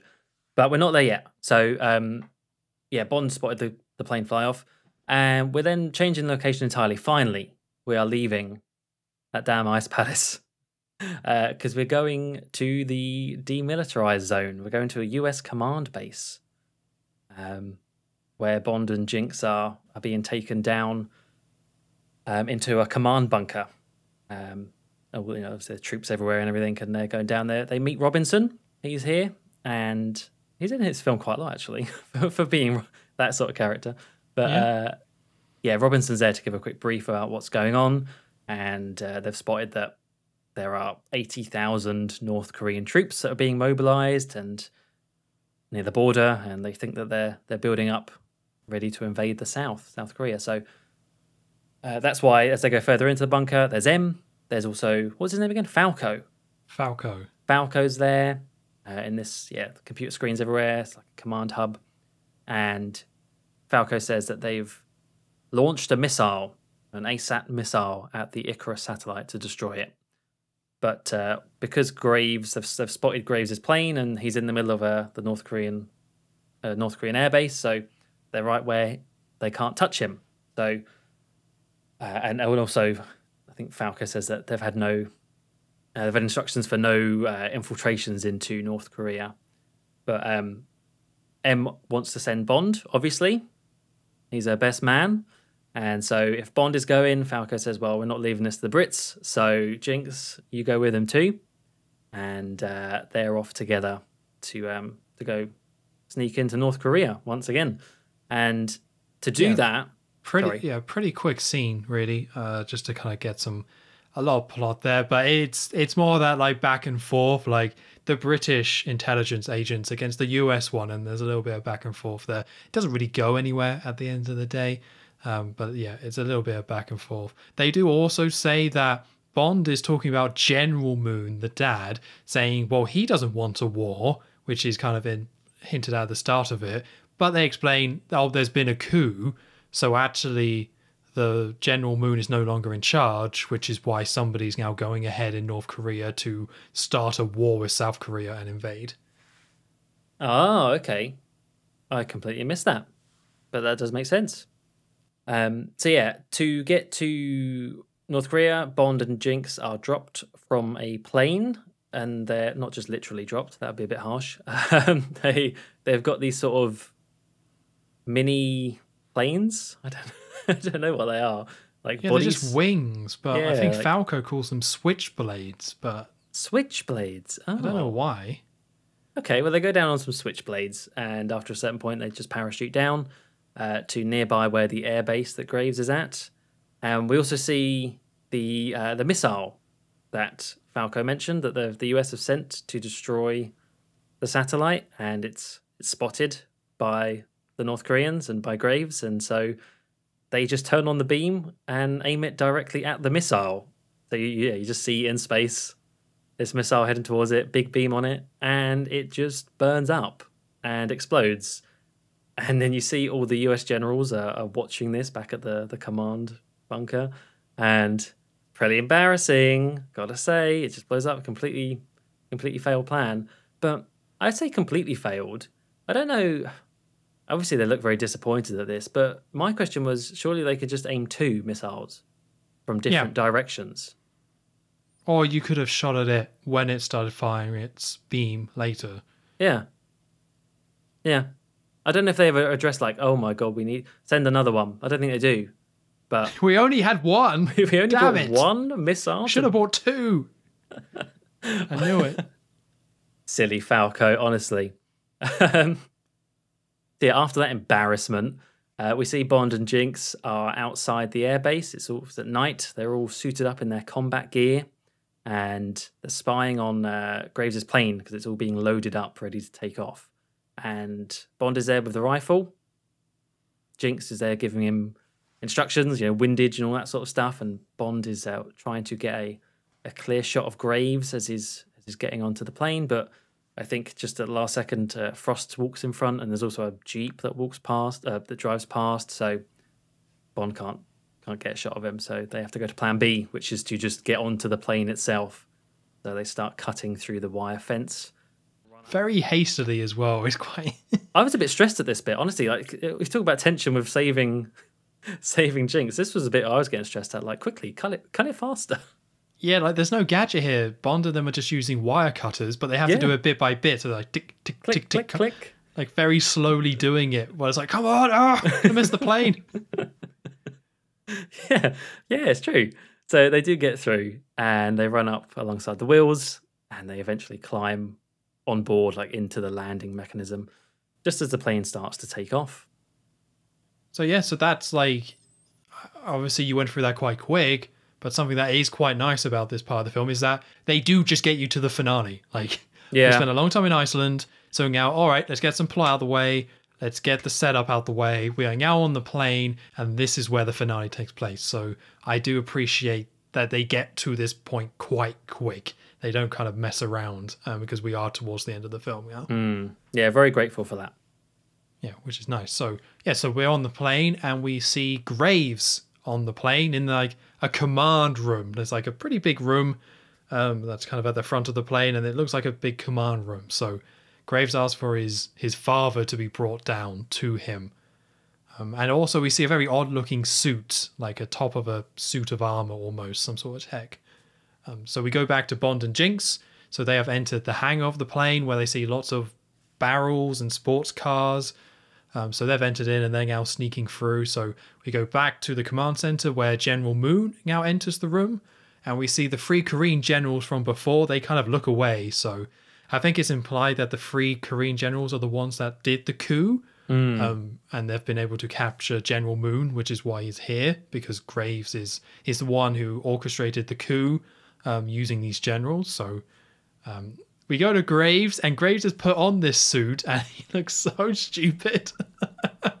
like this is a like control suit for Icarus, but he has like these big goggles on, which they must have known how silly he looks. They're, they're, like so magnifying goggles. It's just if you're gonna have goggles, don't, don't make his eyes all look big and stupid as well. Come on. No.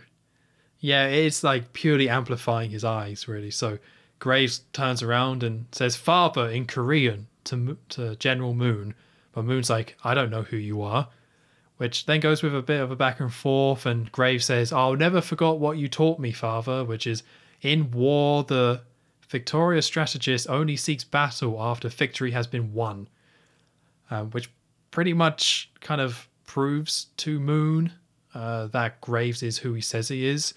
Um, but Graves is saying this suit is going to guarantee our victory, this Icarus suit. So there is a, then another quick scene of Bond and Jinx just sneaking through the hangar again. Waste of time. But anyway, so that we then go back to Moon. so Moon, General Moon approaches Grave and sees his, touches his face. And then very conveniently, there's a head sculpt of Colonel Moon back when he was still Korean before the surgery. So he was able to touch the sculpt and touch Graves and be like, hmm, yes, you are my son. Very Oh, handy. I didn't even read it as that, to be honest. I don't know what I was even focusing on at this point, but that's that's quite funny. I think that's all you could be. Otherwise, what it's it is very strange. There's this head sculpt of him. Just a random bust there, yeah. Yeah, very helpful. So yeah, he now kind of believes him, and uh, General Moon's like, "What have you done to yourself? Why have you done this?" And Graves is all like, "Come watch, father." And then he says, "Come watch the rising of your sun," which I thought was a very strange way of phrasing that. I'm assuming there's some tie to Japanese with the rising sun or stuff, but I didn't want to think about it too much. But using the phrase "rising sun" felt a bit like I don't know what they're trying to say there. Rising sun. Yeah, he says, "Watch the rising of your sun." Well, the rising of his literal sun. I don't know. I don't know if he means sun as in him, or sun as in the beam, or sun as in like the rising sun of Japan. But obviously he's Korean, so it can't be. He's a clever one, that that Graves. Oh, he he's got so talented. uh, so Graves then uses his power glove, we'll just call it that, to activate Icarus. And what it does is that we get a giant sunbeam again, and that hits the where the minefield. So in the big old area where there's that's separating North Korea and South Korea, where all the mines are, he is destroying the mines in the zone. Um, so Bond is sneaking through the plane. We see a little bit more than that, but then we go back and yeah, the beam is just completely destroying this big track through the minefield. Lots of explosions going on here. And Graves says, I'm creating a highway for our troops. So the idea is that the troops he had stationed are going to invade South Korea once he has drawn a massive line through the minefield that allows them to cross it. Um, so at this point, Bond and Jinx enter the room. And Bond or en- no, sorry, enter a different room. My bad. Uh, so this is like, what would you call this room? Like the martial arts fighting room. Oh, yeah. Yeah. It's just got like it's a lot of martial arts stuff on the walls. It's like where you would practice with swords and things like that. Yeah, on uh, on a plane. Interesting. I never really even even put that that together, but that's kind of strange. I put it that Graves and Frost are fencing and are going for the Olympics. Oh, so it probably does make sense that they would practice on the plane like this. Wow, I hope they don't get any turbulence. Blimey. Oh yeah, that'd be ooh. ooh. Whoops, sorry. Didn't mean to slice you. Uh, yeah, so so Bond and Jinx enter that martial arts room. Bond knocks out a guard. Jinx throws a knife at somebody's throat and kills him. Uh, Graves then starts making a speech about the West, and he says like Japan is a bug waiting to be squashed. And General Moon's not into this, saying, What are you doing? America will send a load of nukes. And Graves is like, Don't worry about that. Icarus will destroy them. Uh, but at this point, Moon kind of panics and he grabs somebody's gun and points it at Graves, trying to get him to stop. Um, and we cut back to Jinx, who sneaks onto the cockpit of the plane, knocks out the pilot, and like takes control. So now she's piloting the plane. Uh, Graves is talking to General Moon, saying, "Would you kill your own son? Why would you do that?" Um, General Moon says, "My son died uh, a while ago. You're not my son." And he's all like, "Father, you disappoint me." Gives him a little zap, and we get some very dramatic, over-the-top music. And then a gunshot goes off that you don't see, but Graves is looking all sad and we get a slow mo falling off General Moon going to the ground, and it's all very dramatic. Yeah, it also looks terrible as well. Like it has more of that weird time remapping where as he gets shot, is like he goes really quick and then he goes slow again, and then why why are they do, why now of all times are they doing that? I kind of get it a bit. If you're going to do that, all right, do it on a car as it's driving and you're getting like a swooping shot over it. That makes sense to me. Why are you doing it on a close up of a character dying? It just doesn't well, I think that sense. is something they did back then. Like the big dramatic sad moments got the big dramatic slow mo stuff as well. I don't mind the slow mo, but it's just the bit before the slow mo where it goes far, like someone's pressed fast forward. I was like, why? Why would you do that? Hmm. Hmm. And this is where also the music, like, I don't really mind this scene. I actually kind of like it just because it's so silly uh, and over the top. But yeah, this is where I don't know if David Arnold was like, I guess I'll do a big chorus of people going like, um, oh, like to make it more dramatic. But that's what we get here. Hmm. maybe, maybe David Arnold's like, oh, I don't know. By this point, it's like, oh bloody hell. Um, yeah, stick in some chorus, stick in some yeah. voices. I don't know. So I kind of do like all this because it's kind of silly and exaggerated, and it matches with uh, Graves' character. The main problem is where we are at in the film, and the idea that maybe we are meant to care about this because that's absolutely absurd. No chance. Um, but I still I like in a vacuum. But yeah, for where we are in the film, probably don't really want to be messing around with this. A little bit too late for this. Yeah, I think earlier on this would have been fine, for sure. Yes, so where are we? So I think at this point Bond enters the room, of which Graves then just sees Bond. It's like, oh, you're there again. Bond doesn't sneak in at all. Graves just sees him. So Bond is like grabbed by a guard, and as part of the fight with the guard, he shoots the gun. And I, I don't know if this is a Goldfinger reference. I kind of hope it is. I think it is. Yeah, the gun bullet like rips a hole in the side of the plane due to the pressure, and the engineer guy, if you remember him, he just gets sucked out, so he's gone. Yay! Bye. um, but due to this change in pressure, the plane starts kind of freaking out and tilting and starts like going forward. Um, so more people kind of get sucked out of the plane. I think the Korean generals get sucked out, and we see Bond and Grace hanging on as it's like tilting forwards. Um, so Jinx is trying to pull the plane up. It's gone into a nosedive, but she's trying to put it up. And we see Graves is trying to climb up to get to Bond, and he just kicks him down. Of which then Bond just like rolls after him to go and fight him. Um, but at this point, Jinx manages to level out the plane, calm things down. We got a little bit of craziness there, but she manages to uh to calm things down. So yeah, so not too much to say on this stuff. This is all just kind of part of one big kind of crazy finale, and this is just kind of the start of it. So with Jinx leveling out the plane, we then see Frost appears behind her and holds a sword to her neck. And is like, let me see the gun and drop it. Um, so Frost seemingly has Jinx captured. Um, but we go back to Bond and Graves and they wrestle for a little bit. So they're fighting. A lot of jumping and forwards with this. Um, but then we go back to Frost and Jinx. So Frost tells Jinx put the plane on autopilot, and Jinx does that, but she manages to set it up so the plane is going to go directly into the beam that is being fired from Icarus. So she sets that up, and Frost doesn't notice. Um, but down below, we're seeing a ton of explosions. So we go back to the sun beam, And Charles uh, Charles Robinson is saying, "Oh, the beam is only 1,000 meters away." So lots of explosions, lots of destruction of the Earth. All the monitors inside their base, where MI6 and the Americans are, they're starting to just blow up. Um, but at this point, the plane actually heads into the beam, which like knocks everyone down, and then we get these kind of missed these shots that just don't match where it's the shots of like the plane completely burning up, going through the beam, and Yeah. then people just being like, "Whoa!" Yeah, yeah. I feel like there might have been a bit of a mishap in uh, in the order of things here. It seems like there should be a bit more of a reaction there. Yeah, they just don't match. Like the impact of this beam, it just causes commotion for those the people inside.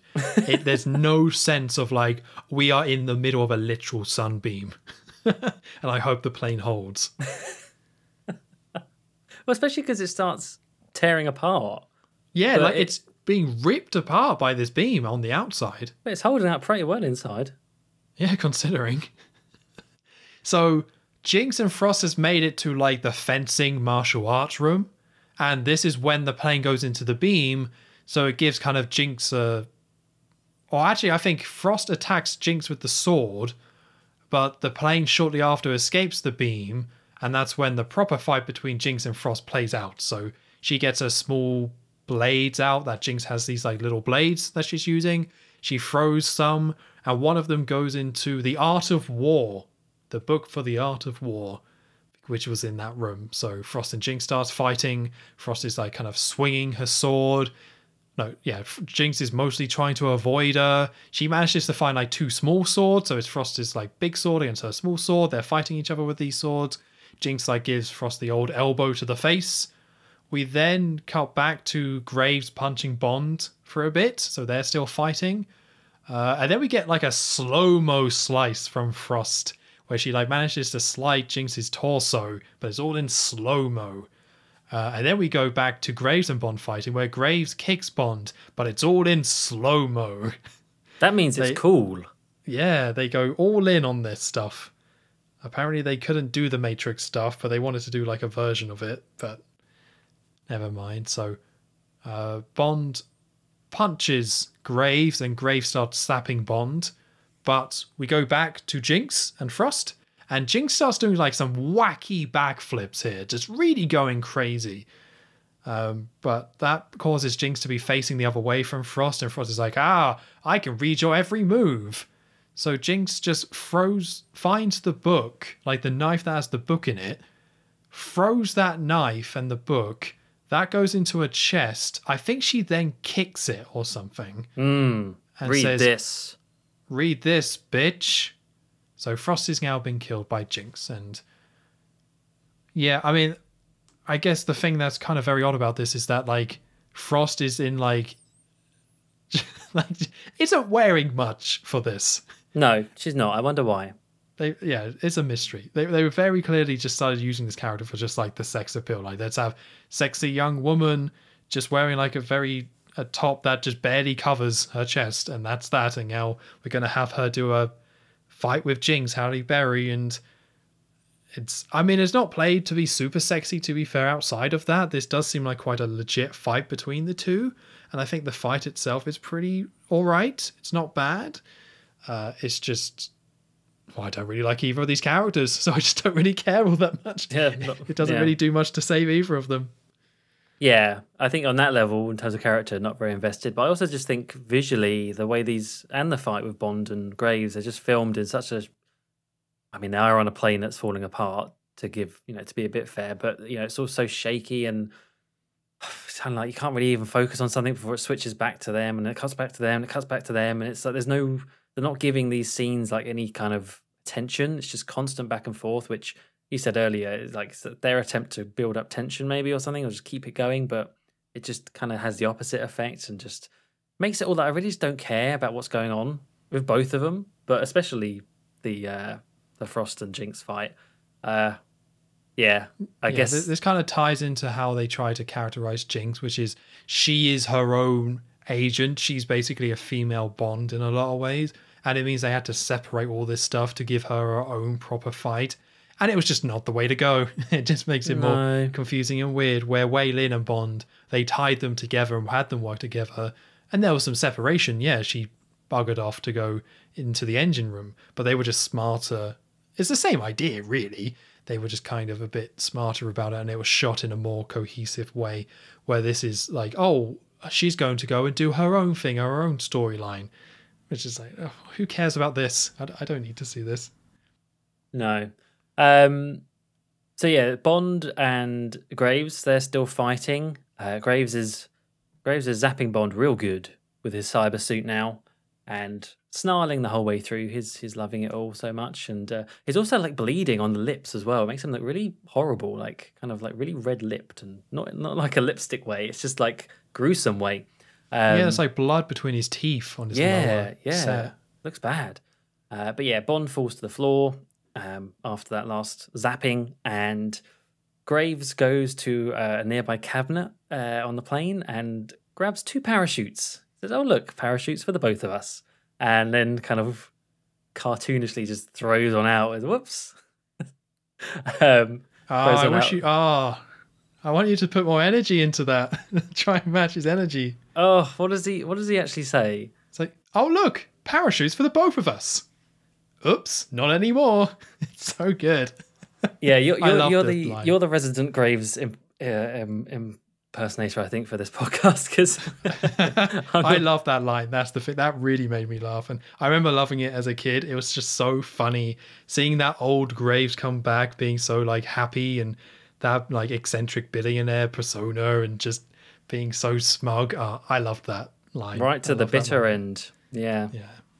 Uh, but yeah, he puts on the one he didn't throw out the window and crouches down to Bond and, and says to him, "You can't kill my dreams, but my dreams can kill you."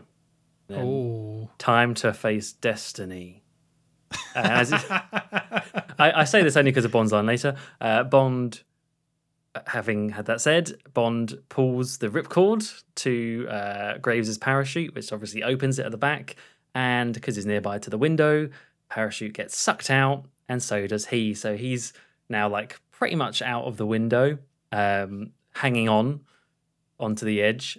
And this is where Bond gets up and says, "Time to face gravity," and, which doesn't really anyway. Um, and presses a button on the front of the cyber suit, which for some reason I guess it's yeah, it causes the whole suit to become electrified and and yeah, Graves gets electrocuted, which causes him to let go, and so you get sucked into the jet engine and positively vaporized. So like you see, you see him burn up and come out the other end. So that's that's the end of Graves. I really like the death for Graves. Actually, it's just as over the top and silly as he is. It, hmm. it's very CGI, like a lot of this stuff is, which is kind of a shame. But I think it works well enough. The only problem I have is the line, where I feel like him being sucked into a jet engine, especially with the fact that he gets a, like electrocutes himself. I feel like there must have been something so much better than time to face gravity, because gravity doesn't kill him. Exactly. That's what I was about to say, but I stopped myself. But it doesn't. That it doesn't make sense. But I think everything else I actually really like as an ending. I like his smugness. I like how silly he looks. I like that Bond kind of uses his smugness against him to pull the parachute and he gets sucked out and dramatically explodes in the engine. I think all that stuff's actually really good. Mm, I just, I think I would have liked because we got a taste of it before in the fencing fight. I wish they had just kind of focused purely on Bond and Graves in this ending bit. I know they had to deal with with Frost, but I think, as I mentioned, it's just that constant cutting back and forth. I would have liked like one nice ending, and instead we got just like little slithers of it, and then this final bit. Yeah. Um, but yeah, I, I honestly like someone getting sucked into a jet engine. That's that's great. Come on now, you can't you can't go wrong with that. It's like Shary Bobbin style when The Simpsons, just like completely sucked through. So that's all good. Uh, so after that, Bond heads uh, into the area where Jinx and Frost were fighting and spots Frost's dead body, uh, with Jinx just sitting nearby. Um, I think I broke her heart, which actually, again, it's not a terrible line for Jinx when she says that. So No, um, that's fine. that's fine. That passes. Uh, but yeah, they think she says, I can't remember, something about, go, I guess we're going down together. Bond says, not yet. So they head to the cargo area of the plane, and Jinx goes and opens the, the back door of the plane, similar to the one we saw in uh, Living Daylights. It all opens up, and inside there's a heli. It just so happens to be a helicopter inside this plane, so that's quite uh, that's quite useful. So they start unloading all the stuff because it's on a big conveyor belt. So there's all these fancy sports cars ahead of it, and they get chucked off. The whole plane is starting to fall apart now, um, and they get into the helicopter, and they literally fall out of the plane in the helicopter. And Bond is there in it, trying to gain control of it as it's spinning, and they're you know, the falling pieces of the plane around them and nearly hitting them. And Jinx turns around and looks and spots that the, the helicopter is completely full of tons of diamonds in the back, so at least they'll die rich. But uh, of course, just at the last second, Bond gains control of the helicopter and it swoops just as just as it's about to hit the ground and goes back up. And we do get a shot of one of the one of the planes, uh, sorry, one of the cars, like vertically stuck in the mud, and there's this farmer there looking at it. I wonder if that's a reference to. Oh. Was that Moonraker? I think it was, where they had like a car perfectly vertical in the house. That could be another reference. Oh, with the Italian. Italian no. guy, yeah. Wasn't that? Oh, maybe that was. I, I was thinking the Spy Who Loved Me, where Jaws comes out of the house. Comes out of the house. Yeah, you know when the Oh the yeah, car no, that is lands- a Spy Who Loved Me. Yeah, sorry, that is yeah, a that's Spy Spy Loved Who Loved Me. Yeah. Yeah, I knew it was Jaws, but yeah. Um, so yeah, they're fine. They're all good. They fly off, and we cut to randomly. We cut back to MI6 uh, in London, and Moneypenny is there. She's in her office. So very late and moody and dark, and she is typing up uh, what looks to be like a sort of press release on her computer about what happened in North Korea, and uh, saying it was a freak electrical storm that caused all of this and all of the landmines to go off. And Bond walks in and walks over to her, or she walks up to him and starts to touch his tie. And I, I don't think there's any dialogue here. They just start kissing. And Moneypenny pulls Bond by his tie onto her desk and he sweeps all the stuff off her desk very passionately. Moneypenny, oh, James. And then, of course, Q interrupts because, yeah, it's another. It's another training simulator VR thing. Um, we see Money Moneypenny. She's just on that same bit that Bond was, but on the floor, and she says she's just testing it out, and she's all flustered as she's buttoning up her top. That's the bit that I'm guessing you really don't like. Yeah, I mean the fact that it comes right at the end of the film, Yeah, just that's cut a it. bit like we just don't need it at this point. But also, I think it does like it's just a bit of a stain on Samantha Bond as Moneypenny. I think overall she's been pretty solid, pretty good, not amazing, but pretty good. And I think going all in with this is just lame. Like it just kind of destroys some of the character of Moneypenny, where you kind of, you know, it's obviously kind of, especially with the original films, heavily implied that she's actually does really like Bond and would like this to happen. But to actually show it, I just like, ah, no, just just cut it. And so, which is why I would cut this and cut the last one as well. Just keep make the film a little bit shorter. This really has nothing to do with anything. Once again, I think it does ruin Samantha Bond's Moneypenny a little bit. And actually, this is what I think of when it comes to her Money Moneypenny now, Oh, which sucks because I think everything else she's actually pretty good. Uh, but yeah, this is just, just this is just kind of bad. I mean, it's pretty quick and we're nearly done. But yeah, just bad. Yeah, definitely a strange location to put it, because yeah, the next shot is literally the the, the last part of the film. We we see this big wide angle shot of uh, this kind of small temple in the mountains with a helicopter that's landed out kind of outside it, and inside Bond and Jinx are there in bed together. But before you actually see them, there's this dialogue, this kind of very uh, innuendo based dialogue. Oh, Jinx is saying, "Don't pull it out yet." Oh no, wait, wait, wait! And then what do you see? It's actually a diamond in her belly button. You sickos! Diamonds. It's yeah, it's just a diamond, and uh, can't remember what they say, but they eventually start to kiss, and that's the end of the film.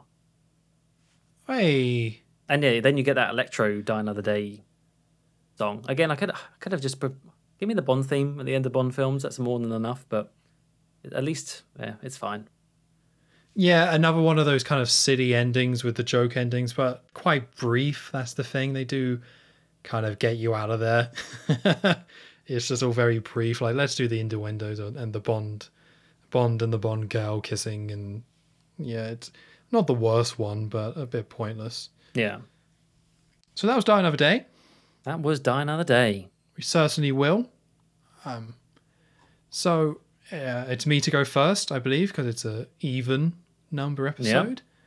So I would say this is my favorite Bond film Oh. that involves diamonds. Oh. Got him. so, oh, you. so you know, obviously we got a little bit negative and a little bit tired towards the end here. Um, but that's because you know it's a decently long film. It's 133 minutes. It's quite action paced, but overall I enjoyed this one. I would actually say it's good. Um, and I think it does come down to, you know, kids. You got to know who you are. You got to know what you're about. And Die Another Day knows what it's about. It's it's crazy. It's over the top. It's maybe not the most over the top Bond gets. I think it gets sillier in other films, but in terms of being that like city action film, you know, this is pretty out there. But I think it actually balances things really well to find a really nice tone where it's just a popcorn film. It's just something to turn your brain off and see some Bond classic stuff and some Bond staples and some craziness and stuff. And I think for that, it's actually quite successful for what it does. And I was surprised at how much the humor made me laugh. I was surprised at how much the action actually works really well and can be really cool. And I think some of the locations are pretty solid. I think, and some of the character interactions, I think a lot of this stuff actually works a lot better than I thought it would. And I think, you know, the biggest crimes here is that it is an early 2000s film and it has a lot of the shortcomings of that type of film.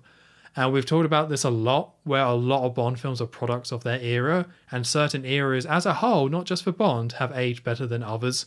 Like we said, how the 60s aged quite well because of how unique it is. And the 90s we talked about with GoldenEye and Tomorrow Never Dies aged quite well because there's a real charm to that. The early 2000s do not age well at all. No. And I No. think Die Another Day is somewhat of a victim of that. So unfortunately, I've got to criticize things like the CGI. I wasn't massively bothered by it, but especially this ending bit with the helicopter and the plane looks terrible with the CGI. Yeah. Um, and there are just things throughout it where like the CGI becomes a focus, and you get some really awkward, bad-looking shots, and it does look bad. It's uh, it doesn't bother me that much, but it definitely is a negative towards the film that brings it down. That just so heavily relies on CGI. Where if they just went for more simplistic, practical shots, it actually would have helped a ton.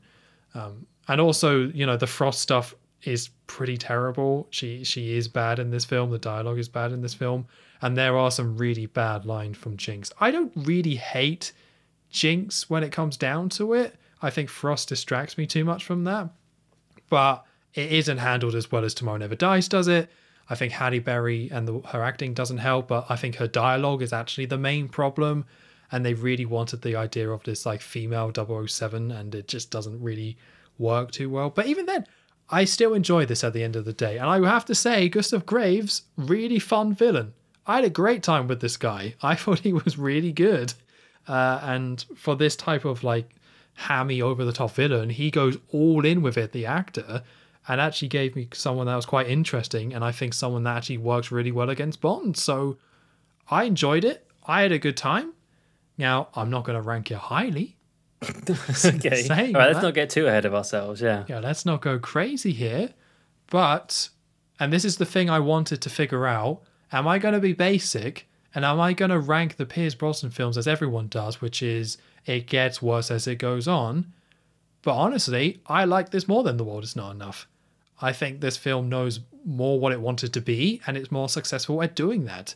Maybe it's not as ambitious and maybe it's a bit too crazy and all over the place and it has its own flaws, but I appreciate this being successful at doing something that it wants to do rather than the world is not enough, which is just a frustrating disappointment. So it's going above the world is not enough. Um, so then that takes me to the Living Daylights on my list, and I think I had more fun with this than the Living Daylights. Okay. I think the Living Daylights is a bit more bland, and I think that film had worse pacing issues than Die Another Day because Die Another Day does have some pacing issues, but it's still not that bad. I think Living Daylight is more bland and forgettable and more pacing issues. Do I like it more than Moonraker? No. Ooh. I think Moonraker is probably more fun and is more out there actually than this film. So that's where it's going to live. It's going to go at number 15, so underneath Moonraker, but above the Living Daylights. Hmm. So yeah, I think I don't think it was ever going to be at the bottom like a lot of people's lists, especially after hearing what you've said about it so far. So I think that's yeah, I think that's that makes total sense where you put that. Yeah, like it's it's somewhat a similar film to like a Moonraker and Tomorrow Never Dies, but I think those films are probably better at what they do, and this is kind of like another version of them. A pretty good, enjoyable version of them, but I probably would just if I want that sort of Bond, I probably would still watch Tomorrow Never Dies and Moonraker before that. But at the same time, everything kind of below Die Another Day on my list, I find a bit like soulless and disappointing and a bit joyless. so uh, I don't find Die Another Day like that. So that's that's why it kind of slots in there. Oh, I'm I'm frustrated, I think, with this film because as I mentioned, I was really enjoying this uh, for the first first half of it, I would say. All very solid stuff. I mean, maybe not all solid, but a lot st- enough there to make me like it. I liked the stuff in Cuba. I liked um uh, I liked the the underground station stuff and and the Q scenes. And I just I, I just think it really dropped the ball for me in the Ice Palace. And from that point on, especially in the later bit of the Ice Palace, and from that point on, I just I was that was it. I don't know, and that's why I'm frustrated because I was thinking, oh, this actually, this is actually going to be all right, and I, I'm going to be able to put this not high, but somewhere maybe in the two thirds region, and and higher than maybe some people would expect. And then it just kind of dropped the ball for me. Um, and it's not even really because of the things that a lot of people would moan about usually or in the past have done. It's the CGI doesn't really bother me at this point terribly much. I can live with it. I know it's coming. Um, and Jinx is also not actually that bad. She's just I don't hate her. I think she's just cringy, really, which is honestly not terrible. Um, and actually, Graves, I'm saying all the stuff I like about it, but Graves was better than I remember him being as well. I don't think he's quite Carver levels of of hammy like hammy villains, but he's all right. He's pretty good.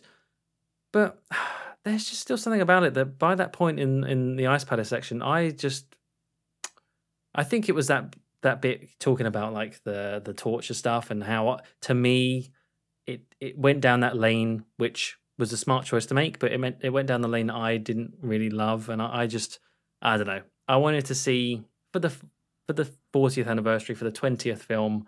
I would have hoped that this would be a bit of a stronger entry. Um, I definitely didn't hate it though. Uh, I'm like you. I think I liked it more than The World Is Not Enough, um, which I just found dull pretty much the whole way through. This, at least, I enjoyed the first half.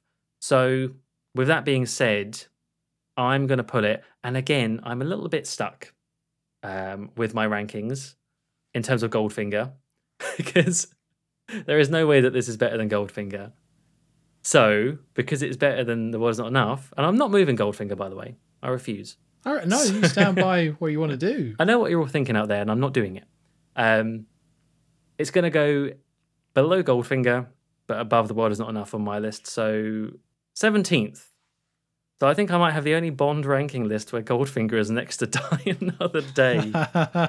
but you know what? That's fine. Um, but the thing I think is quite interesting about this film is, as we said right at the beginning, it made a ton of money. It was very successful for what it needed to do for the for the board, for the for the producers. Yeah, I think critical reception, even at the time, wasn't very good. I, I get the impression, and, and reading about it as well. So I do wonder how much. So that saying about like X had to run, so Y could. Sorry, X had to walk, so Y could run. And I wonder how much of this actually then led into Casino Royale being the way it was. I know there are other factors, other franchises, things like that, but I do wonder whether they saw this and thought we went too far with this, and then that's why they stripped it so far back with the next film. I, I think they definitely did. Yeah, I think this was definitely a bit of a like. I think they were on this trajectory and they were getting away with it, but yeah, get, and we know it was the smart choice. We definitely know it was a smart choice, and I think it takes a lot of discipline from them to say, "Well, Die Another Day" was a huge hit, but they might have just been seeing trends elsewhere. But yeah, like I've yeah, this kind of.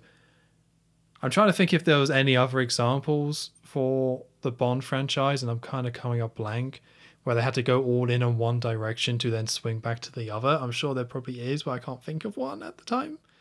Um, Hmm. But this does feel like that. But in, in some ways, I feel like Tomorrow Never Dies is still the more over the top film. It's just Die Another Day has this, yeah, the Jinx character and the CGI stuff. But like, I feel like Tomorrow Never Dies is actually a little bit wackier than this one.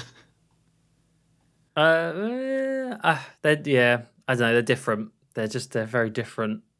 But yeah, I think so. In that regard, I can kind of appreciate it because if this if this is the reason why we got Casino Royale, then hey, it can't be all bad. Yeah. But I, I think for me though, like and this is where like critical response and like retrospective reviews and stuff kind of come in where it's like I can just watch Die Another Day for what it is and just kind of have that popcorn film, that summer flick or whatever, and enjoy that. And just take that as what it is because it's not the current one and it's not the current trajectory of Bond. And we've had a whole other era of Bond after this. So Die Another Day can kind of do its own thing and be that city wacky one that's kind of flawed but fun. Um, and I can kind of take it as that, which probably makes me look like a hypocrite because I'm pretty sure I've criticized other films for for that. Um, but there's something about Die Another Day. Maybe it's nostalgia. I don't know. But I kind of expect this to be a big old mess, and I think it's a big old fun mess.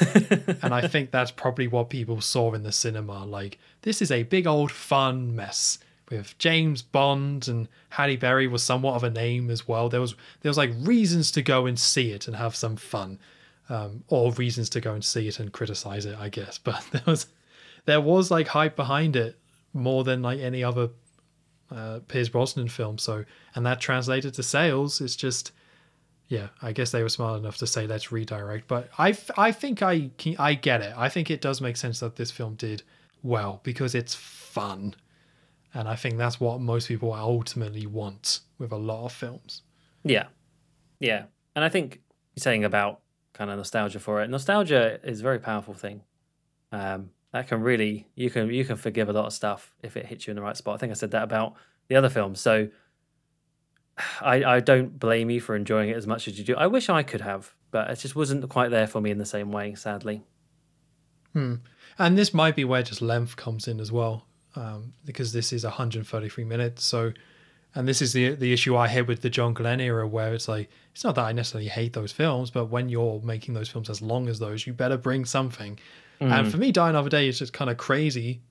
So that was enough to kind of, you know, bring me on for the ride where John Glen was just boring. But yeah, again, if your film's going to be like 130 minutes long, if you kind of lose the audience or lose somebody, you're never bringing them back, and then they're just stuck watching a film they're not that into. so that's always pretty brutal. I did feel a bit stuck. You wanted to get off at the station, but you missed. You missed it. I missed the stuff. I felt like Halle Berry on that laser table, but no one was there to save me. Oh no. oh, okay. Well, that's Pierce Brosnan done. Oh yeah, Any uh any thoughts on the Pierce? I think. Oh, it's so funny when thinking about Pierce Brosnan. I mean, this could be a whole other podcast about talking about his era as Bond, but or an episode anyway. But I just lots of people do say, yeah, his films got worse and worse as he went on, and I think we've both said that we don't agree with that um, today. But it is still kind of sad that the path his Bond took, they're not, they're definitely not without uh, kind of things to like about them. But when they start off with Goldeneye, I mean, I like Tomorrow Never Dies more, but for most people, Goldeneye is always going to be the top one. When you start out at that and you end up at this point, it's just so, it's such a big jump. And I think also the terms that where he sort of was pretty much booted out of the role rather than actually leaving on his own accord, it just kind of makes it, in retrospect, it just makes it all a little bit sad for me. I think he he did deserve better actually, Because I think during all of our episodes about the Pierce Brosnan films, we've never really complained about Brosnan himself. He's No. always been very, very solid and and arguably a very good mixture of previous Bonds. So yeah, I just I honestly just think it's a little bit of a shame that maybe this was the right time for him to leave in terms of age, regardless, but maybe just not on these terms. Yeah, I think him leaving makes sense after Die Another Day. I think that was the right call. But I think the one that hurts for me is The World Is Not Enough, where it had a ton of potential, but it just didn't play to his strengths at all. And it just is a complete wasted film. Where, but I think with GoldenEye, you get that great film and that classic, and then Tomorrow Never Dies, you get the other end of the scale. And then I would even argue Die Another Day is that same end of the scale. And I think he's really funny and good in the film. It's just the world is not enough. That's the one that hurts for me. So I definitely haven't really changed my opinion that much on Pierce. I think it's really interesting how many of these ideas are here and come back for Daniel Craig's Bond. Mm. But the one that hurts the most is the world is not enough because it's like if that was better, I actually think he would have had a really solid set of films that cover a lot of the Bond era. And yeah, again, people do like him overall, but I think he could have been like a little bit more. Like he could have had that if just that bloody third film wasn't so well, not good. It was not enough. It wasn't, sadly. Yeah. All right, well there we go. That was Die Another Day. This is our longest episode. Hooray! Hooray! I knew it. I knew it was going to happen. If it was any, if it was any film, it was going to be this one. Oh yeah. So any last thoughts before we go? I'm off to go watch the um the Jinx spin-off. Right? They made they Oh. made that right. Um, they got closer than they should have done to making it. I'll find it. Must be on Netflix somewhere. I'll go They got look. dangerously close. Yo, mama. Oh, ah, she's really disappointed in you, Joe. she wanted me to tell you. Oh, let me turn the lasers back on. Yeah, all right. I'll join you in a second. So, okay. So, thank you very much for listening. You have been listening to episode 20 of the Bond Revisited podcast. The Bond Revisited podcast will return next week for Casino Royale.